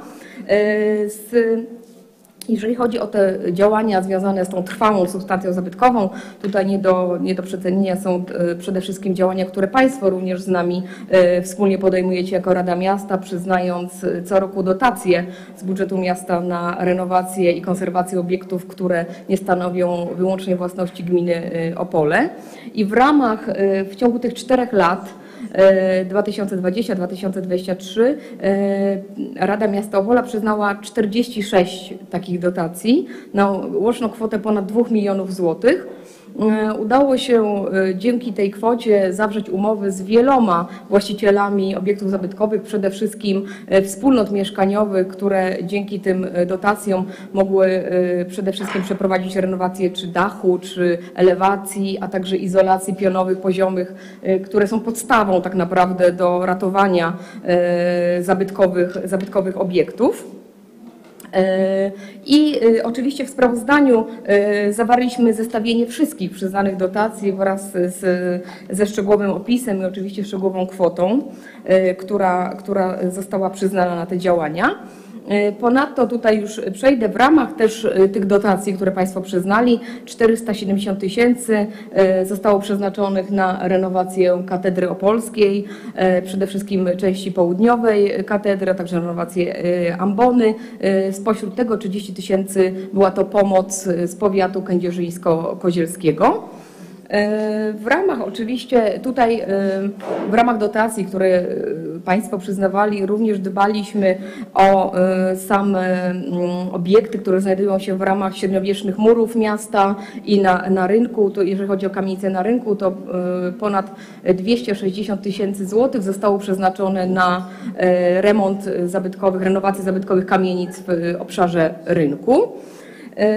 Oprócz oczywiście samych dotacji miasto e, tutaj bardzo e, aktywnie prowadziło działania związane z renowacją innych obiektów, bądź też e, działań, e, przede wszystkim aplikowanie, też pozyskiwanie źródeł zewnętrznych na e, renowację i na e, podnoszenie atrakcyjności też wielu obiektów zabytkowych. Tego przykładem jest projekt realizowany e, w Zamku Górnym. Był to zakup wyposażenia Zamku Górnego, a także szereg działań edukacyjnych promocyjnych prowadzonych wspólnie z Uniwersytetem Opolskim, wydanie książki e, o legendach zamku, historii zamku, filmu, e, produkcja filmu o, o historii m, tego wyjątkowego miejsca. I ten projekt został zrealizowany w ramach, w ramach Regionalnego Programu Operacyjnego Województwa Opolskiego. Mm, W ramach oczywiście budżetu miasta i budżetów dzielnic miasta, współpracując tutaj aktywnie z dzielnicami miasta, co też podnosi ten wymiar e, społeczny realizacji programu, przeprowadziliśmy szereg renowacji e, małej architektury, głównie kapliczek e, w, radach dzielnic. Mm, Tu macie Państwo przykład jednej z kapliczek, a także kapliczki słupkowej u zbiegu ulic Krakowskiej Powolnego w Opolu. Ta kapliczka stała na terenie należącym do Komendy Wojewódzkiej Policji, ale dzięki tutaj staraniom e, miasta i pana prezydenta udało się wydzielić ten teren i przeprowadzić ten, tą, tą ważną renowację, jak gdyby już zakończającą e, te działania związane z e, renowacją krakowskiej. E, Tu oczywiście znane Państwu e, działanie, projekt przebudowa placu przed dworcem głównym. Piszemy o tym w sprawozdaniu, dlatego że również to zadanie było ujęte w gminnym programie na te poprzednie 4 lata e, i udało się do końca przeprowadzić. Pozostał jeszcze remont, renowacja zabytkowej lokomotywy, parowozu, do którego również jako miasto się przygotowujemy. E, Wspomniałam już oczywiście o zabytkowych murach w mieście. E, Nasze miasto, jak wiele miast w Polsce, które posiada e, tak cenny, cenny zabytek z przeszłości, od, od lat już em, stara się zabezpieczyć e, te mury. Udało się przeprowadzić remont, w- również w czasie pandemii, remont e, ganku i schodów, podestu, na który uczęszczają Opolanie i turyści. W tej chwili trwa procedura, cały proces osuszania murów, zgodnie też z zaleceniami Opolskiego Wojewódzkiego Konserwatora Zabytków. E, e, Miejski Zarząd Dróg przeprowadził również renowację mostu groszowego e, i tutaj ten zakres tych prac obejmował między innymi, między innymi różnego rodzaju właśnie oczyszczenie z rdzy, z korozji, elementów metalowych, wymiana niektórych ubytków, także od, od, od zeszłego roku również mieszkańcy mogą cieszyć się tutaj nową odsłoną tego mostu. Przeprowadziliśmy także szereg e, działań związanych z taką e, z, e, z renowacją różnych mniejszych obiektów zabytkowych. Przede wszystkim otworzyliśmy malowidło ścienne autorstwa Wysława Początka. Tutaj przy udziale Muzeum Śląska Opolskiego i konserwatorów udało się otworzyć to malowidło w centrum przesiadkowym, Mm, a także po wielu latach na nowo tutaj przywróciliśmy do tkan- e, tutaj obecność e, rzeźby Dziecko z rogiem ofitości autorstwa e, Tomasa Myrtka. Mm, Poza tym, mm, Szanowni Państwo, sam Gminny Program Ochrony Zabytków zakłada również renowację i dbałość o tak zwane dziedzictwo kultury współczesnej. Między innymi to malowidło Wysława Początka do takich, e, do, do takich właśnie e, działań należy, ale tutaj chyba takim e, też naszym dużym, dużym sukcesem, zważywszy na, na lata trwania, była renowacja i posadowienie rzeźby Pegas autorstwa Mariana Nowaka. On powrócił na plac teatralny, towarzyszyło temu szereg działań upowszechniających przede wszystkim wiedzę o tym znanym artyście, rzeźbiarzu, e, który tworzył, tworzył w Opolu. E, W planach właśnie aktualnie rozpoczyna się e, przebudowa fontanny multimedialnej na terenie Stawu Zamkowego. Ja może też przypomnę, że miasto Opole pozyskało tutaj e, 5 milionów złotych na, na ten projekt z programu rządowego Polski Ład. E, Wspominamy oczywiście o fontannie, dlatego że ona leży e, w ścisłej e, strefie ochrony konserwatorskiej A i już niebawem będzie takim ważnym centrum również rekreacyjnym i wypoczynkowym dla mieszkańców. Mm, Mówiąc o gminnym, prog- gminnym programie ochrony zabytków na e, ubiegłe 4 lata, e, muszę wspomnieć o dotacjach pozyskanych przez miasto Opole w ramach rządowego programu odbudowy zabytków. To w tej chwili tutaj na posiedzeniach Rady Miasta Opola przedkładamy Państwu uchwały o przyznaniu tych dotacji. Podążamy oczywiście zgodnie z procedurą, która, która jest niezbędna. Ja może też wspomnę, że miasto złożyło 20 wniosków do tego programu w ramach dwóch naborów w ubiegłym roku. E, Otrzymaliśmy dotacje e, na pięć e, takich takich projektów. Pierwsze trzy dotyczą obiektów, które nie stanowią własności miasta. E, O pierwszy, pierwszy konserwacja, renowacja elewacji Korpusu Południowego i kruchty wejściowej katedry. E, I tutaj jako pierwsi z terenu całego Śląska, łącznie z terenu Dolnego i, i e, Górnego Śląska, podpisaliśmy umowę z Katedrą Opolską właśnie na dofinansowanie tego przedsięwzięcia. E, Kolejnym jest również remont i przebudowa pokrycia dachu klasztoru Franciszkanów e, na kwotę prawie 2 milionów złotych i e, renowacja na stulecie elewacji siedziby Komendy Miejskiej i Komendy Wojewódzkiej Policji w Opolu, również na kwotę niemal 3,5 miliona złotych. Ważnymi dwoma projektami również, na które pozyskaliśmy dofinansowanie, jest projekt związany z cmentarzem przy ulicy Wrocławskiej w Opolu i zabytkami sztuki sakralnej Śląska Opolskiego. Jest to e, 2 miliony e, 300 niemal e, tysięcy złotych. Ja może tylko pokrótce w ramach tego projektu oczywiście mm, będziemy chcieli tutaj odnowić zaby, zabytki, nagrobki Polaków i powstańców śląskich, które znajdują się na cmentarzu przy ulicy Wrocławskiej, a także przyczynić się do mm, renowacji terenów zielonych, alejek na tym cmentarzu. Jeżeli chodzi o zabytki sztuki sakralnej, to właśnie pozyskaliśmy tutaj środki na renowację zabytkowego krzyża na placu Świętego Sebastiana, który również był wpisany jako zadanie do wykonania w tym programie oraz y, mm, bardzo cennej figury Jadwigi Śląskiej pochodzącej z XVIII wieku, która znajdowała się e, w kapliczce w Opolu Groszowicach. E, I ostatnim takim projektem był, jest projekt renowacji zabytkowej szkoły, zabytkowego budynku Szkoły e, Publicznej nr 13 oraz sali gimnastycznej przy ulicy Książąt Opolskiej 21 na kwotę ponad 2 milionów złotych. I te zadania w tej chwili e, są oczywiście realizowane. W- Gminy tutaj w sprawozdaniu macie Państwo oczywiście jeszcze szereg e, innych działań, które miasto prowadziło, zarówno projektowych, jak i związanych z weryfikacją i aktualizacją kart gminnej ewidencji zabytków, czy utworzeniem gminnej strefy rewitalizacji, w ramach której również będą, e, m, otworzyliśmy możliwość pozyskiwania środków dla właścicieli właśnie obiektów zabytkowych, bądź nie tylko, znajdujących się właśnie e, w tej strefie. E, Natomiast takim drugim filarem, o czym już wcześniej wspominałam, są wszelkie działania związane z upowszechnianiem naszego dziedzictwa kulturowego, historii miasta, a także e, ich promowanie. I jednym z nich jest dbałość przede wszystkim o pamięć historyczną. Tutaj e, chciałabym wspomnieć o inicjatywie pana prezydenta związanej z pomnikiem upamiętniającym 67 powstańców śląskich powiatu opolskiego, autorstwa artysty plastyka Zbigniewa Pelona. Widzicie go Państwo tutaj na prezentacji, który został również w trakcie e, w trudnym czasie pandemii e, posadowiony na cmentarzu na Półwsi w Nowej Alei Zasłużonych.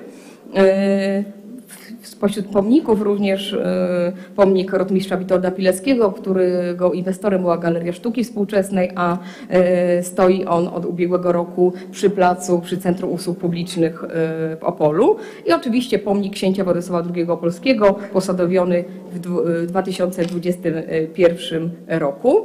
E, W ramach e, tej dbałości o pamięć historyczną również obchodziliśmy mm, obchody setnej rocznicy powstania Związku Polaków w Niemczech i dzielnicy pierwszej. Tutaj również wspólnie ze Stowarzyszeniem Rodło, e, we współpracy również z Panią Radną, Panią Urszulą Zajączkowską. Bardzo dziękuję za, te, za, za tą pomoc, też konsultacje historyczne, które, które były niezwykle cenne. E, Oprócz szeregu wydarzeń dla mieszkańców e, z inicjatywy Pana Prezydenta również e, nadaliśmy imię sali, sali numer 203 od e, 2022 roku. Jest to sala pamięci dzielnicy pierwszej Związku Polaków w Niemczech. Utrzy- Utrzymujemy również y, działalność edukacyjną Izby Solidarności. Y, Jest to również bardzo ważna inicjatywa. Y, Organizowane są oprowadzania dla młodzieży, różnego rodzaju działania, wspólnie między innymi z Fundacją imienia Romana Kirsteina. Tych działań jest oczywiście bardzo wiele. Upamiętniamy również w ramach oczywiście realizacji programu ważne postaci, które są związane z tkanką artystyczną, historyczną miasta. Między innymi takim upamiętnieniem była tablica pamiątkowa na domu przy ulicy Dzierżona, gdzie y, kiedyś y, mieszkał Ben Muthofer, znany artysta, y, później związany z naszym miastem partnerskim Ingolstadt, który również przekazał naszemu miastu wiele wspaniałych rzeźb. E, I oprócz oczywiście tych działań związanych z pamięcią historyczną, one również się tam wpisywały bardzo dużo przedsięwzięć wpisujących się w cele e, programu realizowały nasze miejskie instytucje kultury, Młodzieżowy Dom Kultury. E, Tu Oczywiście na, na, nie sposób tych wszystkich działań wy, wymienić w jednej e, skromnej prezentacji, ale wspomnę może o takim bardzo ważnym projekcie edukacyjnym Młodzieżowego Domu Kultury, projekcie Mały Opolani, który jest projektem edukacji regionalnej e, dla uczniów szkół podstawowych i dla przedszkolaków, podczas którego po raz pierwszy pewnie stykają się z historią miasta, poznają najważniejsze zabytki. Bardzo wiele takich działań prowadziła również Galeria Sztuki Współczesnej, zwłaszcza z zakresu e, tak zwanego właśnie e, tak kultury, e, dziedzictwa kultury współczesnej, a także Miejska Biblioteka e, Publiczna. My również jako miasto w ramach e, współpracy również z Wydziałem Promocji i innymi wydziałami realizowaliśmy szereg działań związanych z upowszechnianiem dziedzictwa kulturowego. Między innymi jednym z nich był projekt w ramach programu Interreg e, Republika Czeska e, Polska, przełomowy weekend w Opolu i Bruntalu, gdzie do współpracy zaprosiliśmy blogerów, bardzo znanych blogerów w Polsce i stworzyliśmy taki przewodnik po głównie bazujący właśnie na dziedzictwie kulturowym zarówno Opola, jak i, jak i Bruntala. Były prowadzone różnego rodzaju działania również z organizacjami pozarządowymi. Tego przykładem jest m.in. Szlak Opolskich Legend, spacery, które były prowadzone wspólnie z y, Stowarzyszeniem y, Tańca i Ruchu z Ogniem Manticora, ś- śladami właśnie polskich zabytków. Organizujemy wiele wydarzeń, podczas których również przypominamy historię miasta. Jednym z nich jest m.in. Jarmark Franciszkański, ale właściwie wszystkie wydarzenia, które są organizowane w mieście, czy Dni Opola, czy Noc Kultury, czy innego rodzaju działania nawiązują i w wielu przypadkach są związane z dziedzictwem kulturowym. Muszę wspomnieć o zespole Pieśni Tańca Opole, który działa przy Młodzieżowym Domu Kultury już od ponad 70 lat i jest takim doskonałym przykładem właśnie dbania i kultywowania y, tych wszystkich tradycji związanych z y, dziedzictwem y, niematerialnym. Oczywiście Przepraszam wszystkich, którzy również tutaj przedłożyli nam informacje do sprawozdania i one są zawarte już w samym sprawozdaniu, których być może nie ujęłam już w tej prezentacji, ale tak jak mówię, tych działań było bardzo dużo. Jestem oczywiście do Państwa dyspozycji, jeżeli chodzi o pytania. Dziękuję bardzo za uwagę. Bardzo dziękuję Pani Naczelnik za to obfite sprawozdanie. Sprawozdanie opiniowała Komisja Edukacji i Kultury, która wnioskuje o jego przyjęcie. Zarządzam załączenie opinii do protokołu bez odczytywania. Pytania radnych. Nie widzę. E, Przechodzimy do mm, dyskusji. Czy są głosy w dyskusji? Tak. Bardzo proszę Panią Elżbietę Kurek. Ja muszę powiedzieć, że tak z, z żalem patrzę na, na Pegaza, dlatego że się bardzo przywiązałam do jego widoku, patrząc przez okno i bardzo go lubiłam. No niemniej faktycznie był mocno zniszczony i to miejsce muszę przyznać, że jest bardziej godne niż poprzednie, także dziękuję. Bardzo dziękuję. To ja tutaj wejdę w polemikę. I ja uważam, że bardzo dobrze, że wrócił na plac teatralny. To było jego pierwotne miejsce i szczerze powiedziawszy, usunięto go za sprawą komitetu partii. Bardzo dziękuję. Przeniesiono na Habry.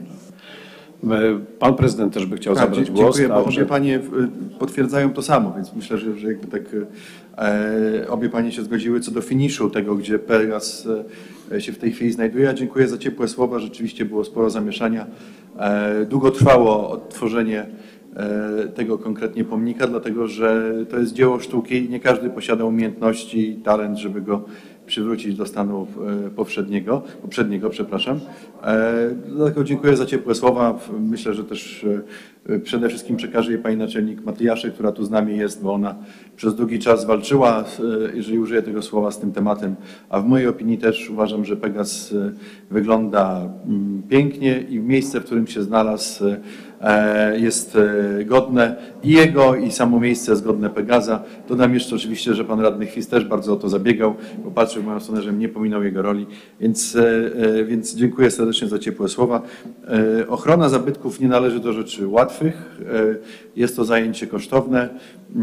My jako miasto staramy się w różny sposób wspierać e, indywidualne inicjatywy, o czym pani naczelnik mówiła, czyli wspierać dotacjami e, e, wspólnoty, które mieszkają czy tworzą taką w zabytkowym obiekcie miejsce. Oczywiście są zabytki, które mają charakter e, w, nie bezpośredniej własności miasta, ale należą na przykład do kościoła, takie jak katedra, które również e, od lat wspieramy nie tylko, bo teraz kościół franciszkanów doczeka się, zakon franciszkanów, może kościół już jest wyremontowany, modernizacji dachu. E, Staramy się o tą pamięć, zawsze oczywiście można więcej, natomiast e, też chciałbym się przyłączyć za słowa podziękowania dla tym wszystkim, którzy e, w różny sposób inspirowali te, te działania i sprawili, że mm, e, Opole jest taką perłą architektury średniowiecznej, nie tylko średniowiecznej, e, w której pamięta się o, o zabytkach, ale dba się również o tą architekturę, e, może nie tak głęboko, daleko w korzeniach, ale też e, znajdującą się w, w, w tej strefie opieki nad zabytkami i dzięki temu Opole e, jest miastem niezwykłej urody. Dziękuję. Bardzo dziękuję panie prezydencie. E, Następny głos dyskusji pan radny Dariusz Chwist. Oczywiście, dziękuję. Z wielką przyjemnością chciałem podziękować panu prezydentowi, też Radzie Miasta. Pamiętam, jak startowaliśmy do pierwszych wyborów.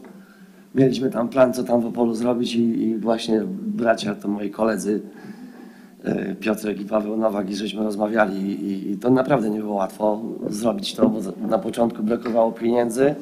Ten Pegas leżał, żeśmy tam rozmawiali nieraz z panią naczelnik. Do tych pieniędzy myśmy w sumie też jeszcze dokładali jako Rada Miasta, bo to jednak była kosztowna dosyć robota, że tak powiem przez te parę lat non stopa chodziłem i monitorowałem. No i rzeźba pana Nowaka jest tam, gdzie powinna być, bo szczerze mówiąc, jak byłem małym chłopcem, mieszkałem na Dibuła, tam gdzie kolega Bartek trenował medal olimpijski. Byłem dzieciakiem i chodziłem zawsze codziennie do przedszkola na drugą stronę, więc pamiętam tego Pegaza, jak byłem małym dzieckiem. No i dzisiaj mam tą taką satysfakcję, tą przyjemność właśnie, to co pani mówi tutaj, że no w końcu trafił na, na, to swoje miejsce, a zawsze Piotrek mi opowiadał, jaki cel był tego Pegaza, jaki numer zrobił jego ojciec, że to był specjalnie ten Pegaz postawiony w dawnym od teatru w kierunku do dawnego komitetu. Oni nie wiedzieli wtedy, co znaczy ten Pegaz. Dopiero jak już sobie uświadomili, to było za późno. I dopiero później został przeniesiony na Habry, bo właśnie dlatego, że to był ten taki gest wolności od pana Nowaka. To był taki sprytny myk przerzucony z szt- sztuki, o której mało kto wie. Popatrzmy na górę, to wszystko tutaj są, to jest robota pana Nowaka. I to jeszcze ten orzeł, pani naczelnik, ten orzeł jeszcze tam czeka. Także w imieniu rodziny, synów, no i wielu Opolan dziękuję za to, że wrócił tam, gdzie miał wrócić, a nie tam koło, no, że tak powiem, na peryferiach miał stać. Dziękuję ślicznie. Dziękuję. Na obu lokalizacjach prezentuje się Pegas znakomicie. Następny głos dyskusji ponownie pani Elżbieta Kurek. Nie? Czyli to zostało jeszcze. Dobrze. Myślałem, że chciała coś dopowiedzieć. Dobrze. Jeżeli nie ma więcej zgłoszeń, e, zamykam dyskusję. Przechodzimy do głosowania nad przyjęciem sprawozdania na druku 1713. E, Bardzo proszę radnych o oddanie głosu. Kto jest za, kto jest przeciw, kto się wstrzymał.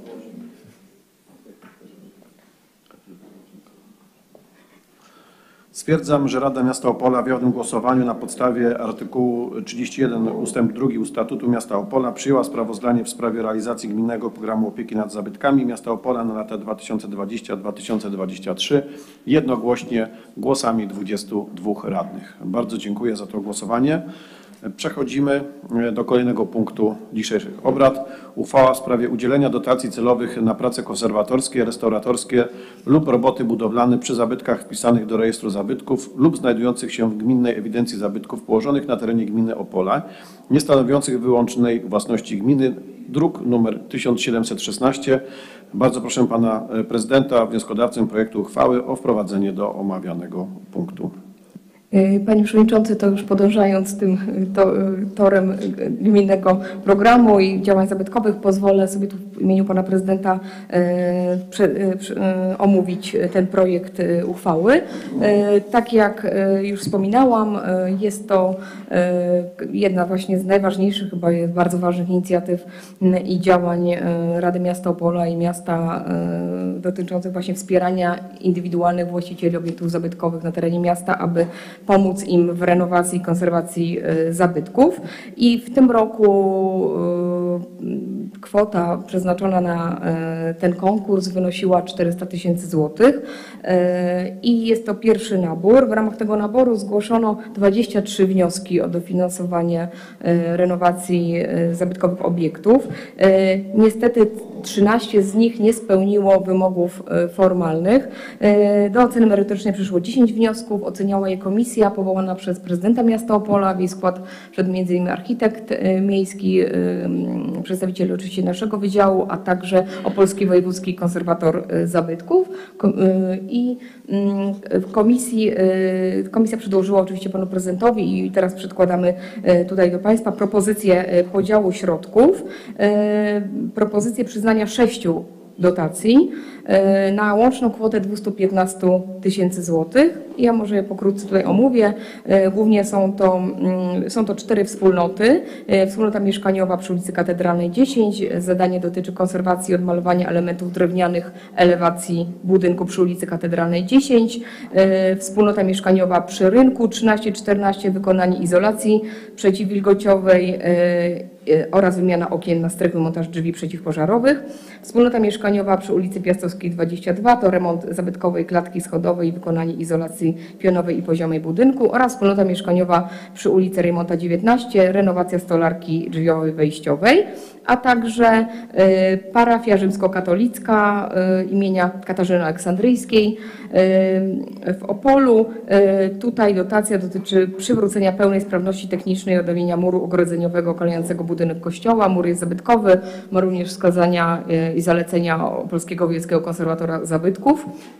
I ostatnia dotacja, dotacja dla Stowarzyszenia Przyjaciół Szkół Katolickich, e, odnowienie, uzupełnienie elewacji ściany bocznej lewej przy głównym wejściu zabytkowego budynku zespołu koszar położonego przy ulicy Plebiscytowej 5, w którym się mieści szkoła. E, Tu również już e, jest to kontynuacja też tego zadania związanego z odnowieniem tego, restauracją tego zabytkowego budynku, czyli jest to kwota 215 tysięcy i na pewno w związku z tym zostały też wolne środki e, zgodnie z uchwałą Rady Miasta i zasadami e, ogłosimy kolejny nabór e, na mm, kolejne dotacje. Ten nabór będzie ogłoszony w maju zgodnie z zapisami uchwały. Dziękuję bardzo. Bardzo dziękuję. Mm, Projekt uchwały nie był opiniowany przez Komisję Stałe, gdyż został wprowadzony do porządku obrad sesji głosowaniem Rady. Pytania radnych? Nie widzę, zamykam pytania, otwieram dyskusję.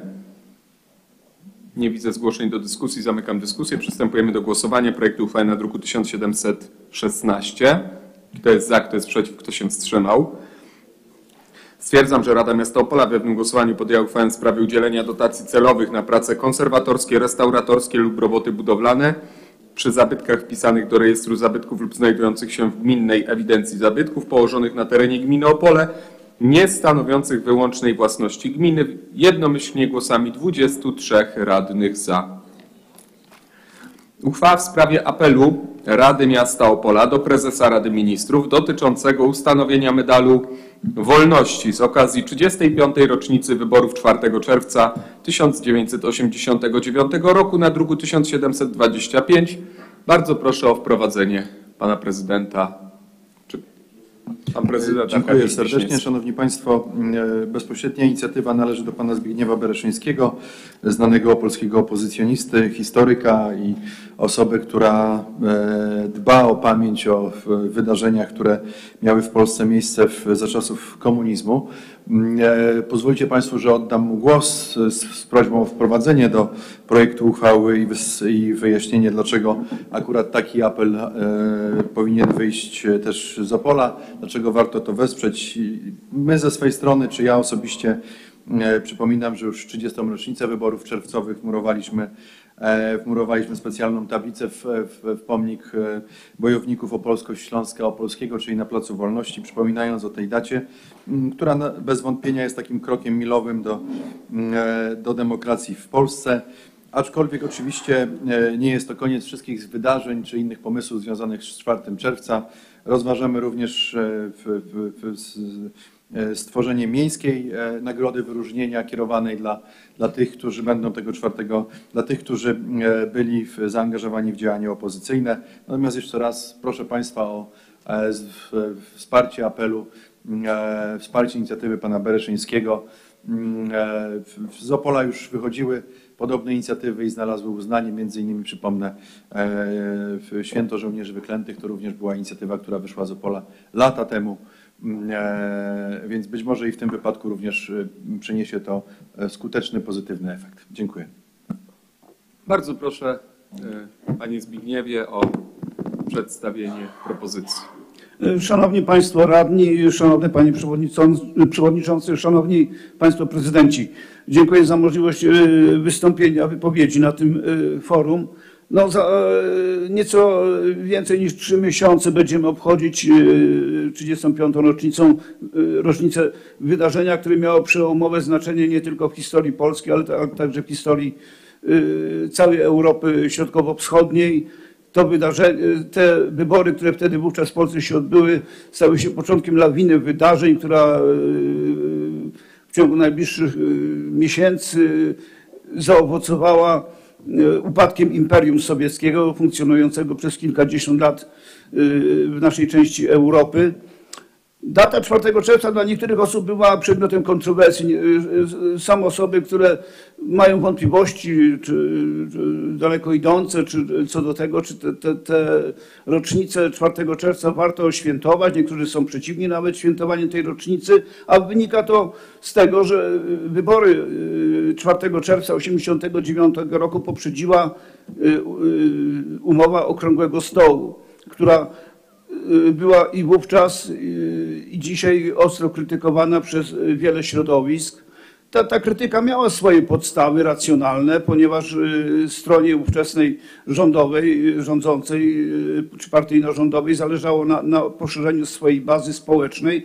Y, Z tymi wyborami wiązano te, tamte środowiska, które wtedy były u władzy, y, wiązały nadzieję na poszerzenie swojej bazy społecznej, na umocnienie y, swojej pozycji politycznej dotychczasowej i tego się też obawiała znaczna część opozycji. Stąd wynikały te kontrowersje dotyczące porozumienia Okrągłego Stołu. Ale tym obawom, że, że, te, że te wybory zaowocują umocnieniem dotychczasowego stanu rzeczy, y, y, tym obawom położyła kres, po- położył kres wynik wyborów, ponieważ społeczeństwo y, w swej większości y, opowiedziało się za, za y, przemianami. Y, Kandydaci Solidarności zdobyli praktycznie, z jednym jedynym wyjątkiem, zdobyli praktycznie wszystkie mandaty, o jakie byli w stanie się ubiegać. To oznaczało, że nie ma społecznego przyzwolenia na kontynu, kontynuację dotychczasowego stanu rzeczy. I, i, I wybory 4 czerwca, tak jak powiedziałem, stały się początkiem lawiny y, wydarzeń o znaczeniu i krajowym, i, i międzynarodowym. I w tym sensie, o ile porozumienie Okrągłego Stołu może być zasadnie y, krytykowane, czy być przedmiotem kontrowersji, o tyle nie widzę podstaw do kontrowersji, jeżeli chodzi o datę 4 czerwca, bo ta data y, symbolizuje wyrażenie woli politycznej przez większość społeczeństwa. Społeczeństwo w sposób wolny wypowiedziało się po raz pierwszy od kilkudziesięciu lat, po raz pierwszy od zakończenia II wojny światowej wypowiedziało się w sprawie swojej przyszłości i to, to należy uszanować i to należy docenić. I warto moim zdaniem tę rocznicę świętować. A warto ją świętować zwłaszcza y, w obecnej sytuacji politycznej, ponieważ no niestety historia lubi się powtarzać i niestety na naszych oczach też się powtarza, bo mamy aktualnie do czynienia z nową formą rosyjskiego imperializmu. Ten imperializm rosyjski w tej wersji komunistycznej udało się 35 lat temu przezwyciężyć, ale dzisiaj mamy do czynienia z kolejną odmianą tego odwiecznego imperializmu rosyjskiego, z którym znów trzeba się zmagać. A te wydarzenia sprzed 30 lat mogą być źródłem zarówno inspiracji, jak i źródłem nadziei na przyszłość, bo, one pokazują, że te zagrożenia, y, jakie ze sobą niesie rosyjski imperializm, można przezwyciężyć pod warunkiem y, odpowiedniej mobilizacji sił społecznych. I myślę, że świętowanie tej rocznicy 4 czerwca może być takim ważnym elementem moralnej mobilizacji społeczeństwa polskiego w obliczu tych zagrożeń, z jakimi mamy do czynienia również obecnie. No bo wolność niestety nie jest darem danym raz na zawsze, jest zadaniem do realizacji. Wolność, demokracja to są zadania do realizacji i o tym warto przypominać i ta rocznica myślę jest dobrą po temu ok- okazją.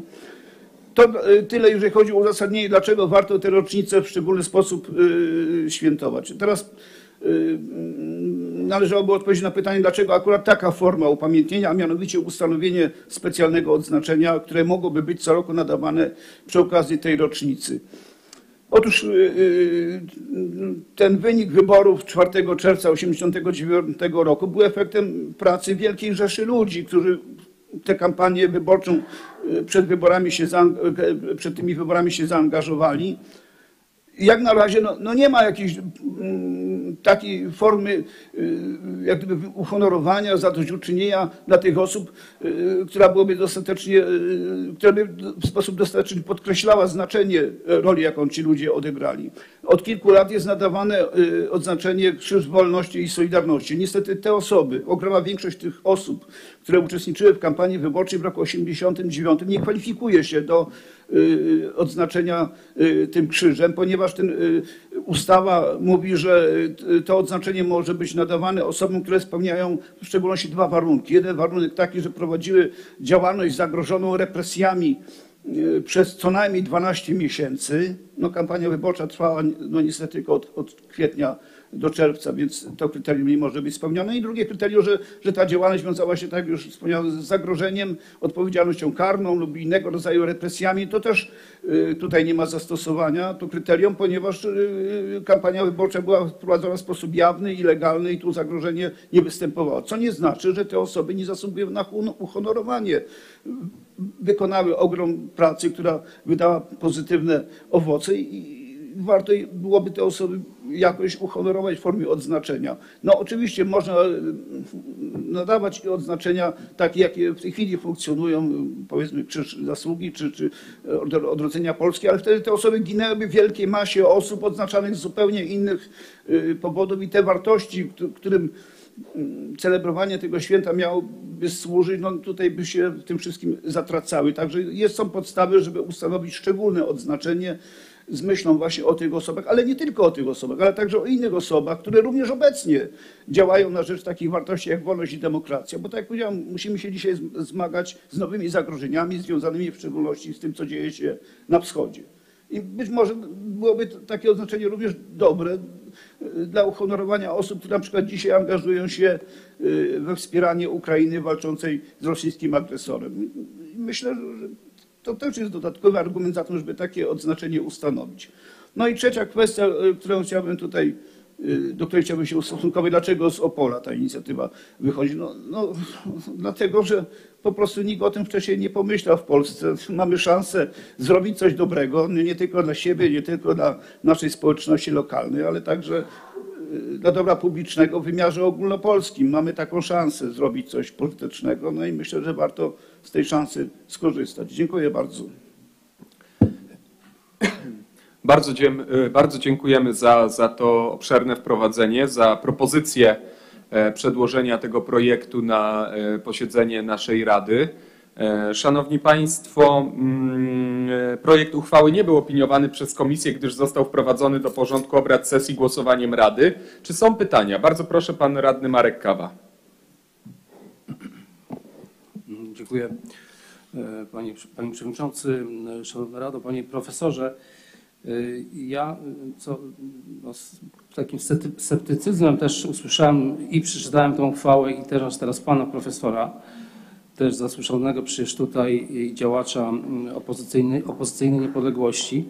Ale co, co mnie niepokoi, że no właśnie ten brak bardzo konkretnych kryteriów, kto by otrzymywał ten, to, to odznaczenie, ten no, order, tak medal, no bo pan roztoczył tutaj taką szeroką mm, e, ramę, tak, że, że każdy w zasadzie, kto, kto wziął udział w tamtym e, okresie, tak, sam osobiście też jako młody chłopak uczestniczyłem, ale absolutnie się do tego nie poczuwam, ale i nawet dzisiaj osoby, m, które, które bardzo są rozmyte te kryteria, więc raz to mnie niepokoi.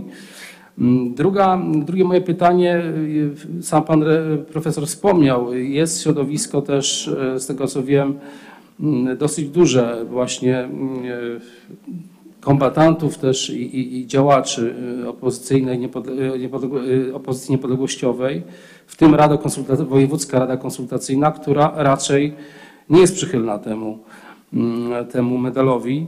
Stąd y, czy Państwo nie powinniście raczej na- najpierw usiąść tak, i dokonać jakiegoś takiego konsyliacyjnego mm, no nie wiem, jakiegoś gestu i żeby to wyszło od całego środowiska, bo mam wrażenie, że, że to będzie dzielić e, ta, ta inicjatywa. Mówię, bardzo nieostra, jeżeli chodzi o kryteria i jednak różnicująca. Ja już nie chcę wchodzić w dyskusję, dziwię się, to już tak osobiście, Panie Profesorze, że Pan tak y, łagodnie przeszedł, mówiąc nieostro, nad y, faktem y, wyborów. Wiemy dobrze, że niedemokratycznych, że e, proszę zobaczyć na proporcje.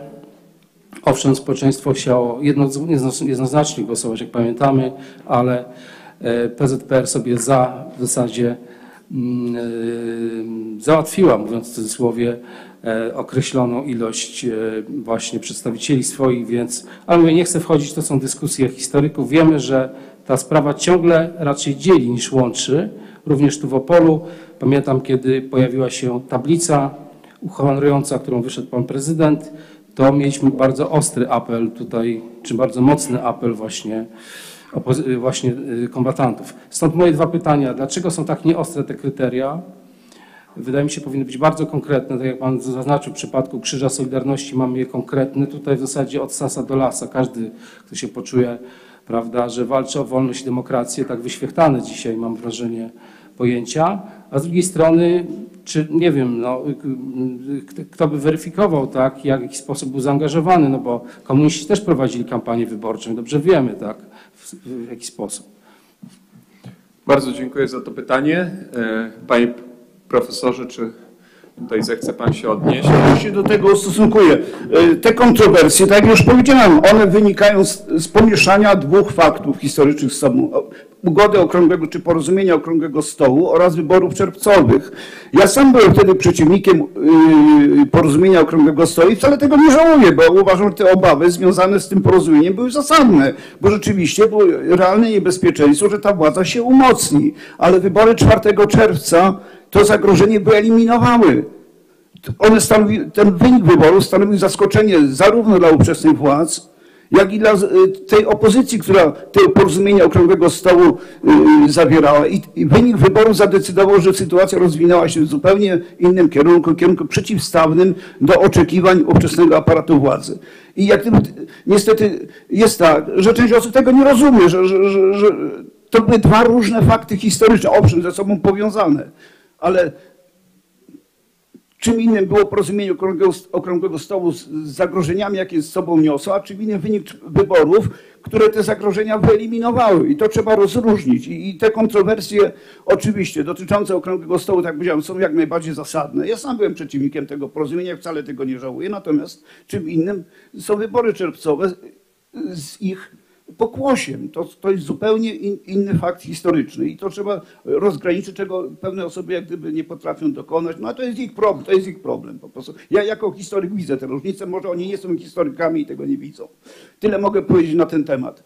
Co do kryteriów, no nie jesteśmy w stanie w sposób kazuistyczny tego bardzo precyzyjnie sformułować. Nie, to w przypadku każdego jednego odznaczenia państwowego jest ten problem, yy, kogo honorować, a kogo nie. Zawsze to jest, jest pewna y, doza uznaniowości. No oczywiście y, podstawowym kryterium musi być to, że ta osoba działała aktywnie na rzecz procesu demokratyzacji. Jeżeli ktoś wtedy działał przeciwko temu procesowi, jeżeli y, y, był za utrzymaniem poprzedniego stanu rzeczy, to się nie kwalifikuje do odznaczenia.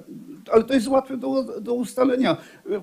Jeżeli ktoś tamtym czasie prowadził kampanię wyborczą kandydatów Solidarności, to sprawa jest ewidentna.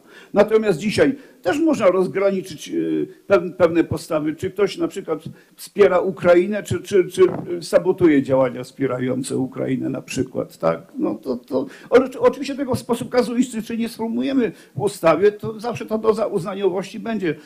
A, a ostatnia kwestia, o której tu muszę wspomnieć, wspomnieć, to to, że my tylko inicjujemy pewien proces, y, y, y, y, którego efektem ma być wydanie aktu prawnego ustanawiającego takie y, odznaczenie. Ten akt prawny powinien być opracowany przez prawników w sposób taki, y, który będzie y, do zaakceptowania. My tutaj tylko dajemy, y, chciałbym, żebyśmy dali impuls pewien do zapoczątkowania tego procesu, a to, to, to już muszą, że tak powiem, fachowcy od spraw y, y, legislacyjnych y, w sposób kompetentny zrealizować. Dziękuję. Bardzo dziękuję za, za te odniesienie. E, Czy ktoś z Państwa radnych chciałby jeszcze zabrać głos w tej sprawie? Nie widzę. Zamykam pytanie, otwieram dyskusję. Czy w dyskusji ktoś z Państwa chciałby się wypowiedzieć? Bardzo proszę, pan radny Marek Kawa. Dziękuję. Ja w zasadzie e, swój trzon, jakby swoje opinie tylko dopowiem. Ja oczywiście, panie profesorze, rozumiem, że e, ustalenia okrągłego stołu są oczywiście czymś innym, ale są e, wybory właśnie 4 4 czerwca 1989 roku nie mogły się w inny sposób odbyć według tych ustaleń. Więc dla mnie to jest pewna, no, pewien paradoks. No, to, nie, to nie były wolnościowe, więc tutaj mówimy o medalu wolności. To, to był pierwszy krok tak, do, do, do jakiegoś, mm, em, jakiejś atrapy wolności, ale doskonale wiemy, że proszę popatrzeć na proporcje, em, proporcje, tak już powiedziałem, składu parlamentu czy, czy senatu wówczas, który się chyba po raz pierwszy pojawił. I- Więc to, to, nie była żadne, to nie był żadny wolny wybór, tylko prawda, była odpowiednia e, pula, którą Solidarność czy, czy powiedzmy te siły opozycyjne mogły wygrać i tyle. I to, to doskonale wiemy z dzisiejszej perspektywy, że to nie był żaden element wolności. Stąd mówię, to jest mój głos w dyskusji i e, według mnie ja chciałbym, żeby, bo Pan mówi, że to jest apel pewien, według mnie ten apel nie łączy Polaków, ale będzie dzielił. I e, właśnie z racji tego, że po też nie podniosłem jednej kwestii, e, co się stało po właśnie tych wyborach, o tych wszystkich patologiach III Rzeczpospolitej. Nie wszyscy byli zadowoleni, wiemy, sam Pan powiedział, nie wszyscy też dołączyli się wówczas do, to też pokazuje, że ta reglamentacja władzy, czy przekazanie władzy i później to, co się działo w latach 90., a więc bezrobocie, tak, niszczenie, niszczenie mienia narodowego i tak dalej, czy no to już znamy z, z, różnych, z różnych tak, analiz socjologicznych, ile kosztowało Polaków, tak? Kto wie, czy by, gdyby doszło do dekomunizacji takiej, jak, jaka się dokonała w innych krajach, czy nie, byliśmy, nie bylibyśmy dzisiaj o wiele dalej i e, bylibyśmy na całkiem innym poziomie też i gospodarczym, i społecznym. Stąd y, według mnie wydaje mi się, że tak nie, nie, nie bardzo mówię takim glista propozycjach, apel, nie wiem, wydaje mi się, że tak jak w przypadku, bo Pan nie mówi, że nigdy z tego środowiska polskiego nie wyszła, przypomnę, niedługo będziemy obchodzić właśnie e, święto e, żołnierzy niezłomnych. To właśnie tu się pojawiło, tylko ona się najpierw pojawiła właśnie konkretnie w pewnym zaciszu gabinetu, czy ustalono pewną konkretną, pewien projekt, dopracowano go od początku do końca, a nie wychodzono od apeli, prawda, takich trochę no, do, do, do świata, tak, czy, czy, czy do, rządu, rozumiem, to jest apel. To niech pan powoła grupę właśnie, nie wiem, badaczy, działaczy właśnie z różnych stron. Proszę usiąść, ustalić jakiś taki rodzaj naprawdę projektu, tak, a nie zaczynać od apeli, tak mi się wydaje. Oczywiście r- rozumiem Pana dobre, mm, tak, dobre, dobre przesłanki, tak, żeby, żeby ewentualnie w jaki sposób wynagrodzić tym osobom, które wzięły wówczas udział w tym ruchu. Tak jak powiedziałem, sam byłem zaangażowany w kampanii wówczas wyborczej Solidarności i w jaki sposób honorować, ale żeby to miało tak zwane przysłowiowe ręce i nogi i żeby tak jakby, niech, niech takim przykładem będzie, jak właśnie z środowiska opolskiego, też niepodległościowego, wyszedł projekt Święta Żołnierzy Niezłomnych, który nabrał charakteru ogólnopolskiego właśnie. Bardzo dziękuję za ten głos w dyskusji. E, Szanowni Państwo, nie widzę dalszych głosów w dyskusji. E, Zamykam dyskusję i przystępujemy do głosowania nad omówionym projektem uchwały na druku nr 1725 w sprawie podjęcia apelu Rady Miasta do prezesa Rady Ministrów. E, Kto jest za, kto jest przeciw, kto się wstrzymał? Proszę o głosowanie.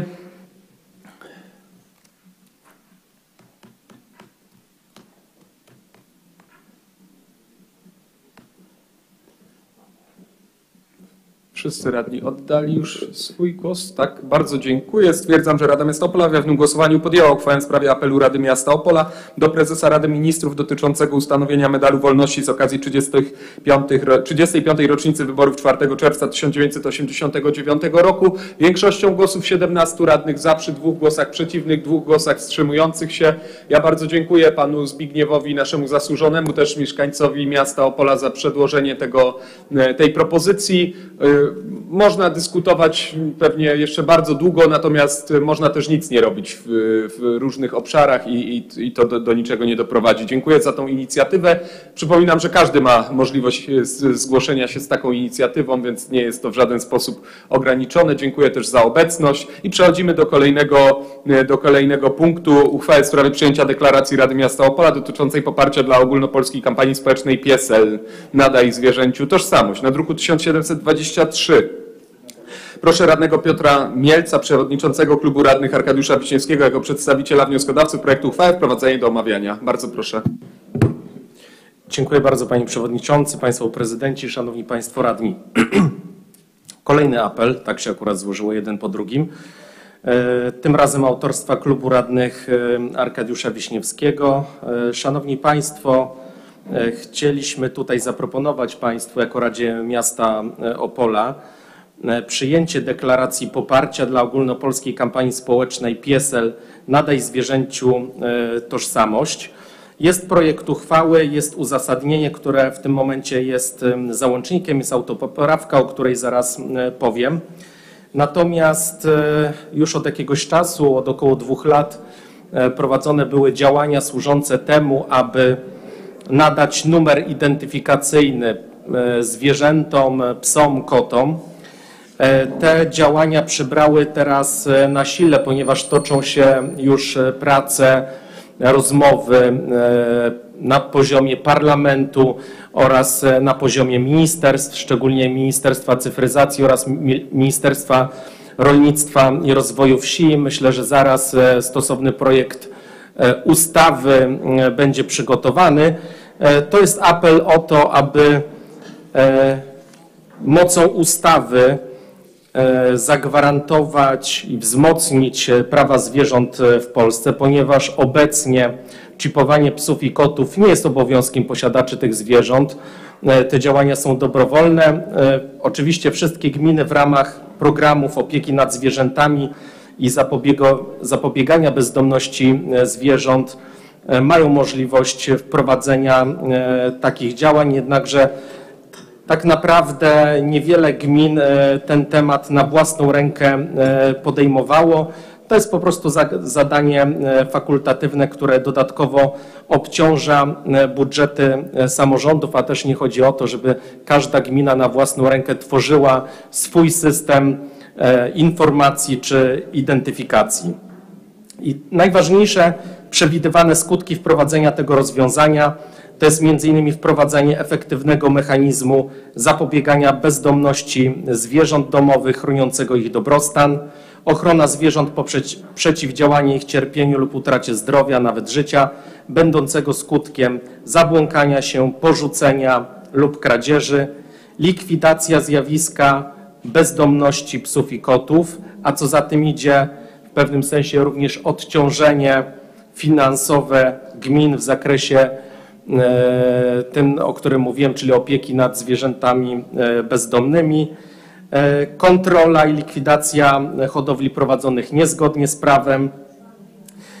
W jakimś sensie również zlikwidowanie problemu braku schronisk dla zwierząt lub braku w nich odpowiedniej ilości miejsc, z którymi niektóre gminy w Polsce e, się e, borykają.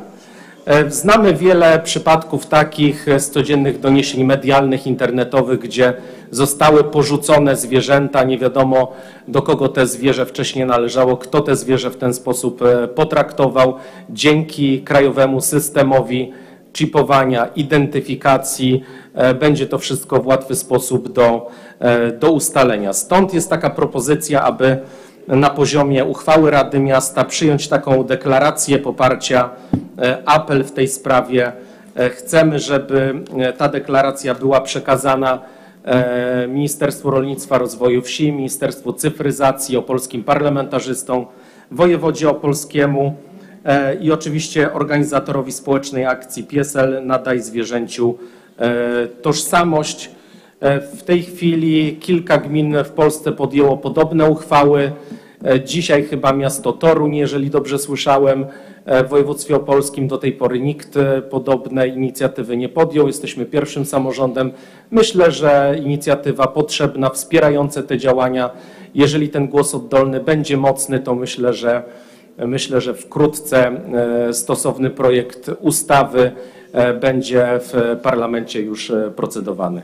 Jeżeli będą jakieś pytania, to oczywiście postaram się na nie odpowiedzieć. Dziękuję. Bardzo dziękuję za wprowadzenie. Projekt uchwały nie był opiniowany przez Komisję Stałe, gdyż został wprowadzony do porządku obrad sesji głosowaniem Rady. Opinia radcy prawnego do omawianego projektu uchwały jest pozytywna. Aha, jeszcze i otrzymałem jeszcze tak, autopoprawkę y, na druku numer 1723a do projektu uchwały przedmiotowego na podstawie paragrafu 28 ustęp 1 i 3 uchwały o numerze 24 na 373 na 12 Rady Miasta Opola z 29 marca 2012 roku w sprawie uchwalenia statutu miasta Opola Dziennik Urzędowy Województwa Opolskiego z 2019 roku pozycja 63 niniejszym wnioskuję o Dodanie zapisu do paragrafu pierwszego po pierwszym zdaniu o treści, w cudzysłowie uzasadnienie uchwały stanowi jej załącznik.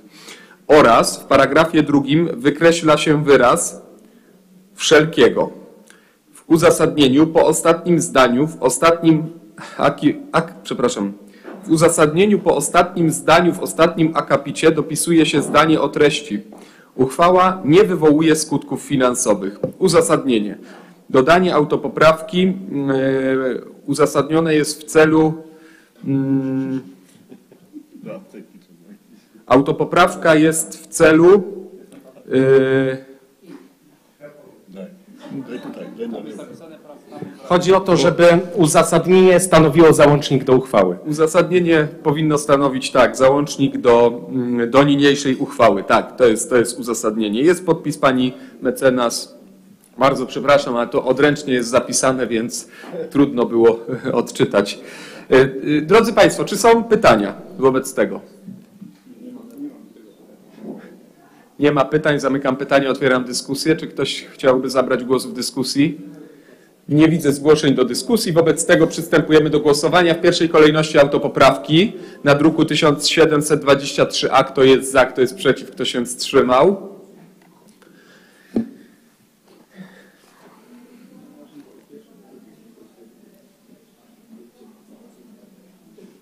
Bardzo dziękuję. Stwierdzam, że Rada Miasta Opola w jawnym głosowaniu podjęła autopoprawkę głosami 18 radnych za przy braku głosów przeciwnych, 4 głosach wstrzymujących się i przystępujemy do głosowania samej uchwały na druku 1723 wraz z przegłosowaną zmianą. Kto jest za, kto jest przeciw, kto się wstrzymał? Dziękuję. Stwierdzam, że Rada Miasta Opola w jawnym głosowaniu podjęła uchwałę w sprawie przyjęcia deklaracji Rady Miasta Opola dotyczącej poparcia mm, ogólnopolskiej kampanii społecznej Piesel Nadaj Zwierzęciu Tożsamość. Większością głosów 18 radnych za, przy braku głosów, y, przepraszam, przy dwóch głosach wstrzymujących się i dwóch głosach przeciwnych. Bardzo dziękuję. Uchwała w sprawie nadania tytułu honorowy obywatel miasta Opola panu Franciszkowi Antoniemu Markowi na druku numer 1719. Z wnioskiem o nadanie tytułu honorowy obywatel miasta Opola panu mm, profesorowi Markowi wystąpił rektor Uniwersytetu Opolskiego profesor Marek Masnyk. Profesor Franciszek Marek urodził się w Bełku koło Rybnika. Jego śląskie korzenie miały zasa- zasadniczy wpływ na jego późniejsze wybory i postawy. W 1950 roku profesor Marek rozpoczął studia polonistyczne w Uniwersytecie Wrocławskim. Tam zetknął się z plejadą wybitnych uczonych, znakomitych filologów, nawiązujących mm, z wieloma, y, nawiązując w tym czasie z wieloma trwałą i długotrwałą e, współpracę. W 1954 roku Profesor Kolbuszewski zaproponował mu asy- asystenturę przenoszonej wówczas do Opola Wyższej Szkole Pedagogicznej. W latach 50. i 60. prowadził intensywne badania źródłowe nad swoim doktoratem, który obronił w Uniwersytecie Wrocławskim. Habilitował się na Uniwersytecie Jagiellońskim. W 1973 roku powierzono mu kierownictwo Zakładem Historii Oświaty i Wychowania w nowo utworzonym Instytucie Pedagogiki. Rozwijał stworzony wcześniej we współpracy z profesorą z profesorem Madeją program badań historyczno-pedagogicznych inicjował i rozwijał kontakty z ośrodkami zagranicznymi. W okresie przemian ustrojowych w Polsce intensywnie rozwijał mm, kontakty międzynarodowe z innymi ośrodkami naukowymi w Niemczech. Poza działalnością naukową pozostaje niezwykle aktywny społecznie. Był sekretarzem generalnym Opolskiego Towarzystwa Przyjaciół Nauk. Przez wiele lat był prezesem zarządu Wojewódzkiego Towarzystwa Wiedzy Powszechnej, a przez dwie kadencje członkiem zarządu tego towarzystwa. Był też przewodniczącym Rady Naukowej Instytutu Śląskiego w Opolu. Jest honorowym prezesem Polskiego Związku Zachodniego w latach 1992-1994. Był sędzią Trybunału Stanu. W roku 1993 prezydent RP nadał mu tytuł naukowy profesora. W swoim dorobku ma blisko 200 prac, w tym 17 prac mm, zwartych autorskich. Wypromował 17 doktorów oraz blisko 900 mm, licencjatów i magistrów. Nadanie profesorowi Markowi tytułu honorowy obywatel miasta Opola ma symboliczny wymiar hołdu uznania tego aktu w 30. rocznicę powołania uniwersytetu. W ten sposób możemy podkreślić rolę i znaczenie działań organizacyjnych, których które były udziałem profesora Marka, przyczynił się do powstania w Opolu Uniwersytetu. E, Czy są pytania ze strony Państwa radnych? Nie widzę pytań, zamykam pytanie, otwieram dyskusję. Czy ktoś chciałby zabrać głos w dyskusji? Nie widzę zgłoszeń w dyskusji. Tak? E, bardzo proszę, pan e, radny Marek Kawa. Panie Przewodniczący, Wysoka Rado, mm, ja chciałem być konsekwentny, więc tak samo jak przy wniosku dotyczącym profesora Gajdy, mam apel też, y, już ten apel ponawiałem kilka razy do kapituły. Mówię, bez względu na, na nasze poglądy, dobrze, bo są tam też zasiadają historycy, żeby jednak wszystkie, wszystkie aspekty życiorysu po, poruszać. Podobnie jak było w przypadku mówię, profesora Gajdy bardzo łagodnie, prze, prawda, mm, przechodzi się nad, ja wiem, trudnymi, czasami wstydliwymi, epizod, nawet nie epizodami, tak, bo w przypadku e, i wspomnianego u mnie wcześniej profesora Gajdy, to jest, była kilkuletnia, w tym przypadku również z całym też szacunkiem i sympatią dla profesora Marka, mm, y, działalności też właśnie w okresie stanu wojennego, kiedy był prorektorem WSP y, i wcześniej y, i prawda, tych prawda, jego decyzji, które dotyczyły też bardzo boleśnie, powiedziałem, pracowników, którzy byli, e, byli wydalani też mm, poprzez opinię lub brak opinii, tak, lub brak takiej zdecydowanej, e, zdecydowanej postawy. Ja poprę ten w przypadku profesora Marka, nie ukrywam, z wielkim takim też e, e, no mam, mam pewien, pewien dylemat też, też, e, mówię taki moralny. E, Proszę zwrócić uwagę też, kiedy pojawiła się jego ka- kandydatura w przypadku Sejmiku, tam też wy, wywołało to pewną, e, pewną dyskusję. To jest oczywiście tragizm czasów czy historii współczesnej.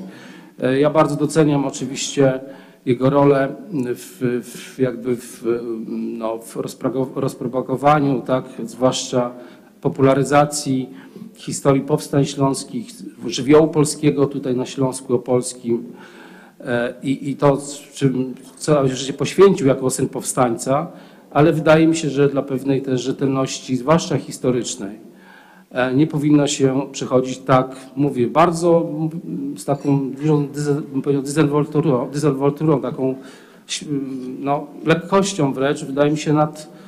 e, To są, to są ważne decyzje, które, mówię, dotyczyły poszczególnych i naukowców, którzy właśnie żegnali się.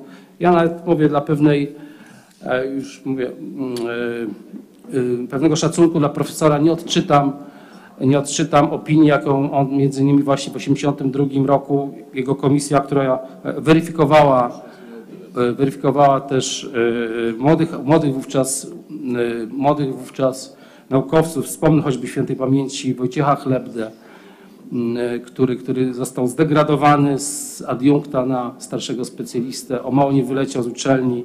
Mógłbym tutaj wymieniać wielu innych jeszcze, ale wydaje mi się, że powinniśmy przynajmniej wiedzieć, e, tak, że, że też e, wydaje się nasze ci pante, m, pantynowi, tak, e, pantynowe postaci mieli też swoje, e, wydaje mi się, dosyć długie okresy słabości, e, kiedy, kiedy, kiedy nie, nie zawsze zachowali się tak, jak, jak trzeba. E, Stąd dziękuję Panie Przewodniczący za, wydanie, za oddanie mi głosu, ale chciałem, żeby właśnie e, to też wybrzmiało i stąd też y, uzasadniam, uzasadniam moje poparcie e, z racji tej wielkiej roli, którą właśnie profesor też Marek odegrał przy powstaniu uniwersytetu, ale też e, kiedy faktycznie w tym e, trudnym tutaj regionie był tym, tym właśnie tą skarbnicą wiedzy dotyczącej powstań śląskich i, i rodłaków, jak i, jak i oczywiście też Polaków, e, którzy byli stanowili mniejszość, jak wiemy, mniejszość w tym regionie. Dziękuję. Bardzo dziękuję. E, Czy ktoś chciałby zabrać głos w dyskusji? Jeszcze? Nie widzę, zamykam dyskusję. Przystępujemy do głosowania. Kto z Pań i Panów Radnych jest za, kto jest przeciw, kto się wstrzymał?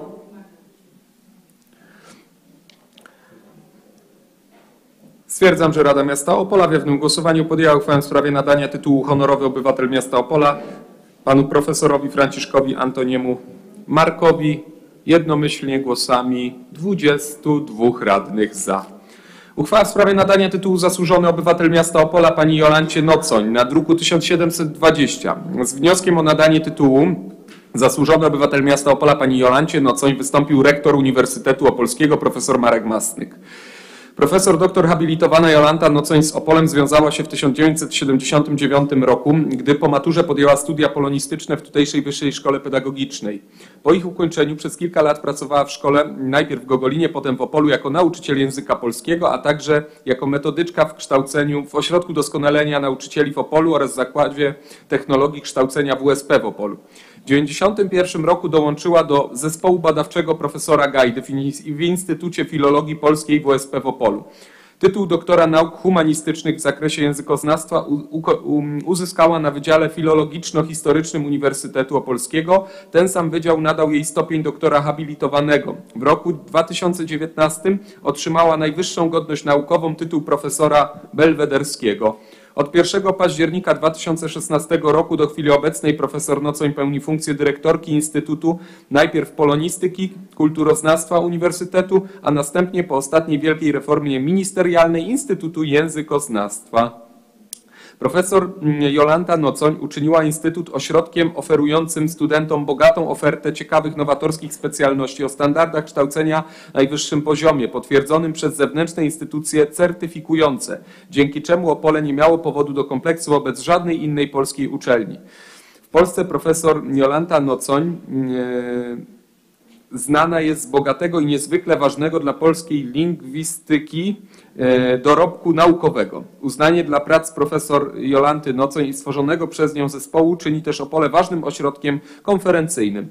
Profesor Jolanta Nocoń reprezentuje też nasze miasto w wielu prestiżowych gremiach ogólnopolskich. Za liczne zasługi uhonorowano ją medalem srebrnym za długoletnią służbę, medalem Komisji Edukacji Narodowej, wielokrotnie nagrodą rektora uniwersytetu oraz nagrodą za podnoszenie jakości kształcenia uniwersytetu. W czasie jej szefowania Opolski Instytut Językoznawstwa uzyskał podczas ostatniej ewaluacji naukowej kategorię A, która nie tylko pozwala zachować prawa akademickie, ale też e, sytuuje opolską lingwistykę w ścisłym gronie najlepszych w kraju. Czy są pytania? Nie widzę, zamykam pytanie, otwieram dyskusję. Czy ktoś chciałby zabrać głos w dyskusji? Nie widzę zgłoszeń do dyskusji. Zamykam dyskusję i przystępujemy do głosowania nad projektem uchwały na druku 1720. Kto jest za, kto jest przeciw, kto się wstrzymał. Stwierdzam, że Rada Miasta Opola w jawnym głosowaniu podjęła uchwałę w sprawie nadania tytułu Zasłużony Obywatel Miasta Opola pani Jolancie Nocoń. Jednomyślnie głosami 21 radnych za. Uchwała w sprawie nadania tytułu Zasłużony Obywatel Miasta Opola pani Krystynie Czaj na druku nr 1721 z wnioskiem o nadanie tytułu Zasłużony Obywatel Miasta pani Krystynie Czaj wystąpił rektor Uniwersytetu Opolskiego profesor Marek Masnyk. Pani profesor Krystyna Czaja po ukończeniu studiów na Wydziale Technologii Inżynierii Chemicznej Politechniki Śląskiej w Gliwicach dalszą drogę zawodową związała z Uniwersytetem Opolskim. W Instytucie Chemii awansowała od stanowiska asystenta do profesora zwyczajnego. Stopnie naukowe doktora i doktora habilitowanego oraz tytuł profesora uzyskała na Wydziale Chemicznym Politechniki Warszawskiej. Pani profesor może poszczycić się bogatym dorobkiem naukowym, między innymi licznymi publikacjami naukowymi, skryptami, niepublikowanymi opracowaniami, ekspertyzami, sprawozdaniami ze zleconych prac badawczych, patentami oraz referatami i komunikatami przedstawionymi na naukowych konferencjach w kraju za granicą. Była kierownikiem lub brała udział w realizacji 20 projektów badawczych. Ponadto wielokrotnie była powoływana jako ekspert i recenzent grantów oraz projektów. Pani profesor Krystyna Czaja prowadzi szeroką współpracę z wieloma instytucjami przemysłowymi, realizując wspólne badania lub prace usługowe. Wielokrotnie opracowywała opinie ekspertyzy dla różnych przedsiębiorstw, w tym także opinie o innowacyjności. Poza regionem doceniono jej aktywność aplikacyjną poprzez wybór, a następnie powierzenie jej funkcji przewodniczącej Rady Naukowych kolejno trzech instytutów badawczych branży chemicznej. W 2008 roku została wybrana do pełnienia obowiązków rektora Uniwersytetu Opolskiego, sprawując je do 2012 roku. Równolegle od 1999 roku nieprzerwanie kieruje Katedrą Technologii Chemicznej i Chemii Polimerów. Poza tymi funkcjami od wielu lat jest m.in. członkiem Stowarzyszenia Polskich Wynalazców i Racjonalizatorów. Za działalność naukową, dydaktyczną, organizacyjną była wielokrotnie wyróżniana, nagradzana. Uhonorowana została brązowym medalem za wynalazek na międzynarodowym wy międzynarodowej wystawie wynalazczości. Odznaką honorową prezesa Rady Ministrów za zasługi dla wynalazczości, czy też Krzyżem Orderu Odrodzenia Polski.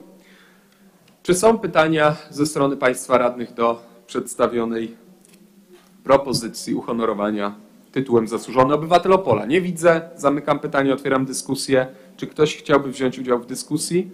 Nie widzę. Zamykam dyskusję. Przystępujemy do głosowania nad mm, projektem uchwały na druku 1721 w sprawie tytułu Zasłużony Obywatel Miasta Opola dla pani Krystyny Czaj.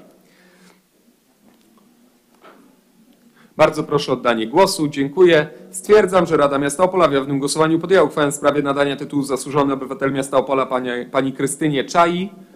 E, panie Przewodniczący, czy głosuje Pan dzisiaj? Dziękuję. Jednomyślnie głosami 23 radnych za.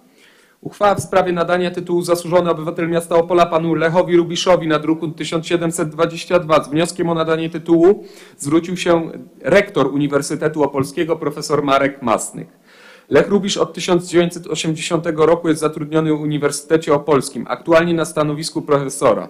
Od 2012 roku jest dyrektorem Instytutu Nauk o Polityce i Administracji, wieloletnim członkiem Senatu Uniwersytetu oraz Rad Wydziału Historyczno-Pedagogicznego i Nauk Społecznych.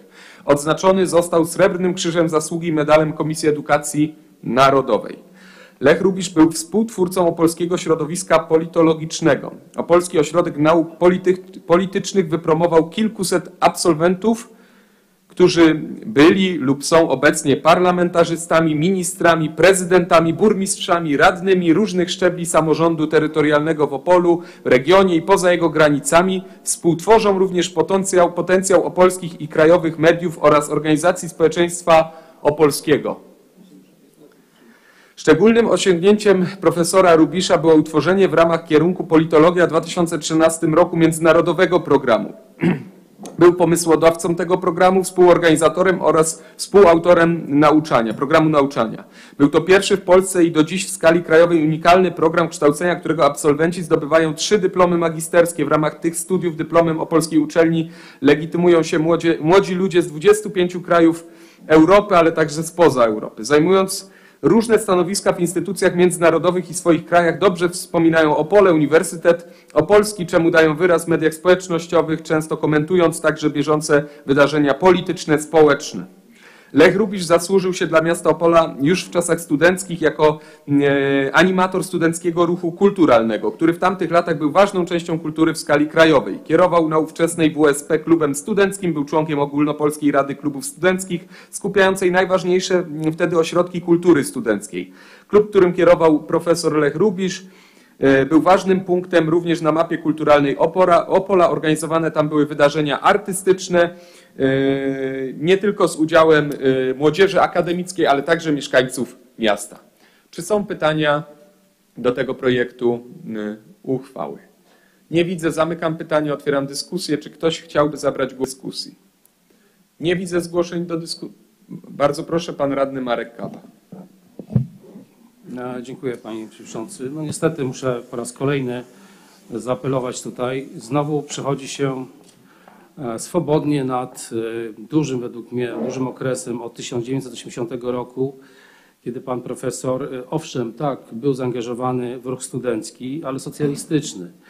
E, Tylko dodam, tak, jako przewodniczący Rady Uczelnianej mm, Socjalistycznego Związku Studentów e, Polskich, e, bardzo aktywnie, zwłaszcza w okresie też, e, mówię, od czasu e, 80. prawdopodobnie, tak jak zresztą Pan tutaj w, w kolaudacji profesor zaznaczył, e, był zaangażowany tylko po jednej stronie. Też przypomnę ten fakt, który dzisiaj powiedziałem, kiedy weryfikowano młodych, e, młodych e, niezależnych naukowców, też studentów, kiedy powstał niezależny, nie- niezależny Związek Studentów Polskich właśnie w 1980 roku, to pan profesor przewodniczył.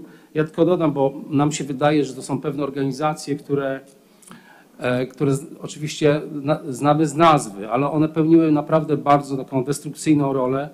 E, Czym był Socjalistyczny Związek Studentów Polskich? Cytuję tutaj właśnie z uchwały na WSP.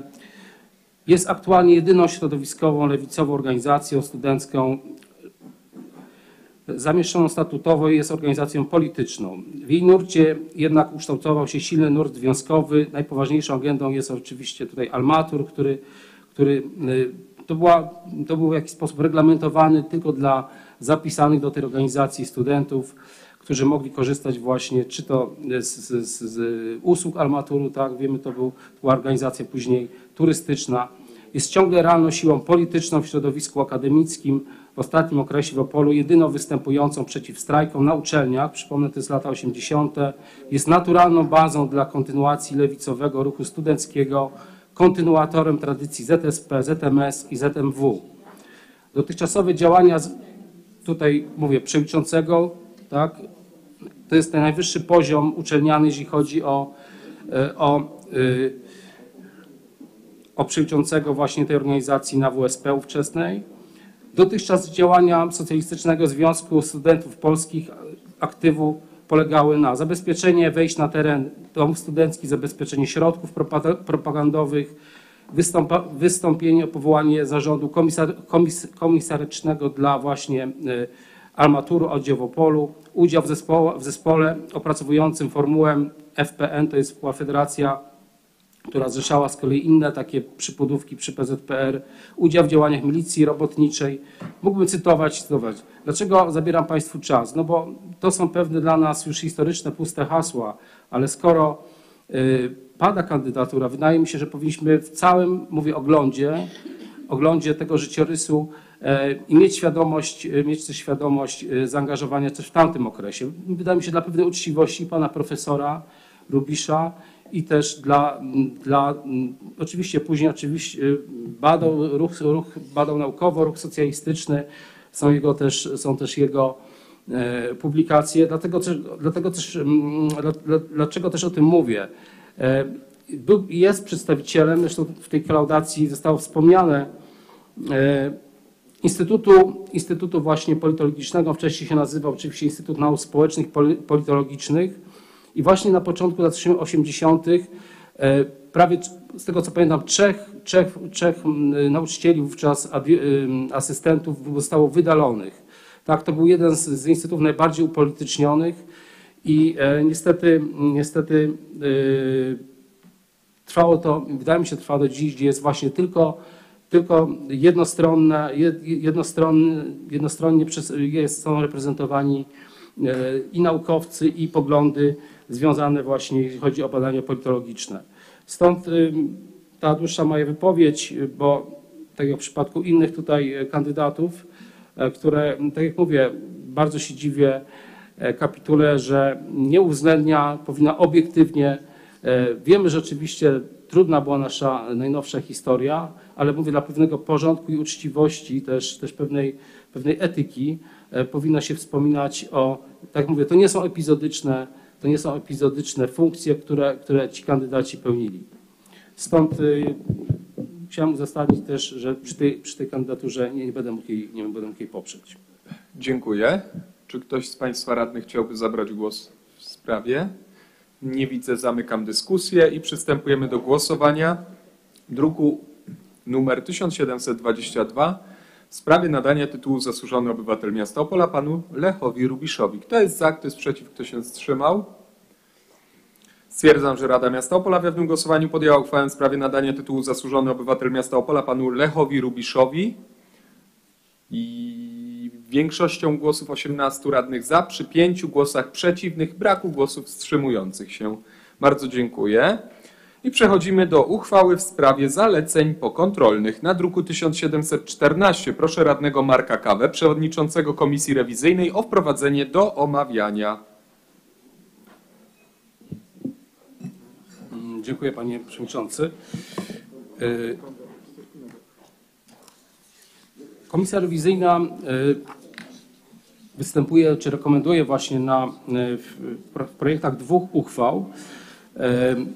To są, to są wyniki kontroli, które zespoły kontrolne y, przeprowadziły w ostatnim, w ostatnim e, kwartale i zalecenia, które, które też rekomendujemy, które zostały też zatwierdzone przez, e, przez Komisję Rewizyjną, dzisiaj, dzisiaj właśnie e, prezentujemy Państwu. Wszystko sobie.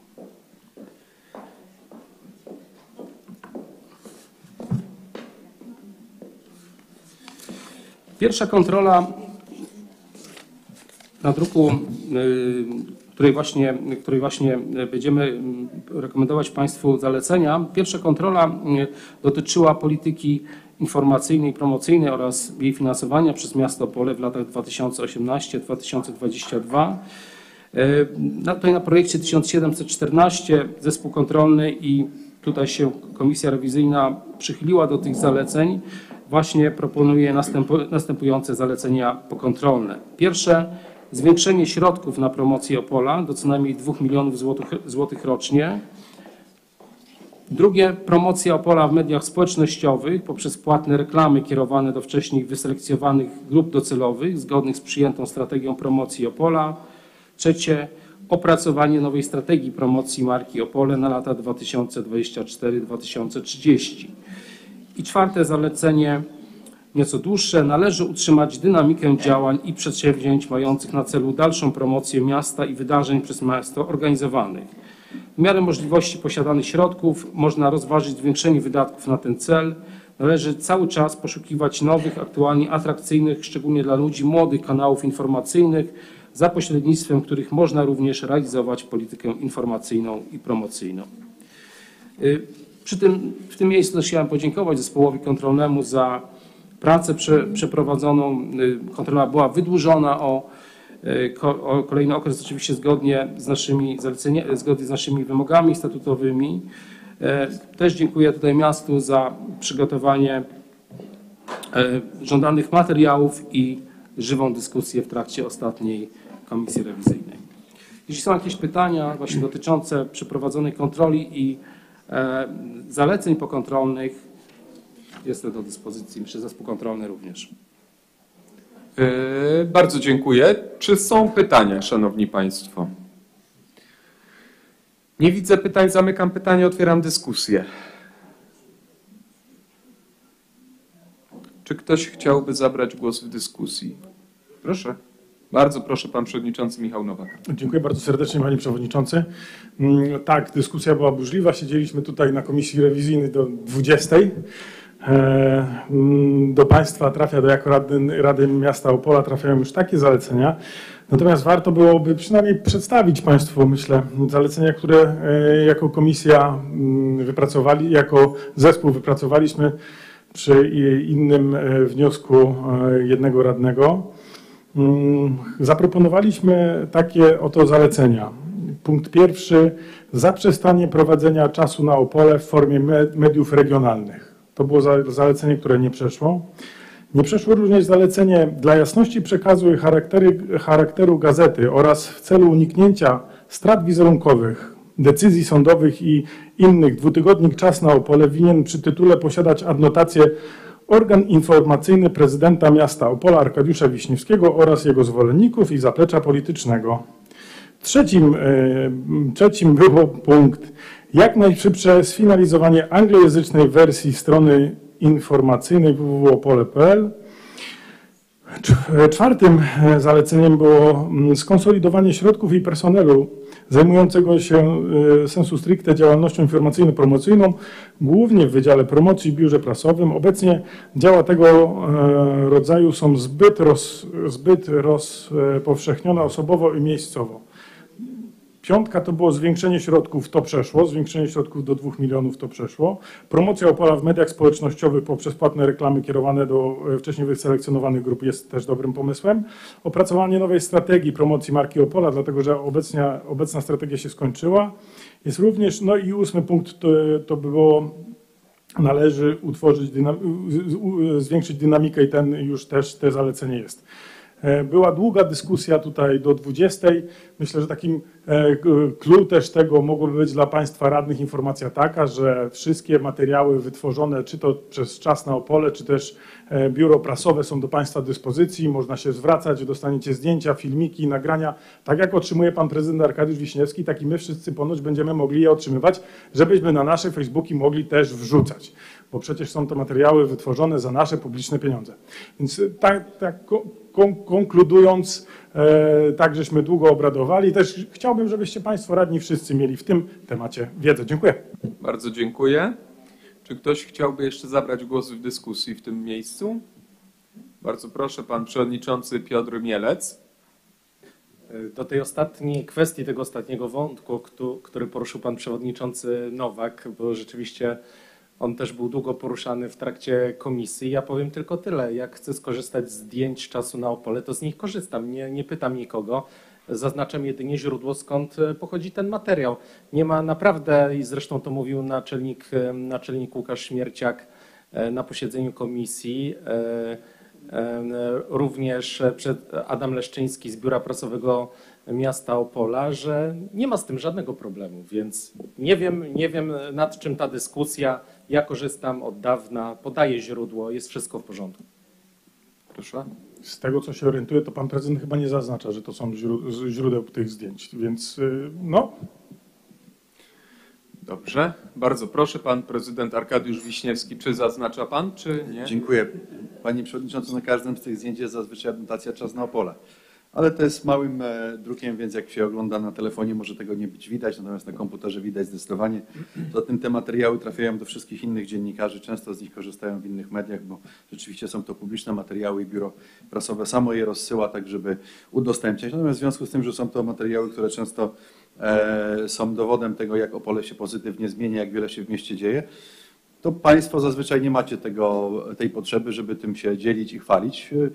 To jest kwestia podejścia. Ja oczywiście zachęcam. e, Nie musicie umieszczać moich zdjęć, natomiast e, jak chcecie się dzielić zdjęciami z Opola, e, to będzie mi bardzo miło, bo kocham Opole, zresztą nie tylko ja. E, W związku z tym każda pozytywna zmiana dostrzeżona czy wywołana mm, e, e, cieszy mnie osobiście. Nie jestem o to zazdrosny, mówiąc wprost. E, A teraz jakby mówiąc, bo padły też jakieś argumenty o tym, że trzeba coś napisać jako oficjalny dziennik i tak dalej. Nie mam takiej wiadomości o tym, żeby Czas na Opole przegrał jakiś proces sądowy, e, więc trudno mi w tej chwili jakby tak powiedzieć, że jest to zasadne, bo e, jest to bezpośrednio medium, które inform- informuje o tym, co jest w mieście i E, Każdy, kto jest niezadowolony z treści tam zawartych, ma prawo napisać wniosek o sprostowanie, jeżeli będzie to uzasadnione. Myślę, że redakcja to, to w sprostowanie zamieści, a szefem redakcji jest pan e, redaktor Rudnik, przez wiele lat e, pracownik e, e, Nowej Trybuny Opolskiej, e, z której odszedł po tym, jak została przejęta przez Daniela Obajtka. E, Po prostu nie było tam już dla niego miejsca, pomimo 40 lat doświadczenia dziennikarskiego, jakie, jakie posiadał. Więc e, e, zresztą nie tylko to, bo i on się też nie czułby tam dobrze, więc nie chcę w jego imieniu mówić. Natomiast e, słuchając tego, co Państwo mówicie, mm, Chciałbym podziękować osobom zaangażowanym w promocję miasta. Nie wszystkie są obecne, nie wszystkie słuchają, ale rzeczywiście miasto Opole prowadzi bardzo bogatą kampanię czy politykę informacyjną o tym, co się w mieście dzieje, bo nie chcemy, żeby mieszkańcy, a często tak było, e, pisali potem, że a, jakbym wiedział, to bym przyszedł.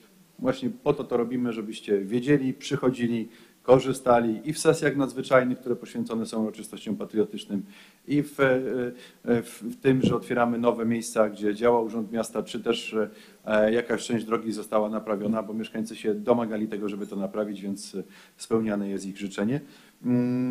Co do kosztów funkcjonowania i tak dalej, nie chciałbym już tu wchodzić głęboko w polemikę e, z tymi kosztami w kontekście oczywiście tych najnowszych informacji o tym, ile się zarabiało jako asystent posła, prezesa TVP i jeszcze parę, parę innych podobnych informacji. Więc e, pomijmy milczeniem to e, zasłoną, spójrzmy na to zasłonę, skoncentrujmy się na tym, co jest. Pracownicy promocji zarabiają według stawek samorządowych, e, nie jest ich zbyt wielu.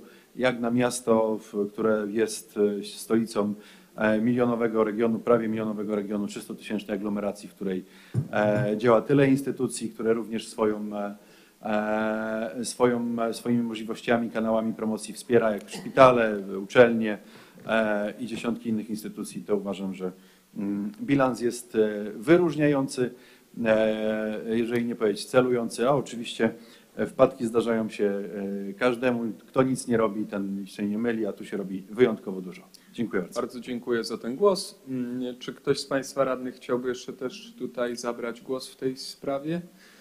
Nie widzę, dziękuję, zamykam dyskusję. I przez, przystępujemy do głosowania e, uchwały na druku 1714. E, Kto jest za, kto jest przeciw, kto się wstrzymał?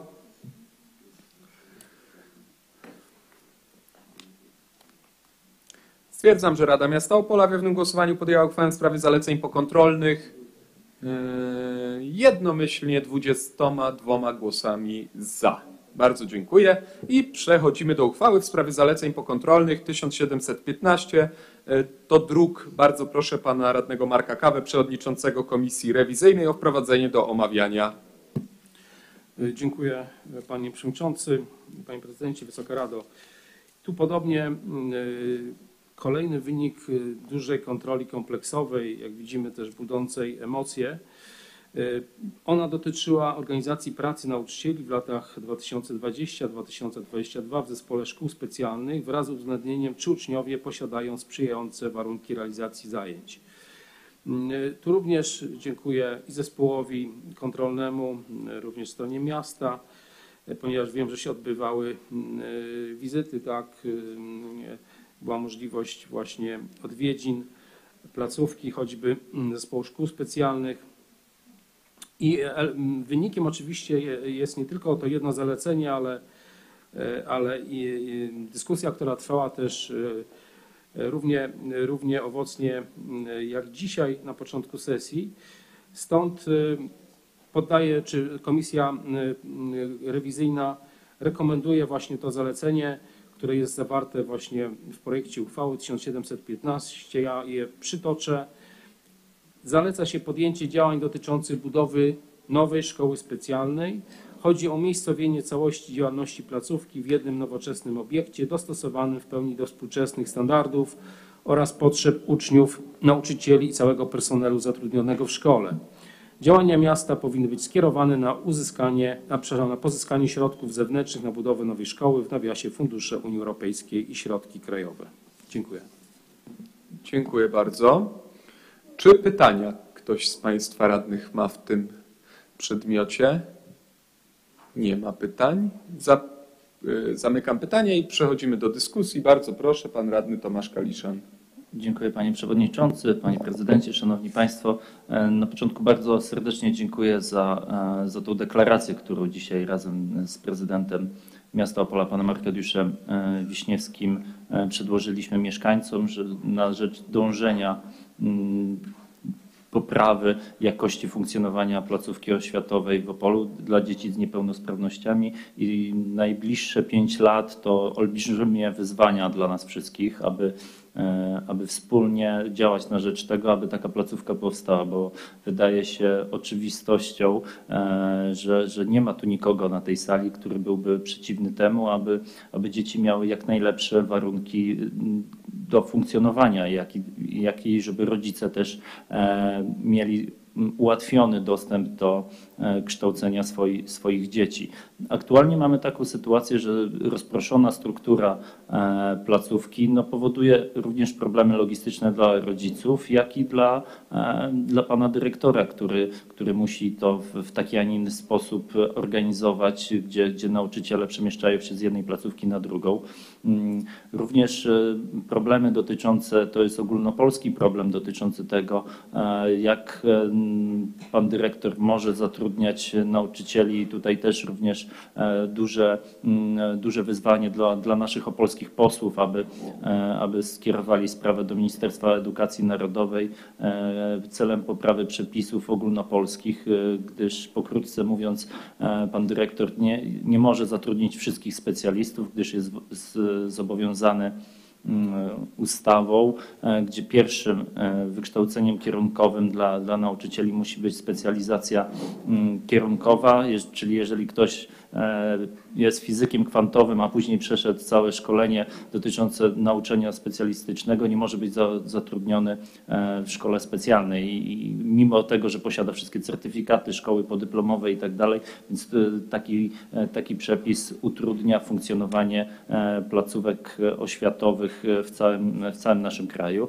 E, Problem główny, e, który jest e, i który jest zobiektywizowany, e, dotyczy struktury i, i, i fizycznie budynków. E, e, No, wszyscy widzimy budynek w centrum miasta, to jest budynek zabytkowy 100 ponad lat, e, piękny kawał historii, jednak nie jest on dedykowany mm, do wyzwań oświatowych, takich jakie by, byśmy chcieli, aby, aby rodzice i dzieci i nauczyciele mieli, więc no to bariery architektoniczne, które oczywiście starają się, starają się być zniwelowane poprzez pewne sprzęty, pewne, mm, pewne podjazdy, dodatkowe, mm, dodatkowe chodziki i takie inne e, przyrządy, które, które pozwalają dostać się do szkoły, jednak no, wydaje się o- czymś naturalnym, że, że, że taka szkoła powinna być e, umiejscowiona na parterze e, z dostępem e, bardzo łatwym dostępem.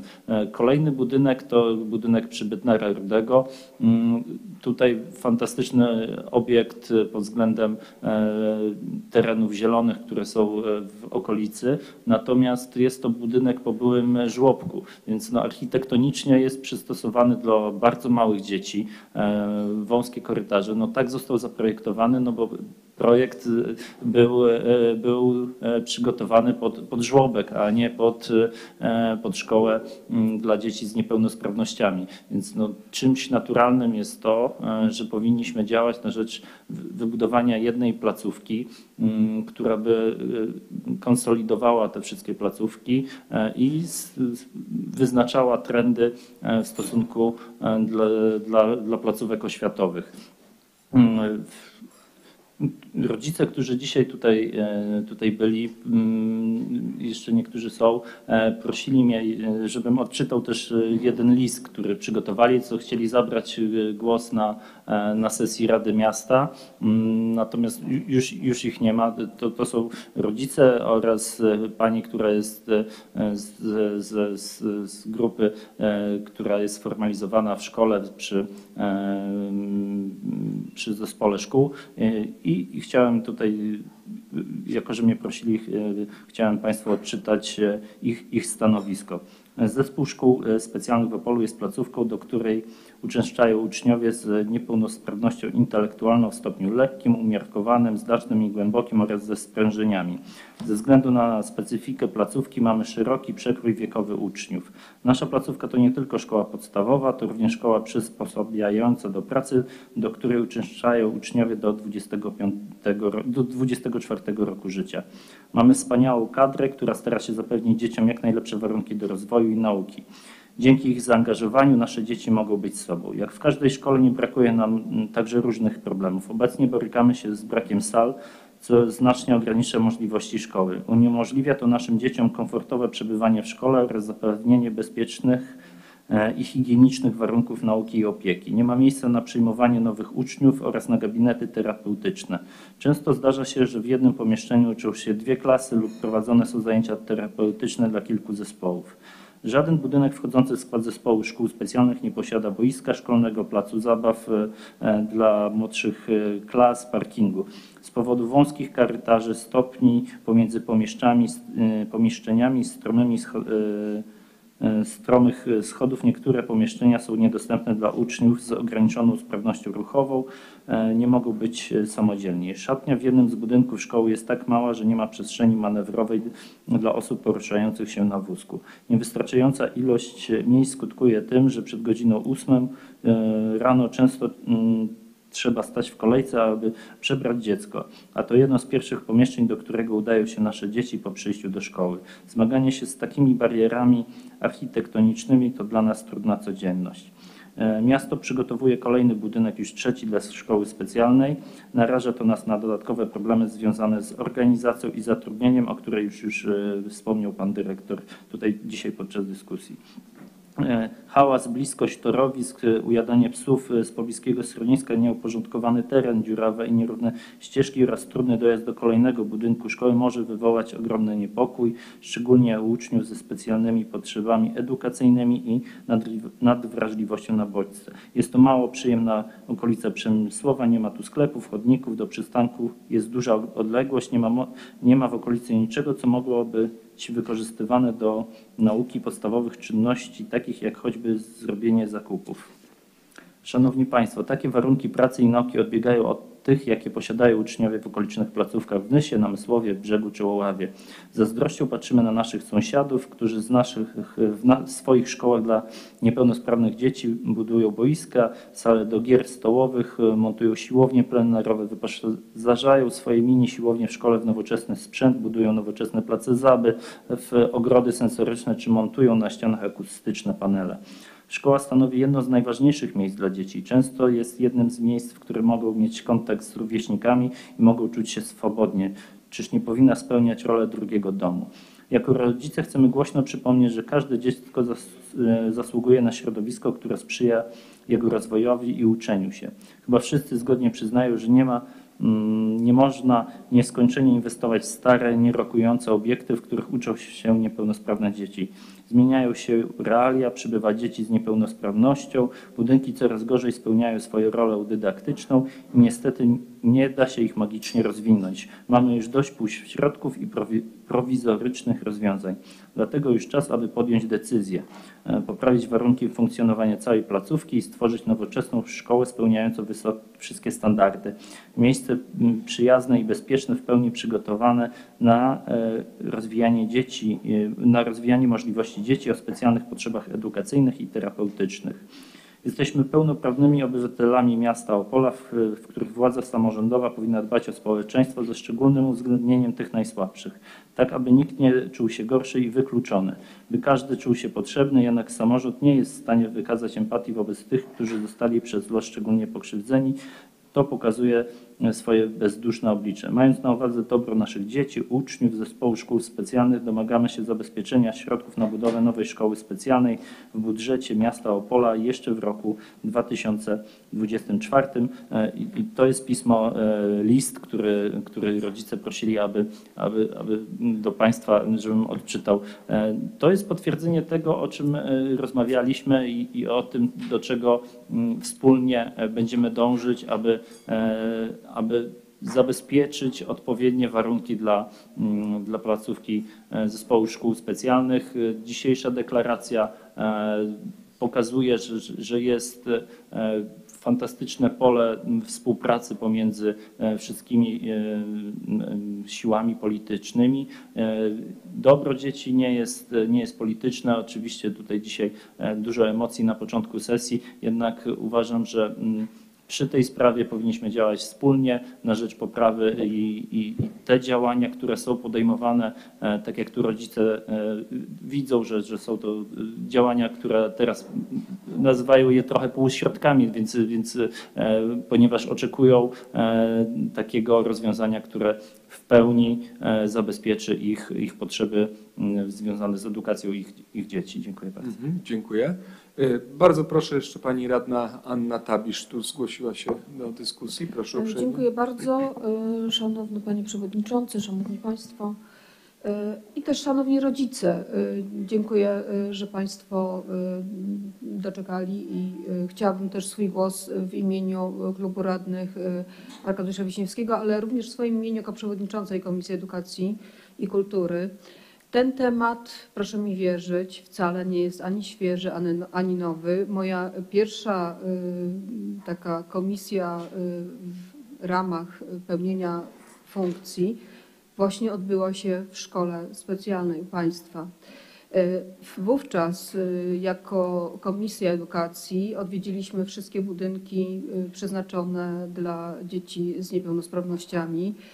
Y, Była dyskusja y, w gronie naszym, w gronie y, przedstawicieli szkół, sz- przedstawicieli tych po- poszczególnych jednostek i wspólnie wówczas już doszliśmy do wniosku, że rzeczywiście to budowa tego jednego, czy powstanie jedne, jednej jednostki, która by skupiała te poszczególne budynki. y, Rzeczywiście jest to ważne i powinniśmy się tym zająć. I to zaowocowało tym, że jako klub złożyliśmy taki wniosek.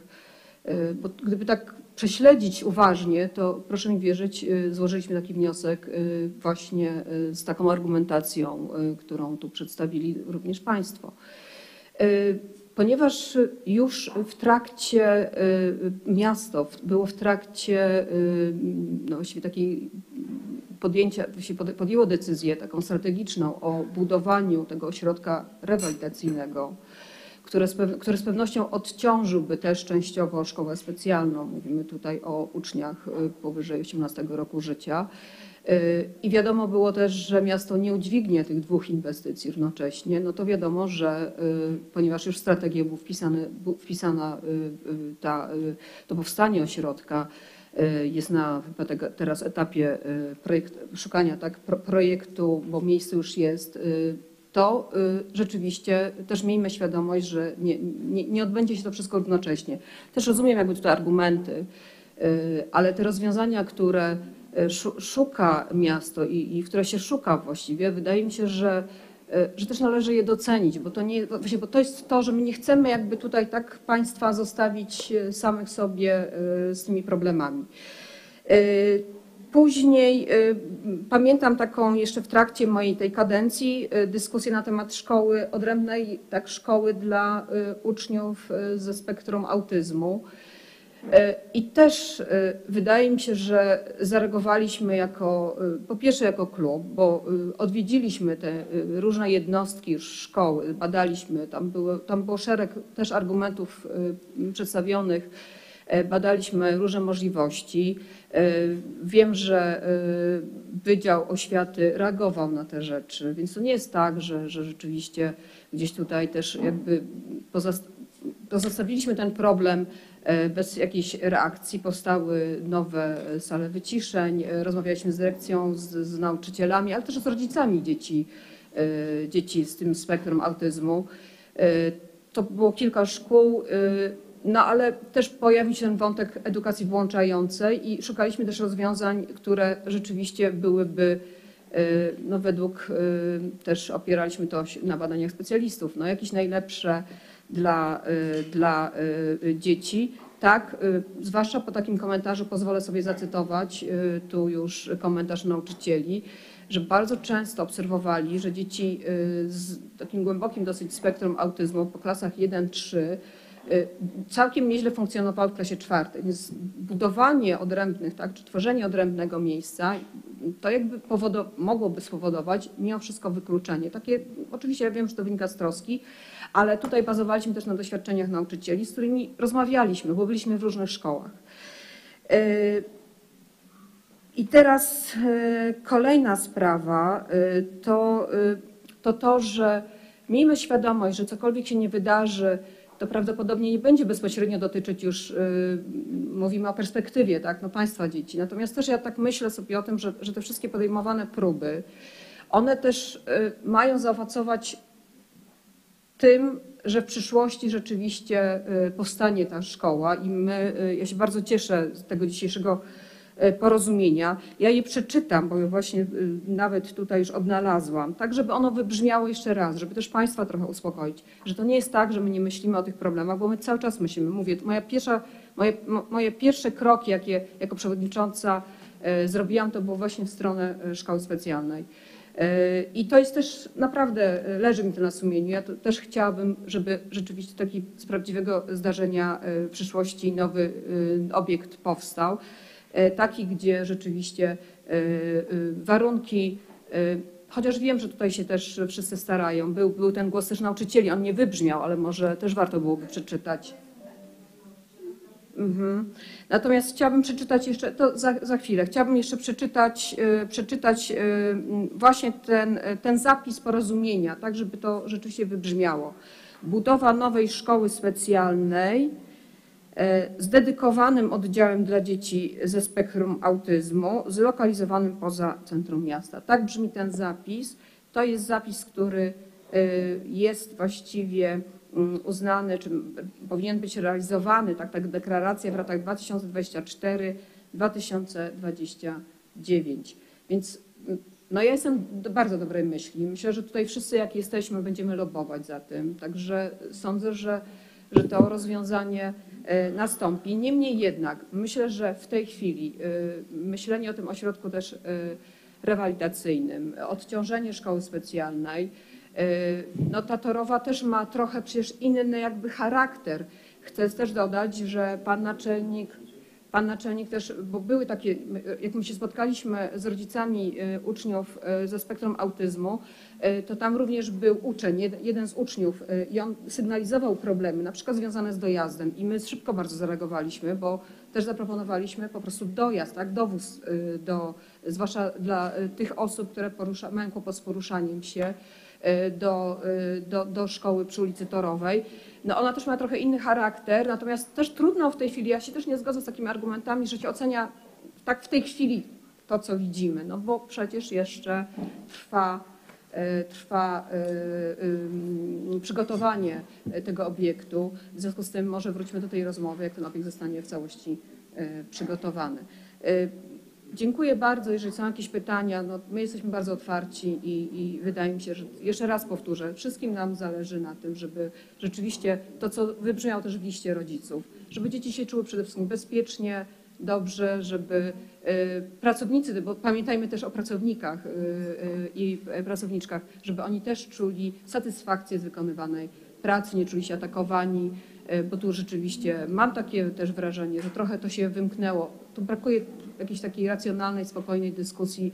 E, nie chciałabym, żeby ona właśnie odbywała się między e, już politykami e, i żeby wypływała. Po prostu to, to jest, potrzebna jest naprawdę spokój, bo, bo to jest najważniejsze i jakieś takie racjonalne argumenty. My przyjmujemy je, my przyjmujemy je, no staramy się reagować.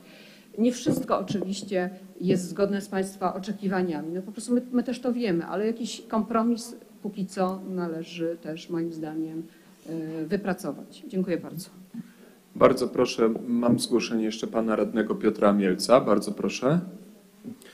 Dziękuję bardzo. Szanowni Państwo, bardzo, e, bardzo krótko jeszcze e, nawiązując do wypowiedzi mojej, mojej poprzedniczki. Pierwsza rzecz, chciałbym, żeby to mocno wybrzmiało. byliśmy, byliśmy w szkole Przeprowadzaliśmy kontrolę, rozmawialiśmy z panem dyrektorem, z pracownikami i chcę, żeby to głośno wybrzmiało. ci ludzie, którzy są zatrudnieni e, w szkole na książąt, wykonują kawał dobrej roboty.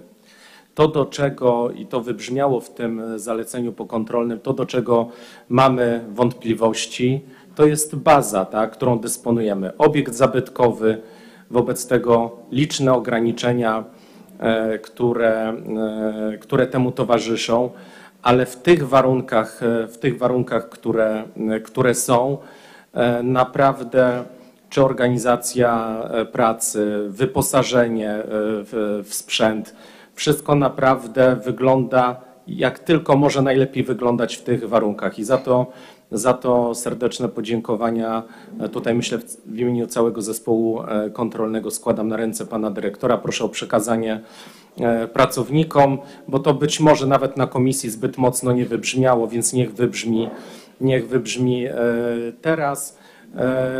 Co, co jeszcze pani przewodnicząca mówiła, że ten temat i wniosek pojawiał się już wcześniej we wnioskach do budżetu. My jako klub radnych Arkadiusza Wiśniewskiego też takie wnioski składaliśmy.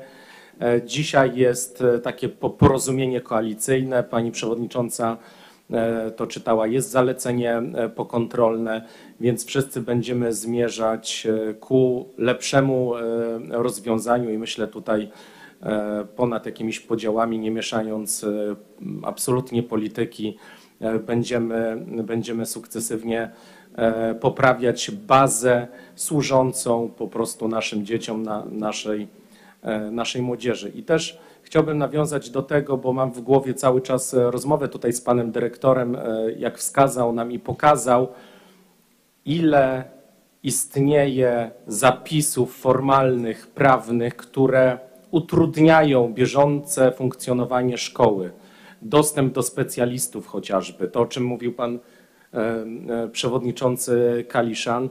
Więc też rozmawialiśmy tutaj między sobą. Pan naczelnik mówił, że już taka lista uwag i propozycji zmian w przepisach jest tworzona. To myślę, że tutaj jako radni miasta Opola deklarujemy wszelką pomoc, wsparcie, jeżeli będzie to możliwe. Podpisujemy się absolutnie pod potrzebą zmiany przepisów, bo myślę, że nikt z nas do końca nie miał pełnej świadomości przychodząc do, do szkoły, jak czasami jedno zdanie w przepisach, w rozporządzeniu ministra może namieszać w takim codziennym funkcjonowaniu szkoły, więc to jest również ważna kwestia i, i, powinniśmy, i powinniśmy o tym pamiętać. To, to chyba tyle. Dziękuję bardzo i, i mam nadzieję, że, że wspólnymi siłami tutaj przygotujemy jakąś rozsądną ścieżkę działania w tym zakresie. Dziękuję. Bardzo proszę, pan radny Marek Kawa. Dziękuję. Miałem nie zabierać głosu, ale ja obawiam się, że ten głos tu pani przewodniczącej, pana przewodniczącego jest konkretne zalecenie i myślę, że czekamy teraz tutaj też, tak długo też czekają i rodzice, i wszyscy zainteresowani, myślę, że najbardziej też dzieci, w jaki sposób miasto, bo oczywiście te deklaracje, że powiedzmy, nie wiem, tutaj Platforma zawiąże jakąś, jakąś deklarację, czy, czy, czy ściągnie jakieś pieniądze, ale myślę, że jest, wszyscy czekamy na konkretną jakąś mapę drogową, w jaki sposób Państwo dojdziecie do tego zalecenia, czyli budowy nowej szkoły. Czy to faktycznie ma być Nastruga, czy to ma być nowoczesna szkoła, z, z, czy ma być zespół szkół, czy to ma być przedszkole, bo słyszeliśmy dzisiaj, że że potrzeba jest przede wszystkim też przedszkola, przedszkola również tego typu o tym profilu. Ja myślę, że te deklaracje okrągłe, które i pan, tutaj pani przewodnicząca, było pięć lat, myślę, aby na zdiagnozowanie problemu, czy trzeba, czy musimy dzisiaj być świadkami właśnie tak dramatycznych czasami deklaracji i, i, i sytuacji, czy myślę, że to można było o wiele wcześniej załatwić. Wtedy, kiedy pojawiła się zarówno propozycja, którą też wspólnie przegłosowaliśmy tutaj, choćby tych 100 tysięcy, już można było zacząć coś robić, a nie, a nie bo ja niestety mam, mam mnie nie uspokajają te, te deklaracje tutaj bardzo właśnie takie spokojne, że poczekajmy, tak, poczekajmy może, z, już czekamy, Państwa, na, na, na zmiany, jeżeli chodzi o psychiatrę dziecięcą. Ja nic nie słyszę, aby, aby powiedzmy coś ruszyło w tej sprawie, a Przypominamy, jak, jakie były deklaracje. Już jest kolejny miesiąc, tak? Dobrze, ale tylko mu, daję, daję pewien przykład, tak? I pan w tym samym tonie, to, tak, takim uspokajającym, że będziemy dyskutować, będziemy, myślę, że już dość jest tych odwiedzin, tak? E, wizyt studyjnych. Myślę, czas dzisiaj na deklarację pana prezydenta na jakąś konkretną mapę drogową. Za jakie pieniądze, za jakie środki, czy to ma być właśnie Struga, czy to ma być zespół szkół. Przynajmniej ja chciałem usłyszeć dzisiaj, y, y, jeśli chodzi o to zalecenie, czy państwo potraktujecie poważnie e, to zalecenie, bo wszyscy zagłosowaliśmy, rozumiem tak? I tutaj państwo z wszystkich klubów zgadzamy się do tego, że jest potrzebna nowa placówka. Jest potrzebna nowa placówka, tylko wykonanie to już jest właśnie y, i, my myślę, dzisiaj, dzisiaj oczekują wszyscy, jak powiedziałem, najbardziej zainteresowani, co pan prezydent, tak, jak, jaką ma wizję i przede wszystkim konkretne decyzje, bo jak widzieliśmy, można szybko i stadion wy, wybudować. Jutro jest otwarcie tak nowego pawilonu, jeśli chodzi o zoo. Ta sprawa jest szczególnie, szczególnie jak, jak słyszymy, y, jeszcze, jeszcze bardziej priorytetowa. Bardzo dziękuję. Ja tylko uprzedzam, że zalecenia jeszcze nie zostały podjęte, więc pan tutaj troszkę zobowiązuje prezydenta do działań na podstawie czegoś, co jeszcze nie, nie jest jakby obowiązujące. To jest na razie przedłożone Radzie do, do podjęcia lub ewentualnie nie podjęcia. Zgłosił się jeszcze pan radny Dariusz Chwist. Tak, bardzo proszę. Dziękuję Panie Przewodniczący za głos. Akurat ta sprawa, też jestem w Komisji Edukacji i Kultury. Byłem tak samo wszędzie jakoś przez ostatnich 8 lat. Od Was ludzie też byliście z nami w komisjach. Mieliście ludzi, wiele mo- mogliście zrobić. Nie usłyszałem ani jednej oferty, żeby pomóc. A dzisiaj Pan mówi, że co Wy zrobicie. To, no to zaczynamy dzisiaj. Przynajmniej, co? Jakie 100 tysięcy? Co pan za 100 tysięcy zrobi? O czym pan mówi? Tu trzeba milionów, żeby szkołę wybudować.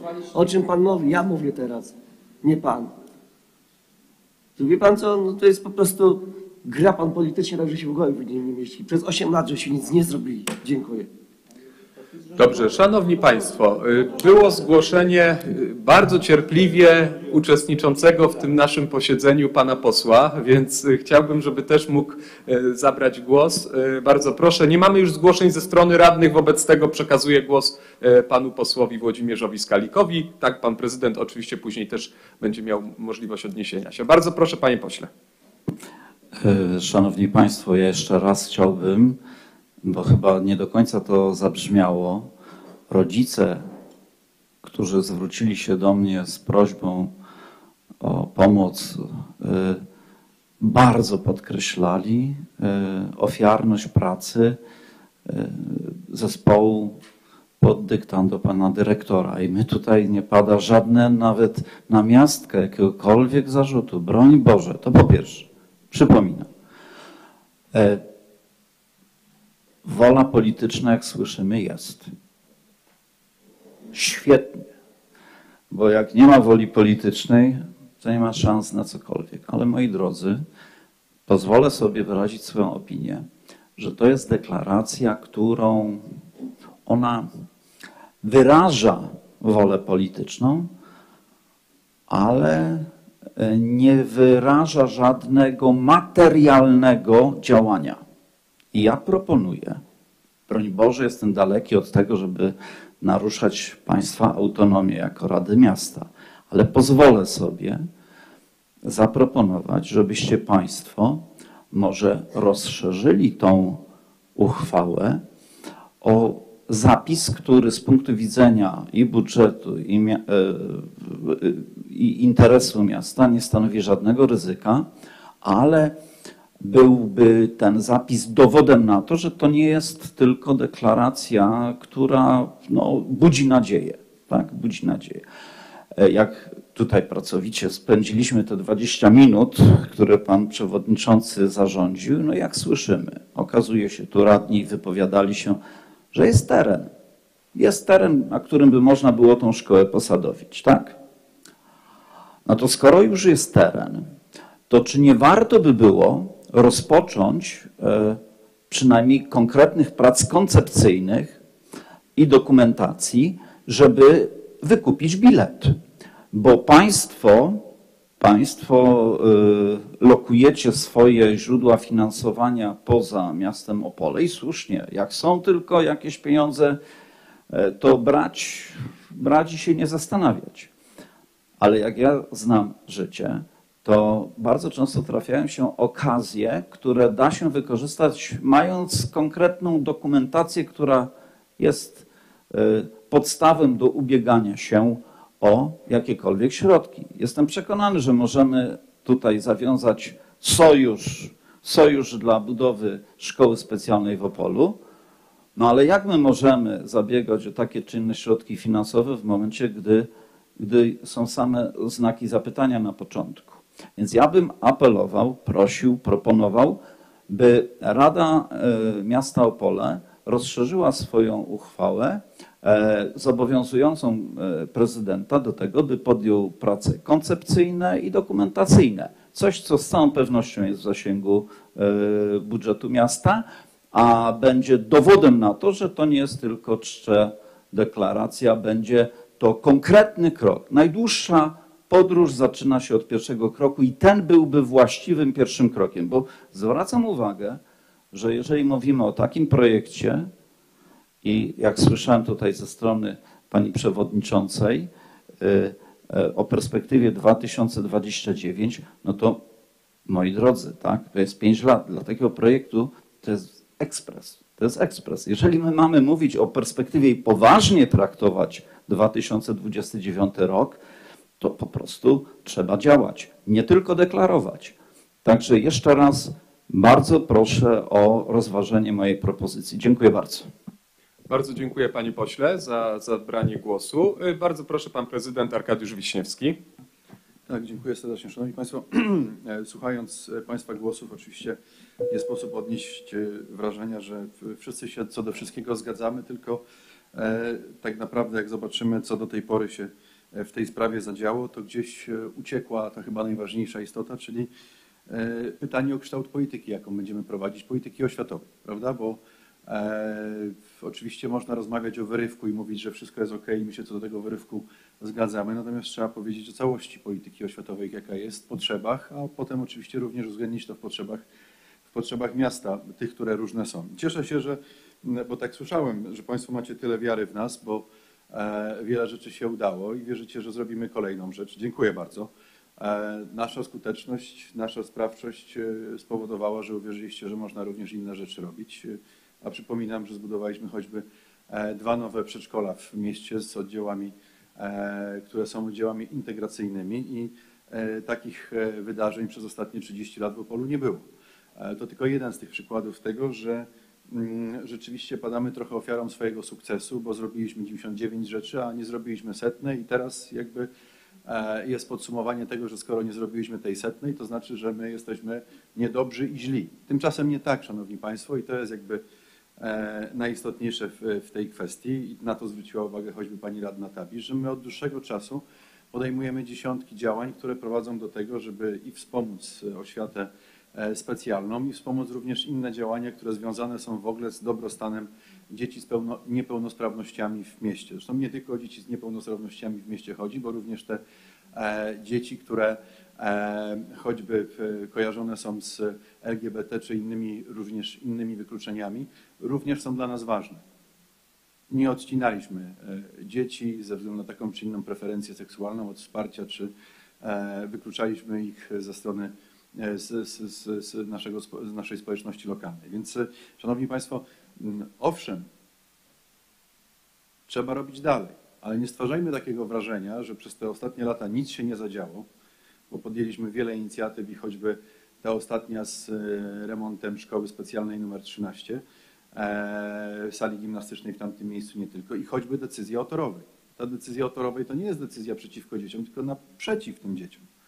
Chcemy stworzyć warunki, bo tych warunków w tej chwili brakuje i nie dlatego, że miasto czegoś nie zrobiło, tylko rzeczywiście, i o tym rozmawialiśmy, przybywa różnych orzeczeń, różnych innych e, zdarzeń życiowych, które sprawiają, że po prostu potrzeba nam więcej miejsca dla takich e, dzieci w, w, w naszej miejskiej oświacie. I o to się staramy, po prostu.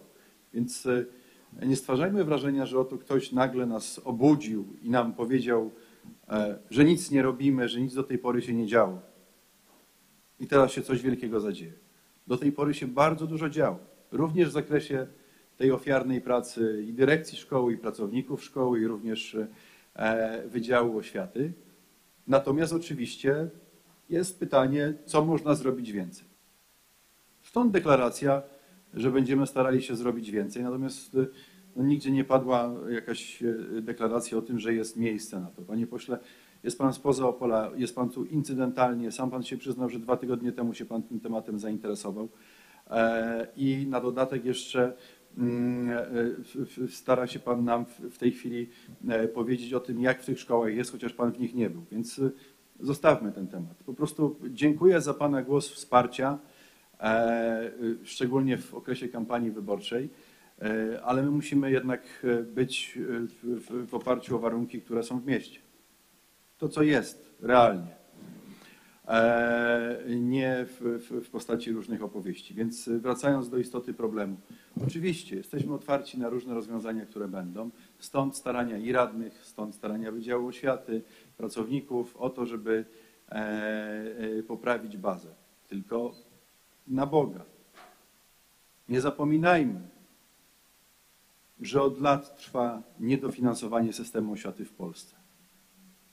Ono jest faktem.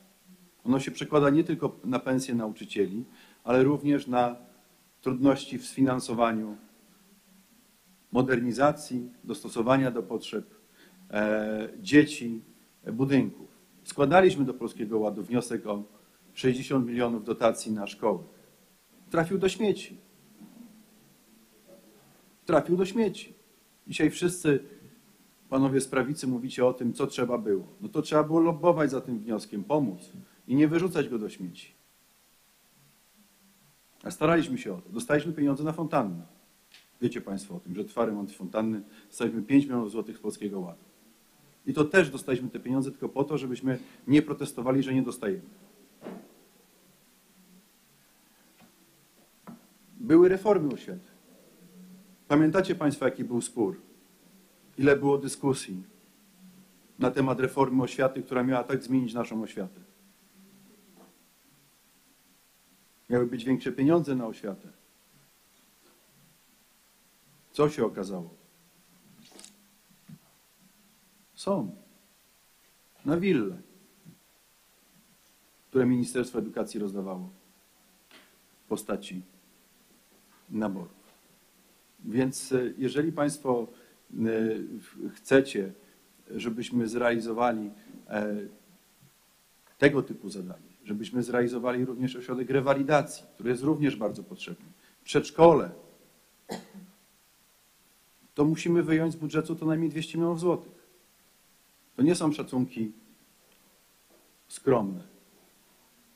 Wolnych środków miasto ma w ciągu roku bez dotacji zewnętrznych po Polskim Ładzie 20 milionów, 15 przy naszych ogromnych staraniach. Przed Polskim Ładem mieliśmy ponad 100 milionów złotych. Ile lat trzeba będzie odkładać, żeby móc takie zadanie zrealizować? Tylko w oparciu o środki własne. Mówię to po to, żeby nam wszystkim uświadomić, że wszyscy chcemy, ale oprócz chęci muszą być jeszcze możliwości i w tym względzie jest bardzo ważna nasza wspólna deklaracja z Rada, przygotowana wcześniej też chcę podkreślić, żebyście Państwo nie widzieli w tym zamierzonego działania, ale było to działanie przygotowane wcześniej, że jeżeli się pojawią środki zewnętrzne, a takich do tej pory w Ministerstwie Oświaty przez 8 lat rządu Zjednoczonej Prawicy nie było, to będziemy bliżej realizacji tego zadania. I oczywiście również pamiętajmy, że to są nie jedyne potrzeby oświatowe w mieście. Szkoła na Malince. Też ją wpisaliśmy w program. Chcielibyśmy tą szkołę zbudować. To jest kolejne 100 milionów złotych. Nie mówiąc o dziesiątkach innych potrzeb, dociepleniu szkół i tak dalej. Dlatego to trzeba sobie szczerze i uczciwie powiedzieć. Nie bierzmy na swoje barki tego, co jest poza naszymi możliwościami.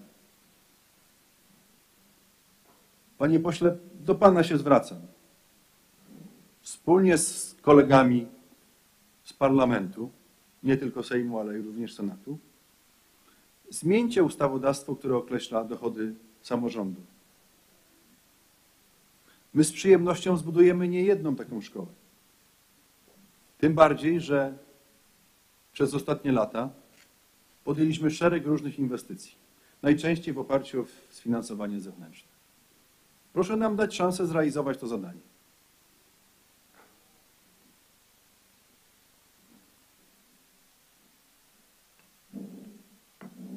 Dziękuję za ciepłe słowa o pracownikach szkoły, za ich starania. Rozumiem, że nasze starania, choćby to, że trafią pieniądze na, rozpocznie się remont sali gimnastycznej i nie tylko, że te starania nie doczekają się ciepłych słów. Usłyszałem już to swoje z zapleców.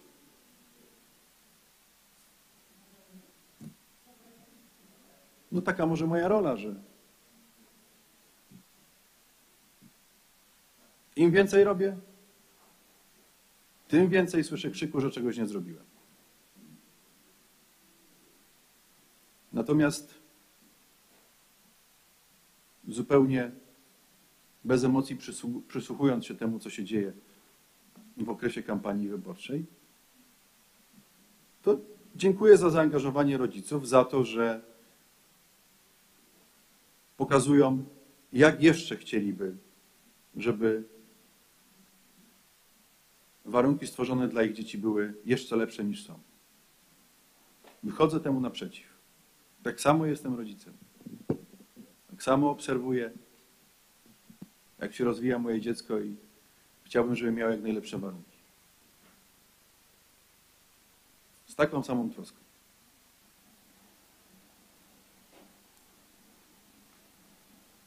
Więc chciałbym, żebyśmy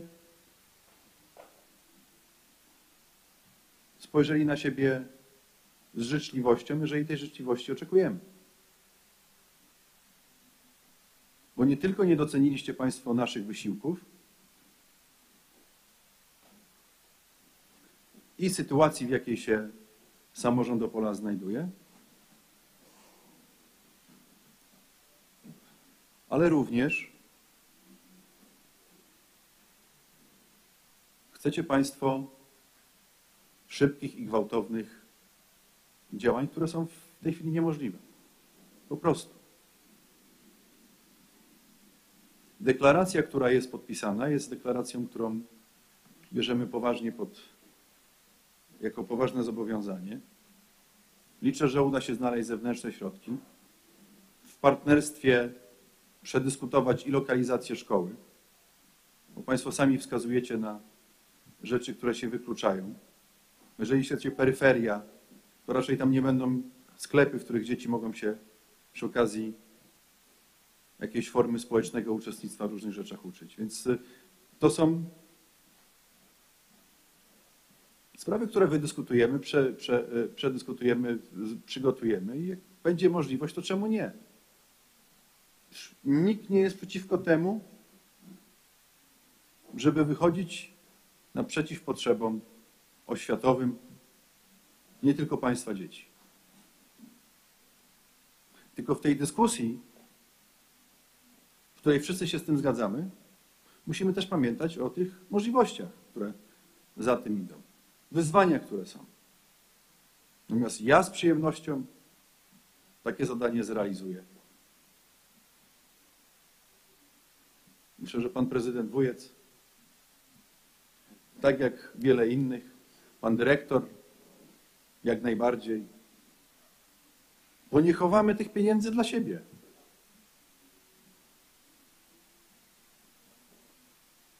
Staramy się w taki sposób działać, żeby w każdym możliwym aspekcie dołożyć coś do polityki miejskiej. I to, co jeszcze raz powtórzę, to co powiedziałem wcześniej przy początku dyskusji. Przecież te szkoły, te budynki, to nie są rzeczy, które zaistniały rok, dwa lata temu, bo pan prezydent miał kaprys. One od lat są wykorzystywane do tego celu. I oczywiście wzrastają nasze wymagania, oczekiwania, więc musimy też poprawić ich standard. No ale my żadnej rewolty, wyrwy w polityce oświatowej miasta nie przeprowadziliśmy. Żeby komuś na siłę zaszkodzić, komuś coś odebrać, kogoś czegoś pozbawić. Wręcz przeciwnie, w ramach możliwości, które mamy, szukamy możliwie optymalnych i dobrych rozwiązań. Sięgając również po środki zewnętrzne tam, gdzie możemy je dostać. Nie chcę więcej politycznych e, wątków wprowadzać do tej dyskusji, nie ma, nie ma potrzeby. E, Osiem lat e, jednej polityki oświatowej za nami, jednej polityki względem samorządów. Czy teraz przyjdą zmiany? Głęboko na to liczę i trzymam się tej deklaracji, która dzisiaj padła, że będziemy zabiegać o środki zewnętrzne na tę inwestycję. I z przyjemnością ją zrealizujemy zgodnie z życzeniem rodziców, zgodnie z obowiązującymi przepisami,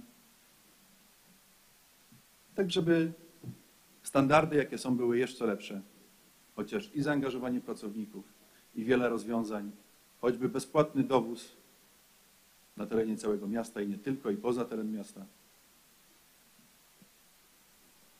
żeby te standardy były jeszcze wyższe. Chociaż sporo jest robione. Dziękuję bardzo. Bardzo dziękuję. Mm, Zgłaszał się jeszcze pan poseł. Bardzo proszę, pan poseł Włodzimierz Skalik. Panie prezydencie, ja tylko merytorycznie nie będę odpowiadał na pańskie wątki polityczne. E, Proszę porozmawiać ze swoimi radnymi, bo się okazuje, że macie państwo rozbieżne informacje na temat e, możliwości lokalizacyjne e, projektowanej szkoły. Druga kwestia, jeszcze raz chcę powtórzyć. Żeby wygrać los na loterii, to trzeba go kupić. Jak mamy starać się o pieniądze zewnętrzne w momencie, gdy nawet nie wiadomo, o jakim dokładnie projekcie mówimy? Nie wierzę w to, żeby miasta Opola nie było stać na prace koncepcyjne, na zatrudnienie ekspertów, żeby wskazać właściwą, optymalną lokalizację, bo przecież rodzice najzwyczajniej mogą się mylić swoimi wyobrażeniami. Tak? Ja nie wierzę w to, że miasta Opole nie stać na to, żeby rozpocząć prace koncepcyjne i dokumentacyjne i o to apeluję. Jeżeli takich prac, e, takie prace nie będą podjęte, no to interpretacja tego oświadczenia, tego oświadczenia będzie mogła być jedna, że to jest deklaracja, za którą nie idą żadne, żadne konkretne działania. Druga kwestia, deklaruję i będzie, y, będę bardzo chciał wesprzeć Państwa w y, inicjatywie ustawodawczej, która by mogła poprawić funkcjonowanie tych placówek, bo jak w każdych przepisach są na pewno takie, które są nieracjonalne, nielogiczne i warto to zmieniać i ja się do tego serdecznie i bardzo chętnie przyłączę. Jestem zresztą z panem dyrektorem umówiony e, na e, dłuższy dzień, żeby sobie te wszystkie kwestie omówić, e, przedyskutować i przygotować się do wsparcia w tym zakresie, co jeszcze raz deklaruję. Dziękuję bardzo. Dziękuję. Bardzo proszę, pan prezydent się jeszcze zgłosił. Proszę Tak, uprzejmie. jakby, jakby tak pominę ten mentorski ton pana posła, tylko po prostu panu posłowi powiem, że e, jako miasto z ponad miliard złotych pozyskaliśmy ze środków zewnętrznych. Nie wiem, ile pan poseł pozyskał, e, więc pozwolę sobie to nie rozwijać e, dalej, natomiast mamy gotową dokumentację ośrodka rewalidacji, który czeka i dla niego jest lokalizacja i o tym mówili nasi radni, o tej lokalizacji. Panie pośle, czekamy na, e, e, to jest na temat, bo ośrodek rewalidacji jest poświęcony osobom z niepełnosprawnościami, które wymagają całodobowej, specjalistycznej opieki. E, Ten ośrodek mógłby odciążyć rodziców, rodziny od choćby tej opieki całodobowej, którą w tej chwili sprawują. Więc panie pośle, to jest jak najbardziej na temat i my już takich pułkowników parę mamy wykonanych, bo mamy też dokumentację rozbudowy obwodnicy, dokumentację budowy mostu przez, przez Odrę, które kosztowały kilka milionów. No i chcielibyśmy wreszcie zacząć je realizować i mieć możliwość ubiegania się o te środki zewnętrzne. Czyli ma Pan pomysł, jak chce Pan pośredniczyć w spotkaniu w Ministerstwie Oświaty, pokazać nam, gdzie te pieniądze są. Gotowa dokumentacja leży, która odciąży tu dzisiaj oso osoby obecne w trudzie opieki i zadba też o edukację tych, e, tych osób. Oczywiście możemy zacząć kolejną rzecz i nie wykluczam, że w najbliższych tygodniach czy miesiącach od czegoś takiego zaczniemy. Ale nie chcieliśmy tego robić e, mm, e, na gwałt urety, bo wtedy wrażenie byłoby z naszych działań dokładnie odwrotne. Takie, że presja kampanijna wymusza coś, co potem nie będzie zrealizowane.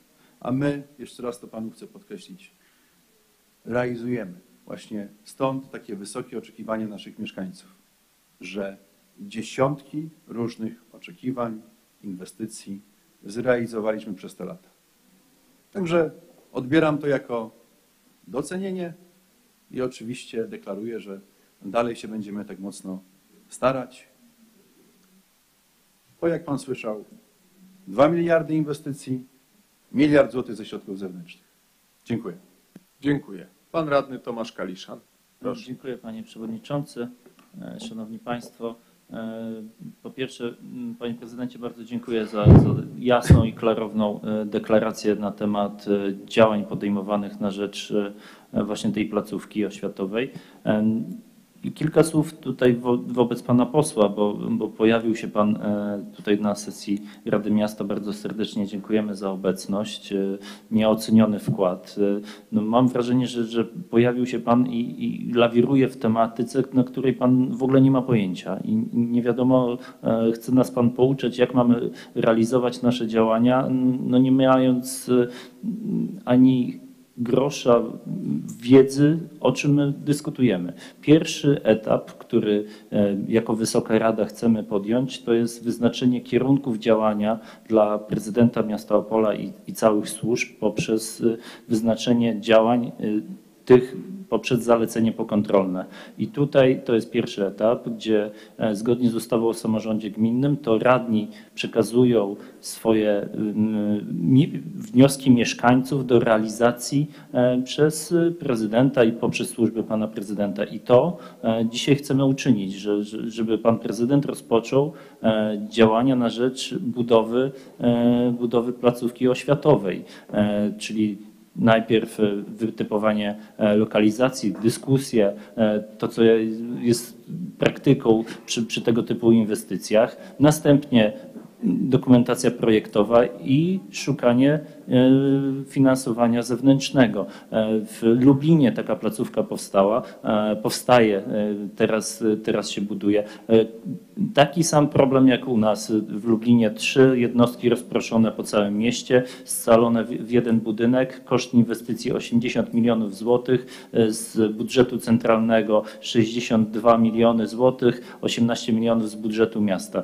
Wydaje się, że jeżeli będziemy to etapować i, i realizować e, te działania w taki sposób, że będzie to podzielone i będziemy mieli już e, całą koncepcję, e, projekt, no to, to będzie szło do przodu i, e, i naprawdę, panie pośle, tutaj jest wola do działania, do pracy i, i to, o czym mówił pan prezydent, ośrodek rewalidacji, to jest kolejny punkt działań, który, który jest konieczny dla, mm, dla dla mieszkańców. Przypomnę, że jeszcze na poprzedniej sesji mówiliśmy o, o tej lokalizacji dla domu, e, dla fundacji, gdzie przekazywaliśmy działkę dla osób niepełnosprawnych. Działka obok ma powstać ośrodek rewitalizacji, e, e, rewalidacji dla, dla mieszkańców, więc no, no, budujemy takie miejsce, w którym, w którym będziemy pomagać mieszkańcom, więc no, to, to są działania, które są podejmowane. E, Musimy sobie zdawać sprawę, że, że, że budżet nie jest z gumy. E, budżet jest imponujący, miliard e, 500 milionów, e, jednak no, etapowo jesteśmy w stanie to przy mm, przy środkach zewnętrznych e, e, zrealizować. Nie wiemy też jeszcze, jakie projekty będą związane z KPO e, i finansowanie może też z tych, więc tutaj będzie trzeba dużej intensyfikacji działań na polu dotyczących działań z ministerstwami infrastruktury, edukacji, jak i też funduszy europejskich. I również działania na rzecz poprawy mm, funkcjonowania szkolnictwa w obszarze nauki specjalnej, e, ponieważ to nie tylko problem nauczania e, i zatrudniania nauczycieli, ale również e, problem całego systemu, ponieważ my jesteśmy przyzwyczajeni, że lekcje w szkole to są 45 minut i cała siatka godzin jest dostosowana do 45-minutowych e, lekcji, natomiast w szkołach specjalnych są 60-minutowe lekcje e, i całe te wszystkie arkusze są dostosowane i wszystko jest do 45 minut, natomiast w, e, w szkołach dla dzieci z niepełnosprawnościami te lekcje mają 60 minut i to w jaki sposób i, i, i się mieszają tutaj dzwonki, niedzwonki i żeby to wszystko po, poukładać, to, to jest olbrzymie wyzwanie i, i tutaj mm, jest pole dla pana posła, aby, aby do Ministerstwa Edukacji e, nam dopomógł, aby, aby to nie tylko jest problem Opola, bo to jest problem w całym kraju, gdzie, gdzie wszystkie aplikacje, dziennik są dostosowane do 45 minut lekcyjnych, natomiast e, w szkole odbywają się lekcje, które, e, które trwają 60 minut, bo, bo, bo tak obliguje ustawa. Więc no, olbrzymia praca na, na ten temat. E, Bardzo się cieszę z deklaracji zarówno pana prezydenta, jak i pana posła, że, że będzie, będzie wspierany ten, ten ważny temat dla, dla naszej społeczności. Dziękuję.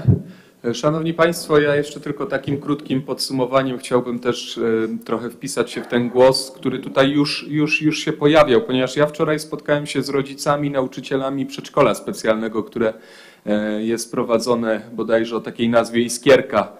E, I nauczyciele i rodzice tamtej placówki tak jakby trochę zauważyli, że toczy się dyskusja wokół problemu, problemu czy tematyki kształcenia specjalnego na poziomie podstawowym, a oni w tym też no, uczestniczą. E, I mieli, proszę Państwa, obawy przed tym dzisiejszym posiedzeniem, chociażby z tego tytułu, że wiedzieli, że będzie procedowana kwestia tego zalecenia o budowie nowej placówki specjalnej na poziomie szkoły, bo powiedzieli, że dla nich oddechem jest centrum rewalidacji i to powinien być absolutny priorytet. Drodzy Państwo, możemy sobie wyobrazić sytuację, że tutaj cała lewa strona tej sali będzie składała się z rodziców dzieci przedszkolnych, którzy o to proszą i nauczycieli, którzy się utożsamiają z tym postulatem. Dlatego dzisiejsza dyskusja nie jest o tym, czy zdecydujemy się na budowę czy projektowanie szkoły specjalnej i budowę w przyszłym roku, tylko o pewnej koncepcji, strategii podejścia miasta do całego systemu jako zbioru naczyń powiązanych, bo to centrum rewalidacji wpływa właśnie na placówkę oświatową na poziomie przedszkolnym i szkolnym. Wczoraj właśnie delegacja przepraszam, rodziców i nauczycieli na czele z panią dyrektor była u mnie i o tym mówili. Mieli pewne obawy, że pod wpływem jakiejś grupy inicjatywnej, która nomen omen ma swoje racje i ja, ja, ja to też rozumiem. Myślę, że wszyscy radni to rozumieją, że państwa oczekiwania i, i rodziców, i nauczycieli są takie, żeby w jak najlepszych warunkach pracować, czy, czy móc mm, e, rozwijać swoje dzieci, które mogą do tych placówek uczęszczać, to mieli takie obawy, żeby pod wpływem takich emocji nie zapadła decyzja, która globalnie dla systemu edukacji specjalnej w mieście Opolu nie będzie tą decyzją pierwszej potrzeby na dzisiaj. Więc proszę Państwa, chciałbym, żeby faktycznie taka strategia i takie długofalowe myślenie o tym, i jak ja rozumiem, to właśnie, to właśnie się dzieje, tak? Bo to, co pan prezydent mówił o nawiązaniu do szkolnictwa zwykłego, do potrzeby e, budowy szkoły, przedszkoli i tak dalej, to też jest problem dzisiaj oświaty. My też m- musimy jako samorząd miasta o tym pomyśleć, tak? Patrząc na to, że i tak wydajemy jedną trzecią budżetu na, na, na szkolnictwo, na, e, tak naprawdę na oświatę. Więc drodzy Państwo, dobrze się stało. Myślę, że ta dyskusja przesunęła się na koniec tej sesji dzisiejszej, bo na początku sesji do niczego byśmy na pewno nie doszli konstruktywnego, bo były tylko emocje. E, Ja też rozumiem, tak jak powiedziałem, stronę rodziców, bo każdy chce dla swojego dziecka jak najlepiej. I wczoraj rodzice, którzy mają dzieci w sz- przedszkolu specjalnym, zwracali uwagę na swoje warunki lokalowe, na swoje potrzeby, na to, że mają też specjalistów i też chcieliby na przykład stworzyć kolejne oddziały, bo są chętni, y, chętne, czy są takie potrzeby, rodzice chętnie by, by posłali dzieci do tego przedszkola. Szczególnie, że można tam, są odroczone te, te przejścia do szkoły, do szkoły później i, i mogą dzieci być dłużej w placówce przedszkolnej. I znowu, jeżeli byśmy re- reagowali emocjonalnie, to na jakby wniosek tych rodziców, dyrekcji, osób zaangażowanych moglibyśmy podejmować decyzje, a to, tak jak powiedziałem, jest system naczyń powiązanych i nie powinniśmy reagować emocjonalnie. To powinna być pewna strategia e, działań podjętych, a ta deklaracja, która jest e, w jakby podsumowaniu tego protokołu kontroli, według mnie jest takim zapewnieniem, że dołążymy jako samorząd e, starań do tego, aby spróbować pozyskać środki zewnętrzne, aby, aby pochylić się globalnie nad koncepcją szkoły specjalnej, bo pamiętacie Państwo, niedawno żeśmy toczyli tą samą dyskusję o dzieciach ze spektrum autyzmu. I ci rodzice też mieli oczekiwania, żeby stworzyć tylko szkołę dla y, osób, które, które mają zdiagnozowane spektrum autyzmu. Czyli, drodzy Państwo, nie możemy pod, podchodzić do tego tematu emocjonalnie i jakby podejmując decyzję na potrzebę danej chwili, danego momentu, gdzie te emocje niestety rosną i one są naturalne i zrozumiałe, bo tak jak mówię, każdy z nas, kto jest rodzicem, wie, że dla swojego dziecka chciałby jak najlepiej. I bardzo proszę tylko o takie naprawdę rozważne podejście do tematu, trochę wpisując się w to, co pani radna, pani profesor Tabisz na początku tej wypowiedzi powiedziała. Przegląd tego, co mamy, diagnoza właściwa i wyważenie, która potrzeba jest, jest, jest tą potrzebą pierwszego rzędu. Ja byłem zobowiązany, żeby to powiedzieć, bo taki był wydźwięk tego mojego wczorajszego spotkania właśnie i z rodzicami, i z pracownikami tego, tego przedszkola. Czy ktoś jeszcze chciałby zabrać głos w dyskusji? Nie widzę. Wobec tego kończymy dyskusję i przechodzimy do głosowania tego zalecenia pokontrolnego, a w zasadzie uchwały na druku 1715 w sprawie zalecenia pokontrolnego. Kto jest za, kto jest przeciw, kto się wstrzymał? Bardzo proszę o oddanie głosu.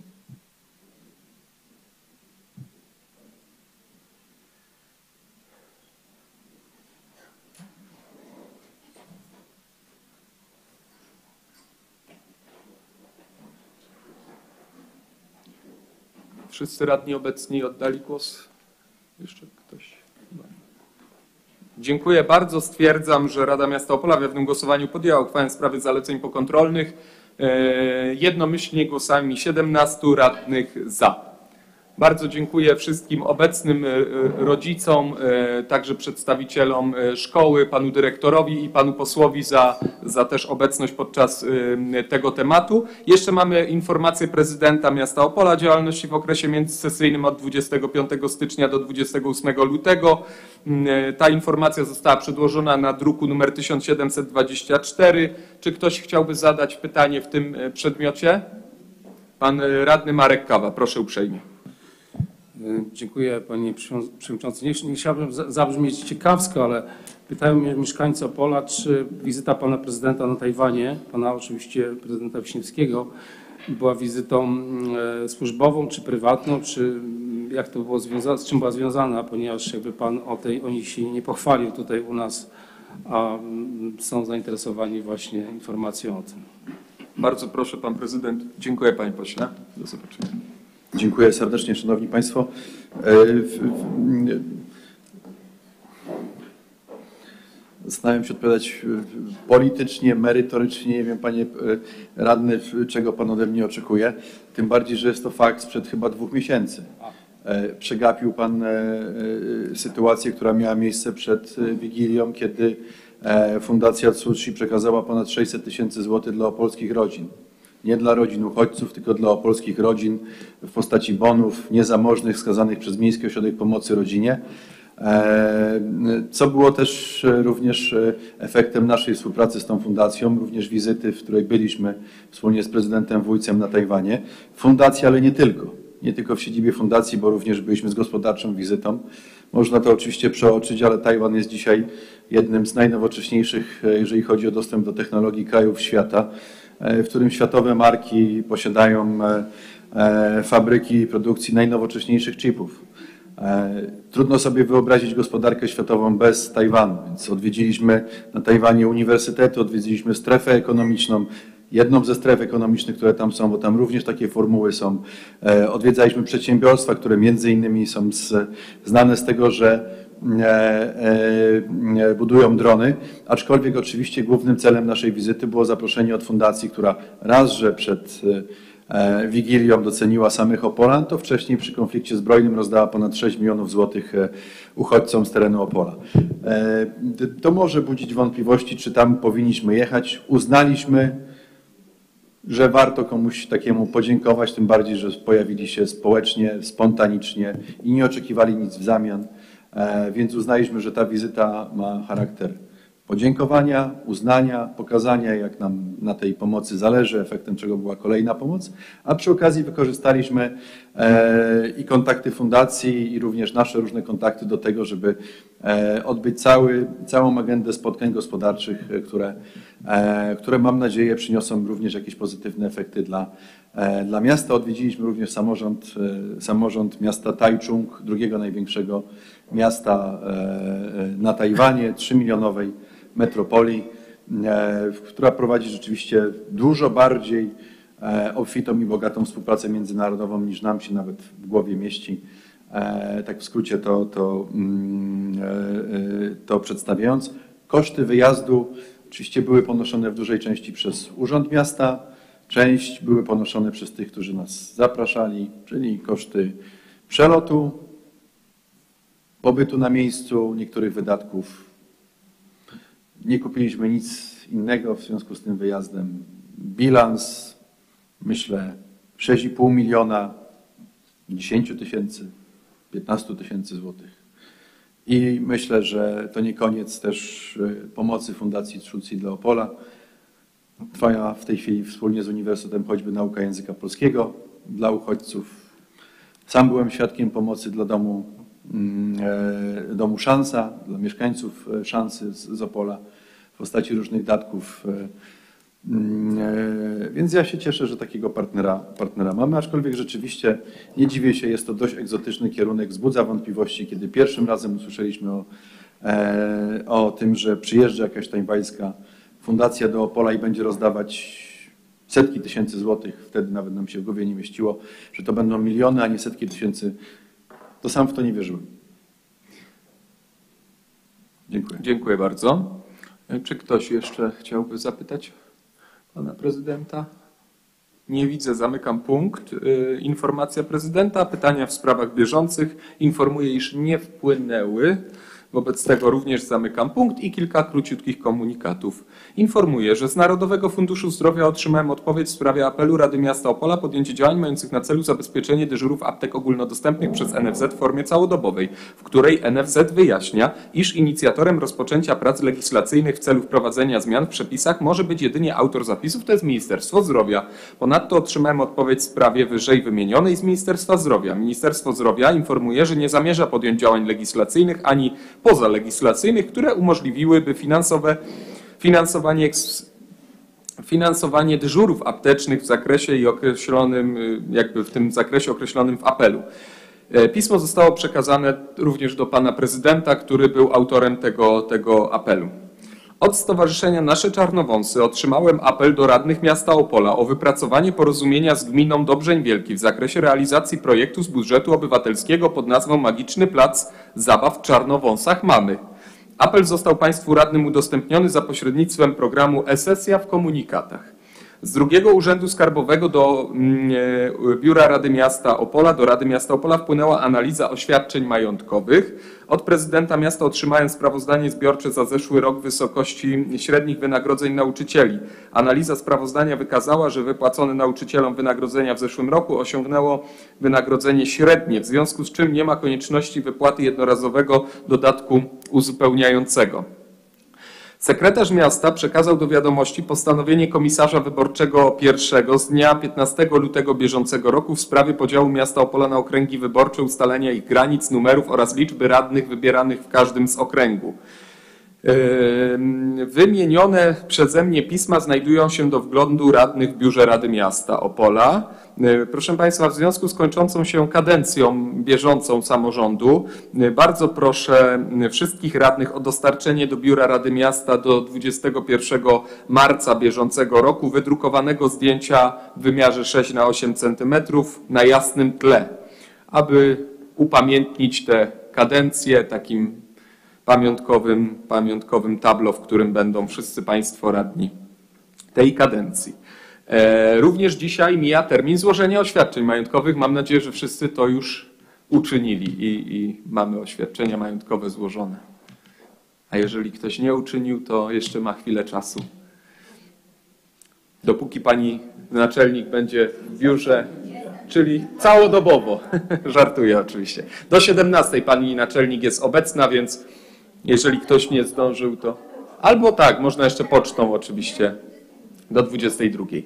Y, Czy kto, y, ktoś z Państwa chciałby wygłosić komunikat? Ja informuję tylko, że, że my mamy jeszcze, proszę Państwa, dwa posiedzenia sesji Rady Miasta, na koniec marca i na koniec kwietnia, mimo że kadencja, e, znaczy kadencja trwa do końca kwietnia, mimo że wybory samorządowe są 7 kwietnia, więc proszę się nie martwić, jeszcze pod koniec kwietnia się z Państwem spotkamy i planujemy też takie uroczyste podsumowanie wtedy po sesji e, naszej e, kadencji. Bardzo proszę Pan Radny Marek Kawa. Y, Dziękuję Panie Przewodniczący. Już przepraszając, że przedłużam y, czas. W imieniu, ponieważ y, nasz przewodniczący klubu musiał, musiał już się ewakuować, chcemy odczytać, chcę właśnie w imieniu klubu radnych Prawa i Sprawiedliwości oświadczenie, które też złożymy na ręce mm, Pana Przewodniczącego. Proszę mi pozwolić przeczytać.